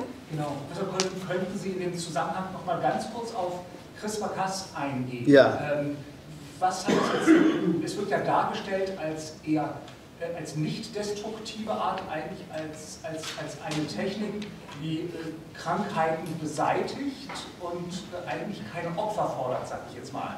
Äh, aus unserer Sicht. Äh, Kannst du ja. die Frage noch ja. wiederholen? Ja, also die Frage ist, ähm, äh, dass CRISPR-Cas, diese CRISPR-Cas9-Technologie, dass das nur als eine gute Technologie ohne Opfer sozusagen dargestellt wird. Also die, die, diese, diese CRISPR-Cas-Technologie, äh, äh, das ist von zwei Frauen, Frau Dudner und Frau Charpentier, die haben einen Nobelpreis dafür gewonnen äh, 2020, äh, zu Recht, wie ich finde. Ähm, das ist eine, eine, eine Möglichkeit, äh, an, an der Erbsubstanz sehr genau äh, Veränderungen vorzunehmen. Also man kann, man kann ganz gezielt einen bestimmten Bereich ausschneiden, ein kleines das ersetzen äh, und man kann äh, äh, theoretisch zum Beispiel, eine, eine Vorstellung ist, wir, wir nehmen das Gen jetzt nur als Beispiel für Sichelzellanämie und wir, wir verbessern das. Also wir, wir, wir wissen, was bei Sichelzellanämie in den meisten Fällen, was der Defekt ist, was, wo die Mutation liegt. Und dann nehmen wir die Keimzellen und in der Keimzelle verändern wir das und reparieren das Gen. Und dann ist es so, dass das Kind, was dann geboren wird, hat kein Sichelzellanämie. Aber das Interessante ist nicht nur das Kind, sondern weil auch in der, man macht das auch in den Keimzellen. Also das heißt, die Kinder dieses Kindes haben kein Sichelzellanämie und die Kinder des Kindes, das Gen ist weg, ist repariert und wird vererbt. Das neue Gen wird repariert, für immer. Und diese Idee in die Zeitstrahl hinein, das ist ja der Unterschied zwischen, bisher haben wir Gentherapie gemacht bei sogenannten somatischen Zellen, also Körperzellen, dass wir zum Beispiel versuchen, eine Leber, in einer, in einer Leberzelle einen Defekt zu reparieren. Aber hier, hier wollen wir das in den Keimzellen verbessern, sodass dann in die Generation hinein die, die, die, die, die, die, die, äh, die, diese Keimbahn äh, auf Dauer repariert wird. Also erstens ist es so, das geht natürlich nur mit der In-vitro-Fertilisation, was viele Probleme mit sich trägt. Äh, es gibt äh, zwei äh, aus genetischer Sicht grundsätzliche Probleme damit. Das erste Problem ist, dass wir die Genetik überhaupt nicht verstehen. Also als ich, als ich äh, anfing in der Forschung, äh, das ist inzwischen äh, Gott, 35 Jahre her, so, als ich aber anfing und man musste aufschreiben, was ein Gen ist, dann wussten wir das alles. Dann konnte man auf einem so DIN A4-Blatt vielleicht drei, drei Sätze schreiben und das war ein Gen. Ja, weil das war unser Verständnis von Gen. Und dann hatten wir das Genomprojekt und jetzt wissen wir, dass das überhaupt nicht so ist. Je mehr wir uns mit den Genen befassen, die zerrinnen wie Sand zwischen unseren Fingern, Das, was wir gedacht haben, ist ein Stein, es zerrinnt. Warum? Weil die we wesentlich veränderbare sind, die, die haben viele Varianten. Es gibt das ganze Feld der Epigenetik, wie die Gene reguliert werden. Wir haben, als das Genom, als das Genom sequenziert wurde, gab es Wetten in unserem Labor, in einem anderen Labor, wie viele Gene der Mensch hat. Und wir haben alle getippt, weil die Maus hatte, glaube ich, 60.000 Gene. Wir haben gesagt, wir haben auf jeden Fall mehr als die Maus. und meistens hat man gesagt 100.000, 100.000, 110.000. So. Äh, als es rauskam, waren es 29.000. So, und äh, äh, das ist aber, die, die sind so variabel in sich, dass, dass die wesentlich komplexer sind, als wir denken. Und wir verstehen das nicht. Die andere Sache ist, wir haben gedacht, ein Gen ein Protein, eine Funktion. Wie bitte? Also, ah äh, also wir haben zum Beispiel das Hämoglobin-Gen, das kodiert für Hämoglobin und Hämoglobin transportiert Sauerstoff. Fertig. Das gibt es tatsächlich, solche Sachen dass es ein Gen gibt, eine Funktion. Aber es gibt ganz viele Sachen, wo das nicht so ist. Es gibt ganz viele Beispiele. Zum Beispiel, ich hatte in der Fettstoffwechselstörung, äh, Fettstoffwechselforschung, wir hatten bestimmte also, äh, ähm, äh, Gene gedacht und Proteine. Wir dachten, die machen eins und dann fünf Jahre später stellt man fest, die machen ganz was anderes. Also ich, wir hatten ein, ein, ein Fettgen, das hieß ApoE4. Und dann haben wir in unserer Forschung herausgefunden, wer das ApoE4-Gen hat, hat ein geringeres Risiko für Herzinfarkt. Oh, haben wir gesagt, haben die Pri Privatpatienten konnten das dann bestimmen lassen. Yes, ihr Risiko ist geringer. Ja, ja. So, was haben wir herausgefunden ein paar Jahre später? Das stimmt mit dem Herzinfarkt, aber ihr Risiko für Alzheimer ist viel höher. So, das heißt, das heißt wenn, wir, wenn wir dieses, dieses sozusagen monokausale, dieses sehr mechanistische Vorstellung, die wir haben, ist zu einfach und wir wissen nicht, was, was das, äh, was das äh, passiert. Die andere Sache ist, dass die Gene operieren nicht alleine.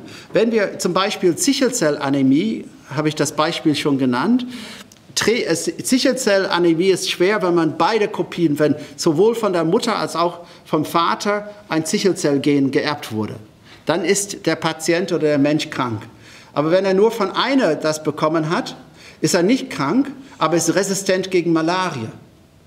Das heißt, vieles, vieles wo, wo wir, wir, wir kennen diese, diese so die Janusköpfigkeit, nenne ich das, also wie, das Gott, wie der Gott Janus, so zweite Gesichter, und wir kennen das nicht. Und es geht in die Zeit, und wie, wenn man jetzt diese Veränderungen freigesetzt, wie holt man die zurück?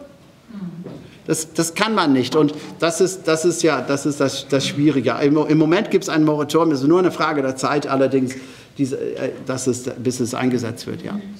Äh, dann noch eine Frage. Ja. Ähm, ähm, oder vielleicht zwei, wenn Sie, aber dann sollten wir zum Schluss kommen, weil ähm, ja.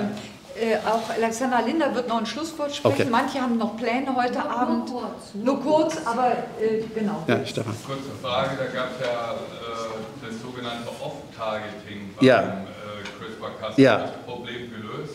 Das Problem ist weitestgehend gelöst. Also die letzten Forschungen, die ich gesehen habe, ich weiß es nicht, von 2018 auf jeden Fall, waren wir bei unter 5 Prozent.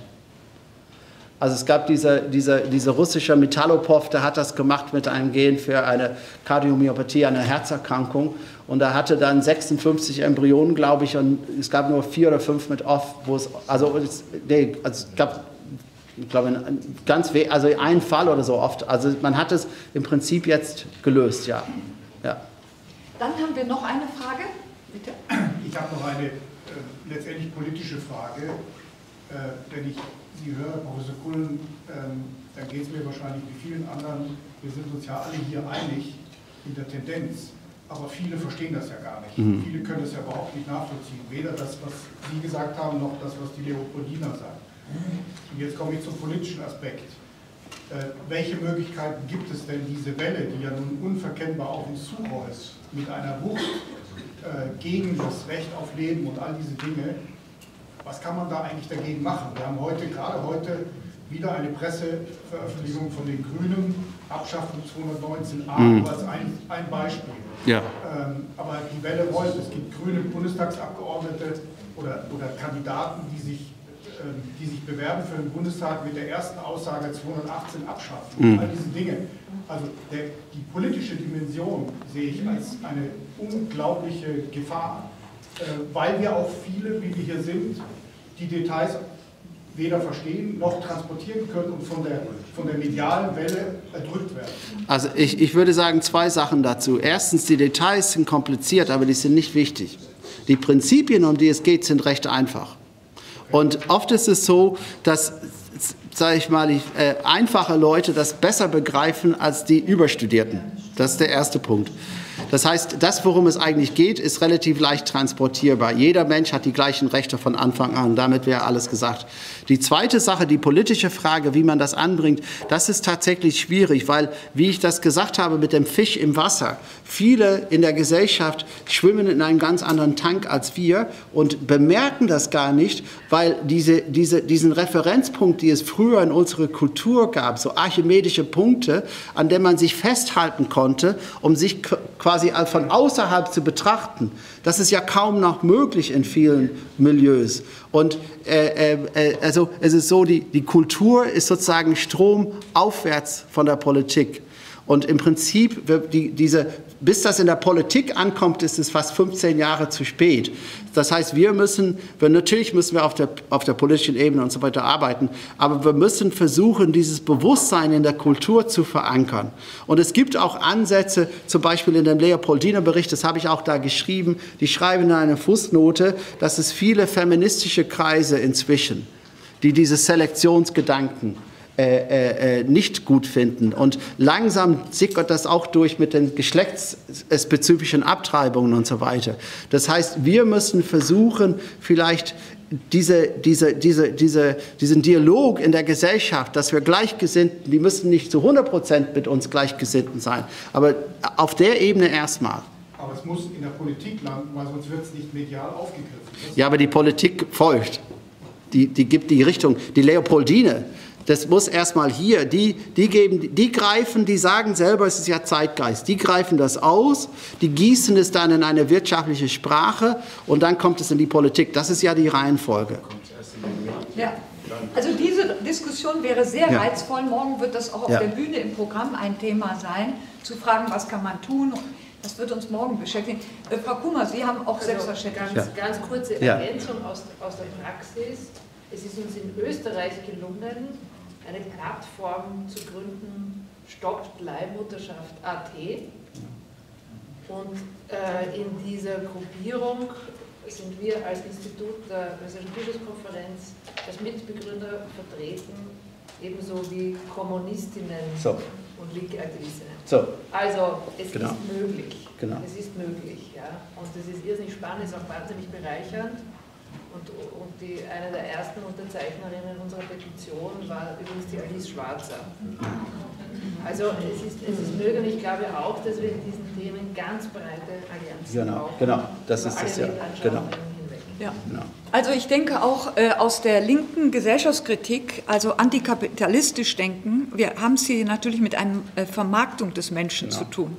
Und ähm, wenn wir die Tagung eben nennen, der, ist der Mensch ein Produkt, wenn wir danach fragen, dann ist das eben so, dass der, dass der Mensch durch diese neueren Entwicklungen immer mehr zum Erfüller bestimmter Daseinszwecke für die Gesellschaft wird. Ähm, und in China und anderen Ländern sehen wir, was das bedeutet. Dann wird eben auch gesagt, welches Kind man noch kriegen darf und unter welchen Bedingungen. Das ist dann konsequent ausgearbeitet. Aber wir haben sicher auch das Problem, dass die Selbstbestimmung der Frau unter dieser reproduktionsmedizinischen Tortur eher leidet. Genau. Weil die Frauen äh, sich ja nur noch als diejenigen Leistungsträgerinnen der Gesellschaft, die ein möglichst gesundes Kind äh, zum entsprechenden Termin, was die Gesellschaft nicht belastet, abgeben sollen. Das heißt also, ähm, da, ist, da ist etwas entstanden, mhm. was, was wirklich kapitalistische Strukturen hat, das sage ich jetzt mal so, ähm, und ähm, ein Markt, auf dem Menschen gehandelt werden nach ihrem Wert am Anfang und am Ende. Und ich glaube, unsere Aufgabe ist es, äh, mit guten Wissenschaftlern, wie wir sie hier auch erlebt haben, zu arbeiten, ähm, sachlich zu argumentieren, ähm, äh, zu schauen, wo sind Partner und äh, wirklich Informationen in die Öffentlichkeit zu bringen, ähm, die nötig sind, um das Ganze zu verstehen. Aber in jeder Familie wird inzwischen verstanden, dass eine Schwangerschaft ein Probelauf ist und dass das beklemmend mhm. ist. Und die Wirklichkeit lässt sich da nicht auf Dauer verleugnen. Aber es, es, es wird sicher noch eine ganze Weile dauern, bis die intellektuellen äh, Fortschrittsoptimisten verstanden haben, dass Menschen eigentlich so nicht miteinander leben wollen. Also die, ich bin fest davon überzeugt, dass solche äh, dramatischen Entwicklungen immer temporär sind, aber da es unsere Zeit ist, ist es für uns natürlich nicht schön. Aber ich möchte Alexander das ja. Schlusswort nicht wegnehmen. Äh, ich kann nur sagen, ähm, wir werden daran weiterarbeiten. Ich habe Ihnen versucht, einige Quellen zu nennen. Wie gesagt, ähm, Sie können das alles nachlesen. Ähm, es muss nicht beim Einmal-Eindruck heute hier bleiben. Und ich lade Sie wirklich ein, das sind Veränderungen, die jede Familie betreffen, die jede junge Frau betreffen, jeden jungen Mann, der sich äh, Familie wünscht. Und das sind weit über 80 Prozent aller jungen Menschen. Die haben das als höchstes Lebensideal, Kinder und Familie. Und interessant für mich, das muss ich zum Schmunzeln nochmal nachreichen, dass die Leopoldina unter anderem ähm, ihre Arbeit damit begründet hat, dass sie Kinder, dass sie Familien das Recht auf ein Kind ermöglichen ja, möchte. Genau. Also Sie kommen schon auch mit dieser Begründung, obwohl genau. ja eigentlich es von der Familie nicht abhängt, wenn man der Leopoldina folgt. Ähm, also kurzum, es ist eine sehr bunte Gemengelage und unser Beitrag ist nötig. Ich bin froh, dass wir den hier leisten konnten in dieser kleinen Diskussion für einige Stunden. Und wir freuen uns, dass das jetzt kein singuläres Ereignis ist, aber dass wir dabei sein konnten. Vielen Dank äh, an unsere beiden tollen Referenten, die noch da sind und natürlich an Professor Schallenberg. Und jetzt darf ich das Wort an unsere große Vorsitzende geben, Alexander Linder, die den Nachmittag äh, beschließen wird. Vielen Dank. Und auch den Dank.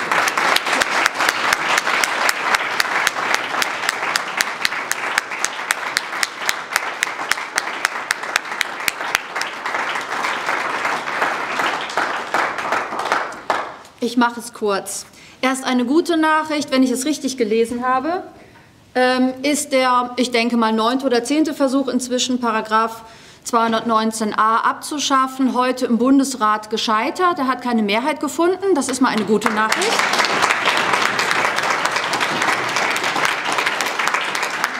Am Ende dieser erwartungsgemäß hochkarätigen Veranstaltung über vier Stunden mache ich es kurz. Drei kleine Gedanken.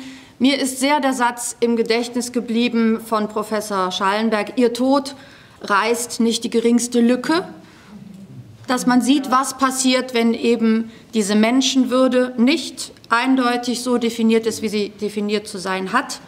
Das Zweite ist die Vision einer leidfreien Gesellschaft, die wir nicht bekommen werden, aus den Gründen, die die Referenten alle genannt haben. Und das Dritte ist äh, diese Diskrepanz zwischen der tatsächlichen Rechtsposition des Embryos und dem, was daraus gemacht wird, um willkürlich mit ihm umgehen zu können, indem man ihn zum Beispiel umdefiniert von Kaulquappe bis zu Präembryo. Äh, und als letzten Begriff von Frau Kummer, dieses Freiheitspathos, in dem wir tatsächlich ja stecken, das eben nicht dazu führen darf, dass Rechte anderer Menschen, die Freiheit anderer Menschen darunter leidet. Das ist ein schönes Fazit dieser Tagung. Ich bin sehr dankbar, dass wir das alles so heute hier hören durften. Ein paar kleine Hinweise noch. Ich lade natürlich herzlich ein, für morgen 13 Uhr vor dem Brandenburger Tor, da wird es etwas lauter als heute, aber es wird sicher auch sehr spannend zum Marsch für das Leben, wo sehr viele Leute erwartet werden. Also wenn wir nur so ansatzweise die Meldungen äh, in Teilnehmerzahlen umsetzen, wird das gut. Zweiter Hinweis, Materialien zum Marsch zu unserem Kongress nächstes Jahr im Oktober auf dem Schönblick, 21. bis 23. Oktober 2022, darf ich schon herzlich einladen, äh, wo wir haufenweise solche hochkarätigen Referate hören werden. Und das Dritte ist, ich ziehe mich zurück, aber ich bitte vorher noch die Referenten und auch die Frau Löhr, für die ich leider keine Weinflasche habe. Danke sehr. Herzlichen Dank, Frau Kummer. Vielen herzlichen Dank. Und vielen Dank an Mechtet Löhr.